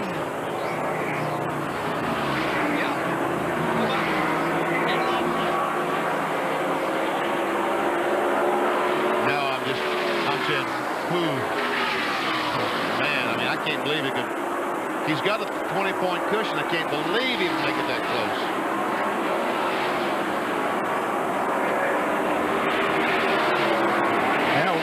Can Elliott lead enough, lead enough laps to get the bonus? Can Bill lead enough?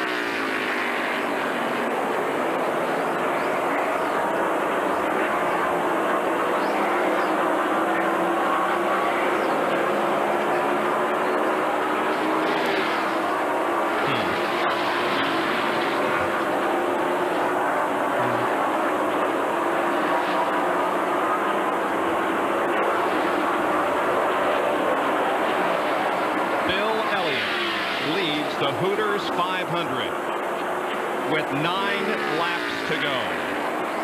Well, that speculation we did on Terry Labonte, he came in while we were away on the break for fuel, so that all went out the window. He was not going the rest of the way or couldn't. So Bill Elliott is the leader of the race. Alan Kulwicki is running second. He's the leader of the Winston Cup right now. Now, if Bill leads the rest of the way, he will have led 103 laps, and Alan, I'm sorry, Al Alan would uh, have led 103, and Bill 102. Points are awarded right now. Look at this. Kulwicki would be the champion. By 15 points because he's led the most laps. It would be a 10-point swing if Elliott could do it, and that was a difference of one lap. Is that what I heard? Man, oh man. And now congratulations to Danny Glad, who has been named the Western Auto Mechanic of the race. No one has left their seat. Everyone is standing. Everyone on pit road is calculating. Kyle Petty is moving very slowly around the racetrack with a smoking engine, and he's been doing that for quite a while. You know what? When we see Kyle, he's just as low as he can possibly get. He's not in the racing group at all. He doesn't want to ruin this for anyone. But you know, Kulwicki was supposed to stop on lap 306. He ran to 309. Those three laps got him in front in the lap leader bonus. Okay, yeah, that was the reason for staying out there. That was the reason, I guess, I chose to stay out. Yeah, I questioned it. um, You know, if you're going to have to stop anyway, but you know they they knew exactly what they were doing.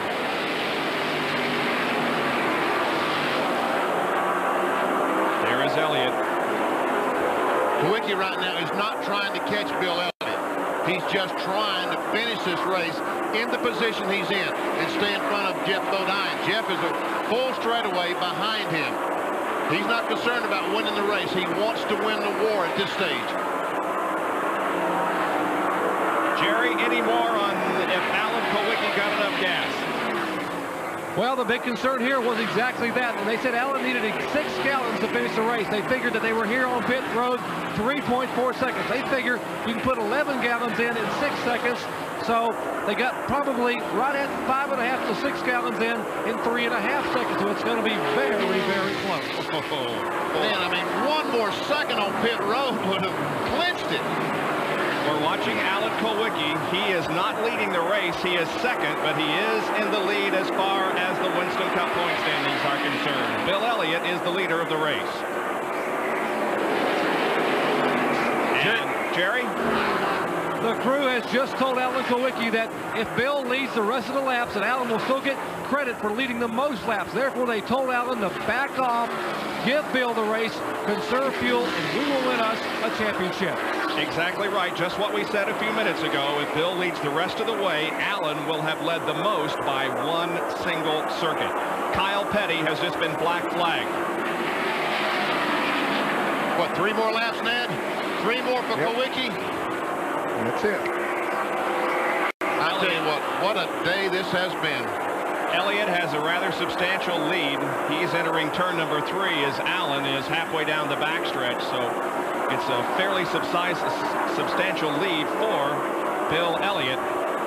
but it's really, besides his fifth victory of the year, going to do him no good because he's going to lose the Winston Cup. Two more laps, two more laps for Kulwicki. Hamilton has just run out of gas, and Richard Petty coming out of the garage area. Here comes Richard in the STP Pontiac. He has the car running again with just two more laps to go, but he will be on the racetrack when the checkered flag drops. He was involved in a spectacular accident early in the race. It saw the car break an oil uh, cooler up front, cause some uh, white flag is out, causing some fire, but Richard is back out on the racetrack. The white flag is out. Now Alan Kulwicki comes down and gets it. There is less than one lap to go around this one and a half mile oval at Atlanta Motor Speedway. We are not following the winner, the leader of the race. We are focused in on Alan Kulwicki who is going to win the 1992 NASCAR Winston Cup and the $1 million bonus that goes with it. Bill Elliott comes off the fourth corner. He wins the Hooters 500. But Alan Kulwicki is coming off of corner number four, knowing that he's winning the championship. There's the checkered flag for Alan. He's the champion for 92.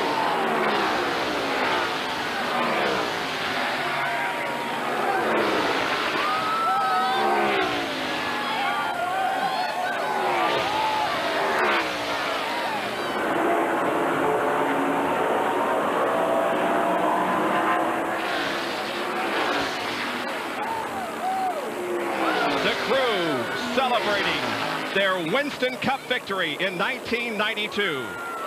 Alan becomes the 21st NASCAR Winston Cup champion. It comes in his seventh full year of Winston Cup competition. But our hats off also to Bill Elliott, who did everything he could possibly do to gain the, gain the championship, but he came up short.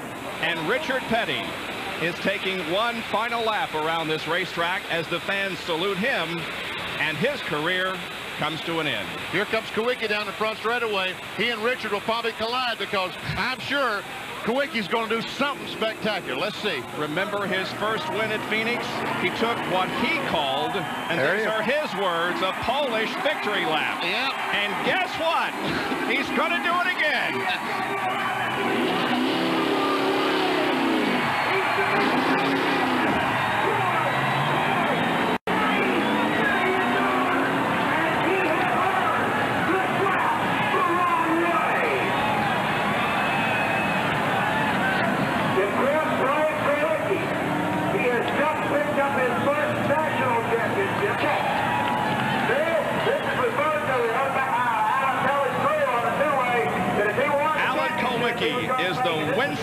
champion for 1992 and is again taking a backwards lap around Atlanta Motor Speedway.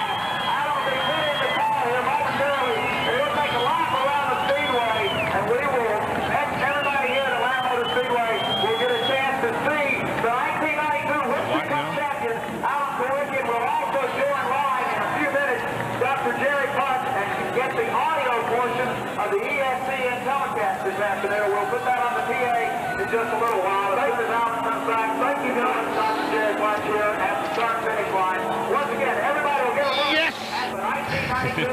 What a deal, huh? very special coming up too.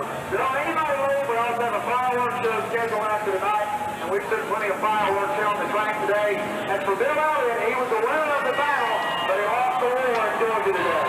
Thank you, Doug Rice.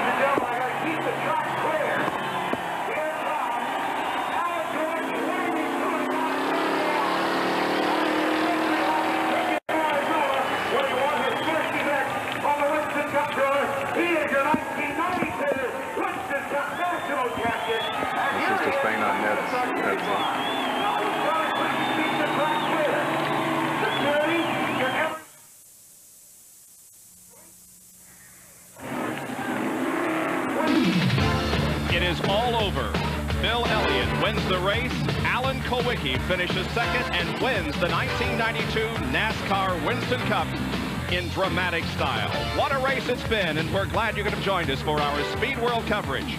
Brought to you by Hooters Restaurants, always delightfully tacky yet unrefined. by Smooth Busch Beer and Easy Drinking Busch Light. And by Fram Oil Filters. Fram, you can pay a little now or a lot later. Uh, is completing his lap the wrong way around Atlanta Motor Speedway and now comes down to the end of pit road toward turn number four and will pull in and come here to the main straightaway on pit road to receive the congratulations of everyone. He has won the Winston Cup. Now, ladies and gentlemen, we'll interrupt Doug Light, but within a quarter here at the top, we need to clear pit road. Let's clear the track and clear pit road, please. Doug, we'll get back to you guys in a few moments. Here in the tower. One happy human being right there, Alan Kulwicki, has got to be on top of the world right now. Undoubtedly, most happy moment of his life. He said, did I mess up? Did I do wrong? Making that lap the wrong way? Right now, he's a champ. He can do about anything he wants to, can he, Bob? Absolutely right. It's been a long, tough season for Alan Kulwicki, but he has done it. Appropriately, he wins the championship in the race sponsored by his race team sponsor, Hooters Restaurants. Yeah. Alan now gets the helmet off. They've already got the cap saying Winston Cup champion for 1992 that Alan will proudly put on his head, emerge from the car, and receive the applause from the thousands and thousands of race fans who have gathered here on this Sunday afternoon to see who among six drivers would win this championship. What? He's combing his He's hair. combing his hair. He had a comb down there. I wonder what he was looking for. Come on, Alan. Put on the hat.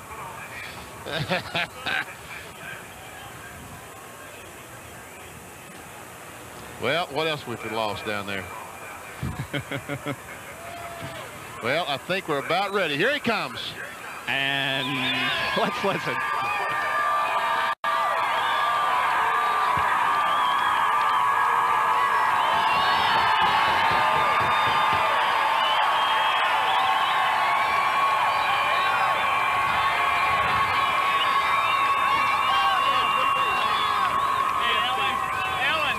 Last time an owner driver won the NASCAR Winston Cup Championship was Richard Petty in 79, and how appropriate on the day he retires, Alan Kulwicki becomes the first since then to win the title as driver and owner. Here's Jerry.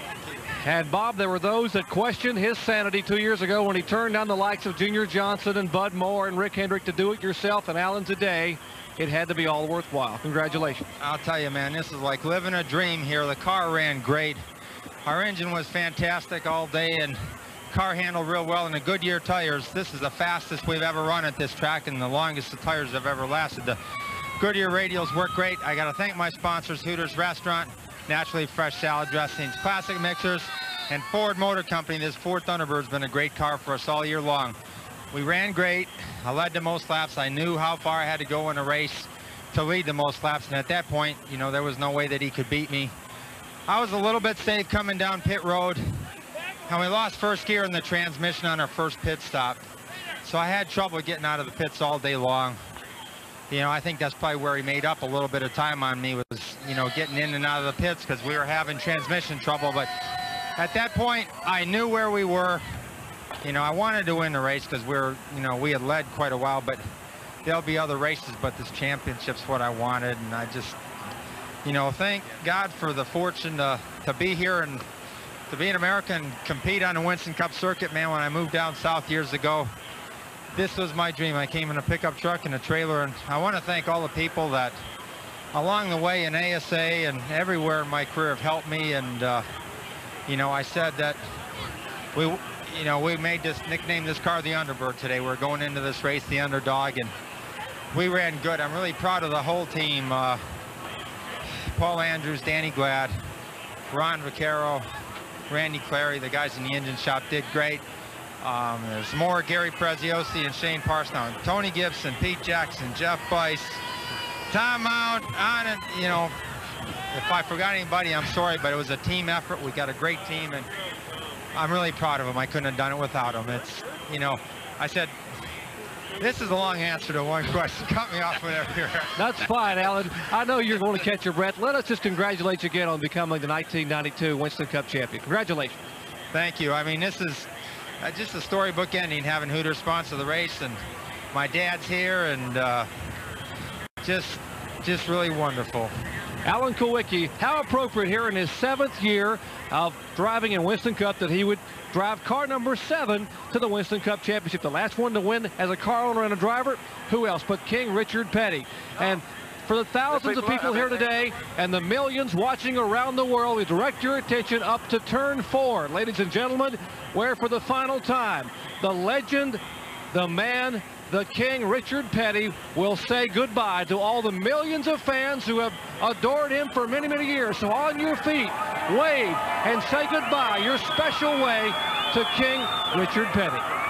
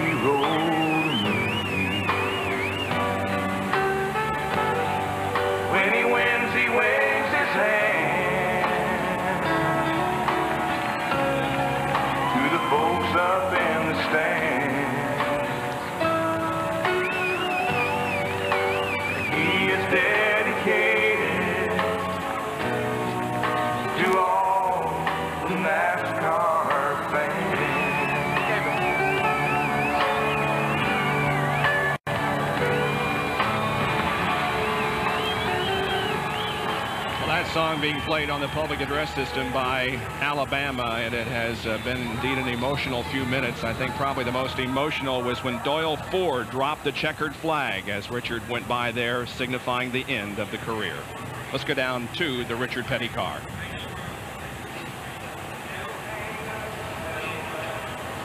Richard Petty still sitting inside the car as Robbie Loomis comes over. And there aren't many dry eyes down here. As Richard Petty, for the final time, will climb out of the STP Pontiac. Drivers, crew members from the garage area. Richard, it's been a wonderful four decades, and it's over. Uh, yeah, that's what I found out when I made that last lap. Uh, uh, it's been it's been wonderful. I mean, 35 years, the good Lord's looked after us all these years, and yeah, I'm still walking around. Uh, you know, I hate to got in a wreck and disappointed me and some of the fans, but uh, the big deal is we're here talking to you when it's over with, and uh, I, I wouldn't change none of it. I wouldn't trade nothing for nothing else. Neither would we. Thank you so much, Richard, for all the memories. Richard Petty walks out for the final time of the STP Pontiac, and coming up next, we'll have a very, very special tribute to the King. Have the hankies handy, folks, because it is something you don't want to miss. Let's check into victory lane with our race winner where John Kernan is. John? Well, Bill, Bill Elliott, you did just about everything you could. You won the race, but as you said when you climbed out of the car, hey, I won, but I lost. Well, it's been a long year, and, you know, regardless of what happens, it's been one of those type seasons. A lot of things has happened, and I mean, I'm just glad it's over with. This Budweiser Amoco team has done a fantastic job all year long. And to go out, winning the race, the last race Richard Petty will ever run in, I guess that says something. You know, we've done about everything else. We didn't win the championship. And I think we're going to go up to Bill Elliott Ford tomorrow. We're going to have a hell of a car sale. okay, I'll see you there. Bill Elliott in victory lane, guys. Congratulations to Bill Elliott, who did indeed give it everything he had, but came up just a few points short in his attempt to win his second Winston Cup championship.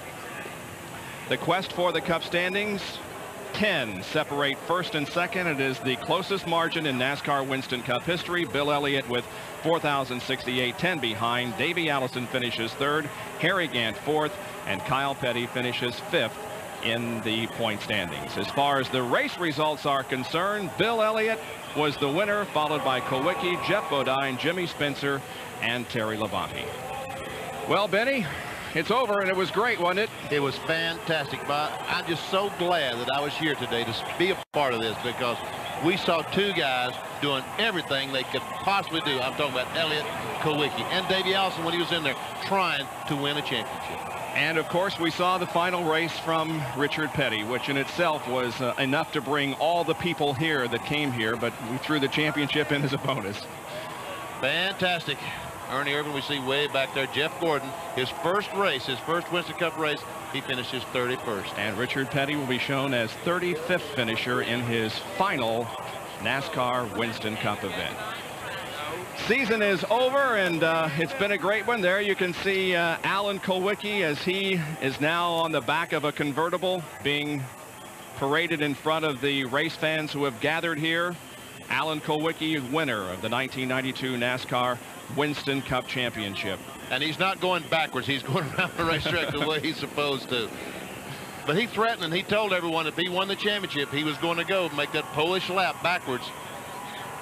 Well, now thoughts immediately turn to 1993. Each driver will be hoping that 93 will be his year, as 1992 was for Alan Kulwicki. There's just 92, there are just 92 days until the Daytona 500, and we can start it all over again. So as NASCAR is crowned a brand new champion here this afternoon in Alan Kulwicki,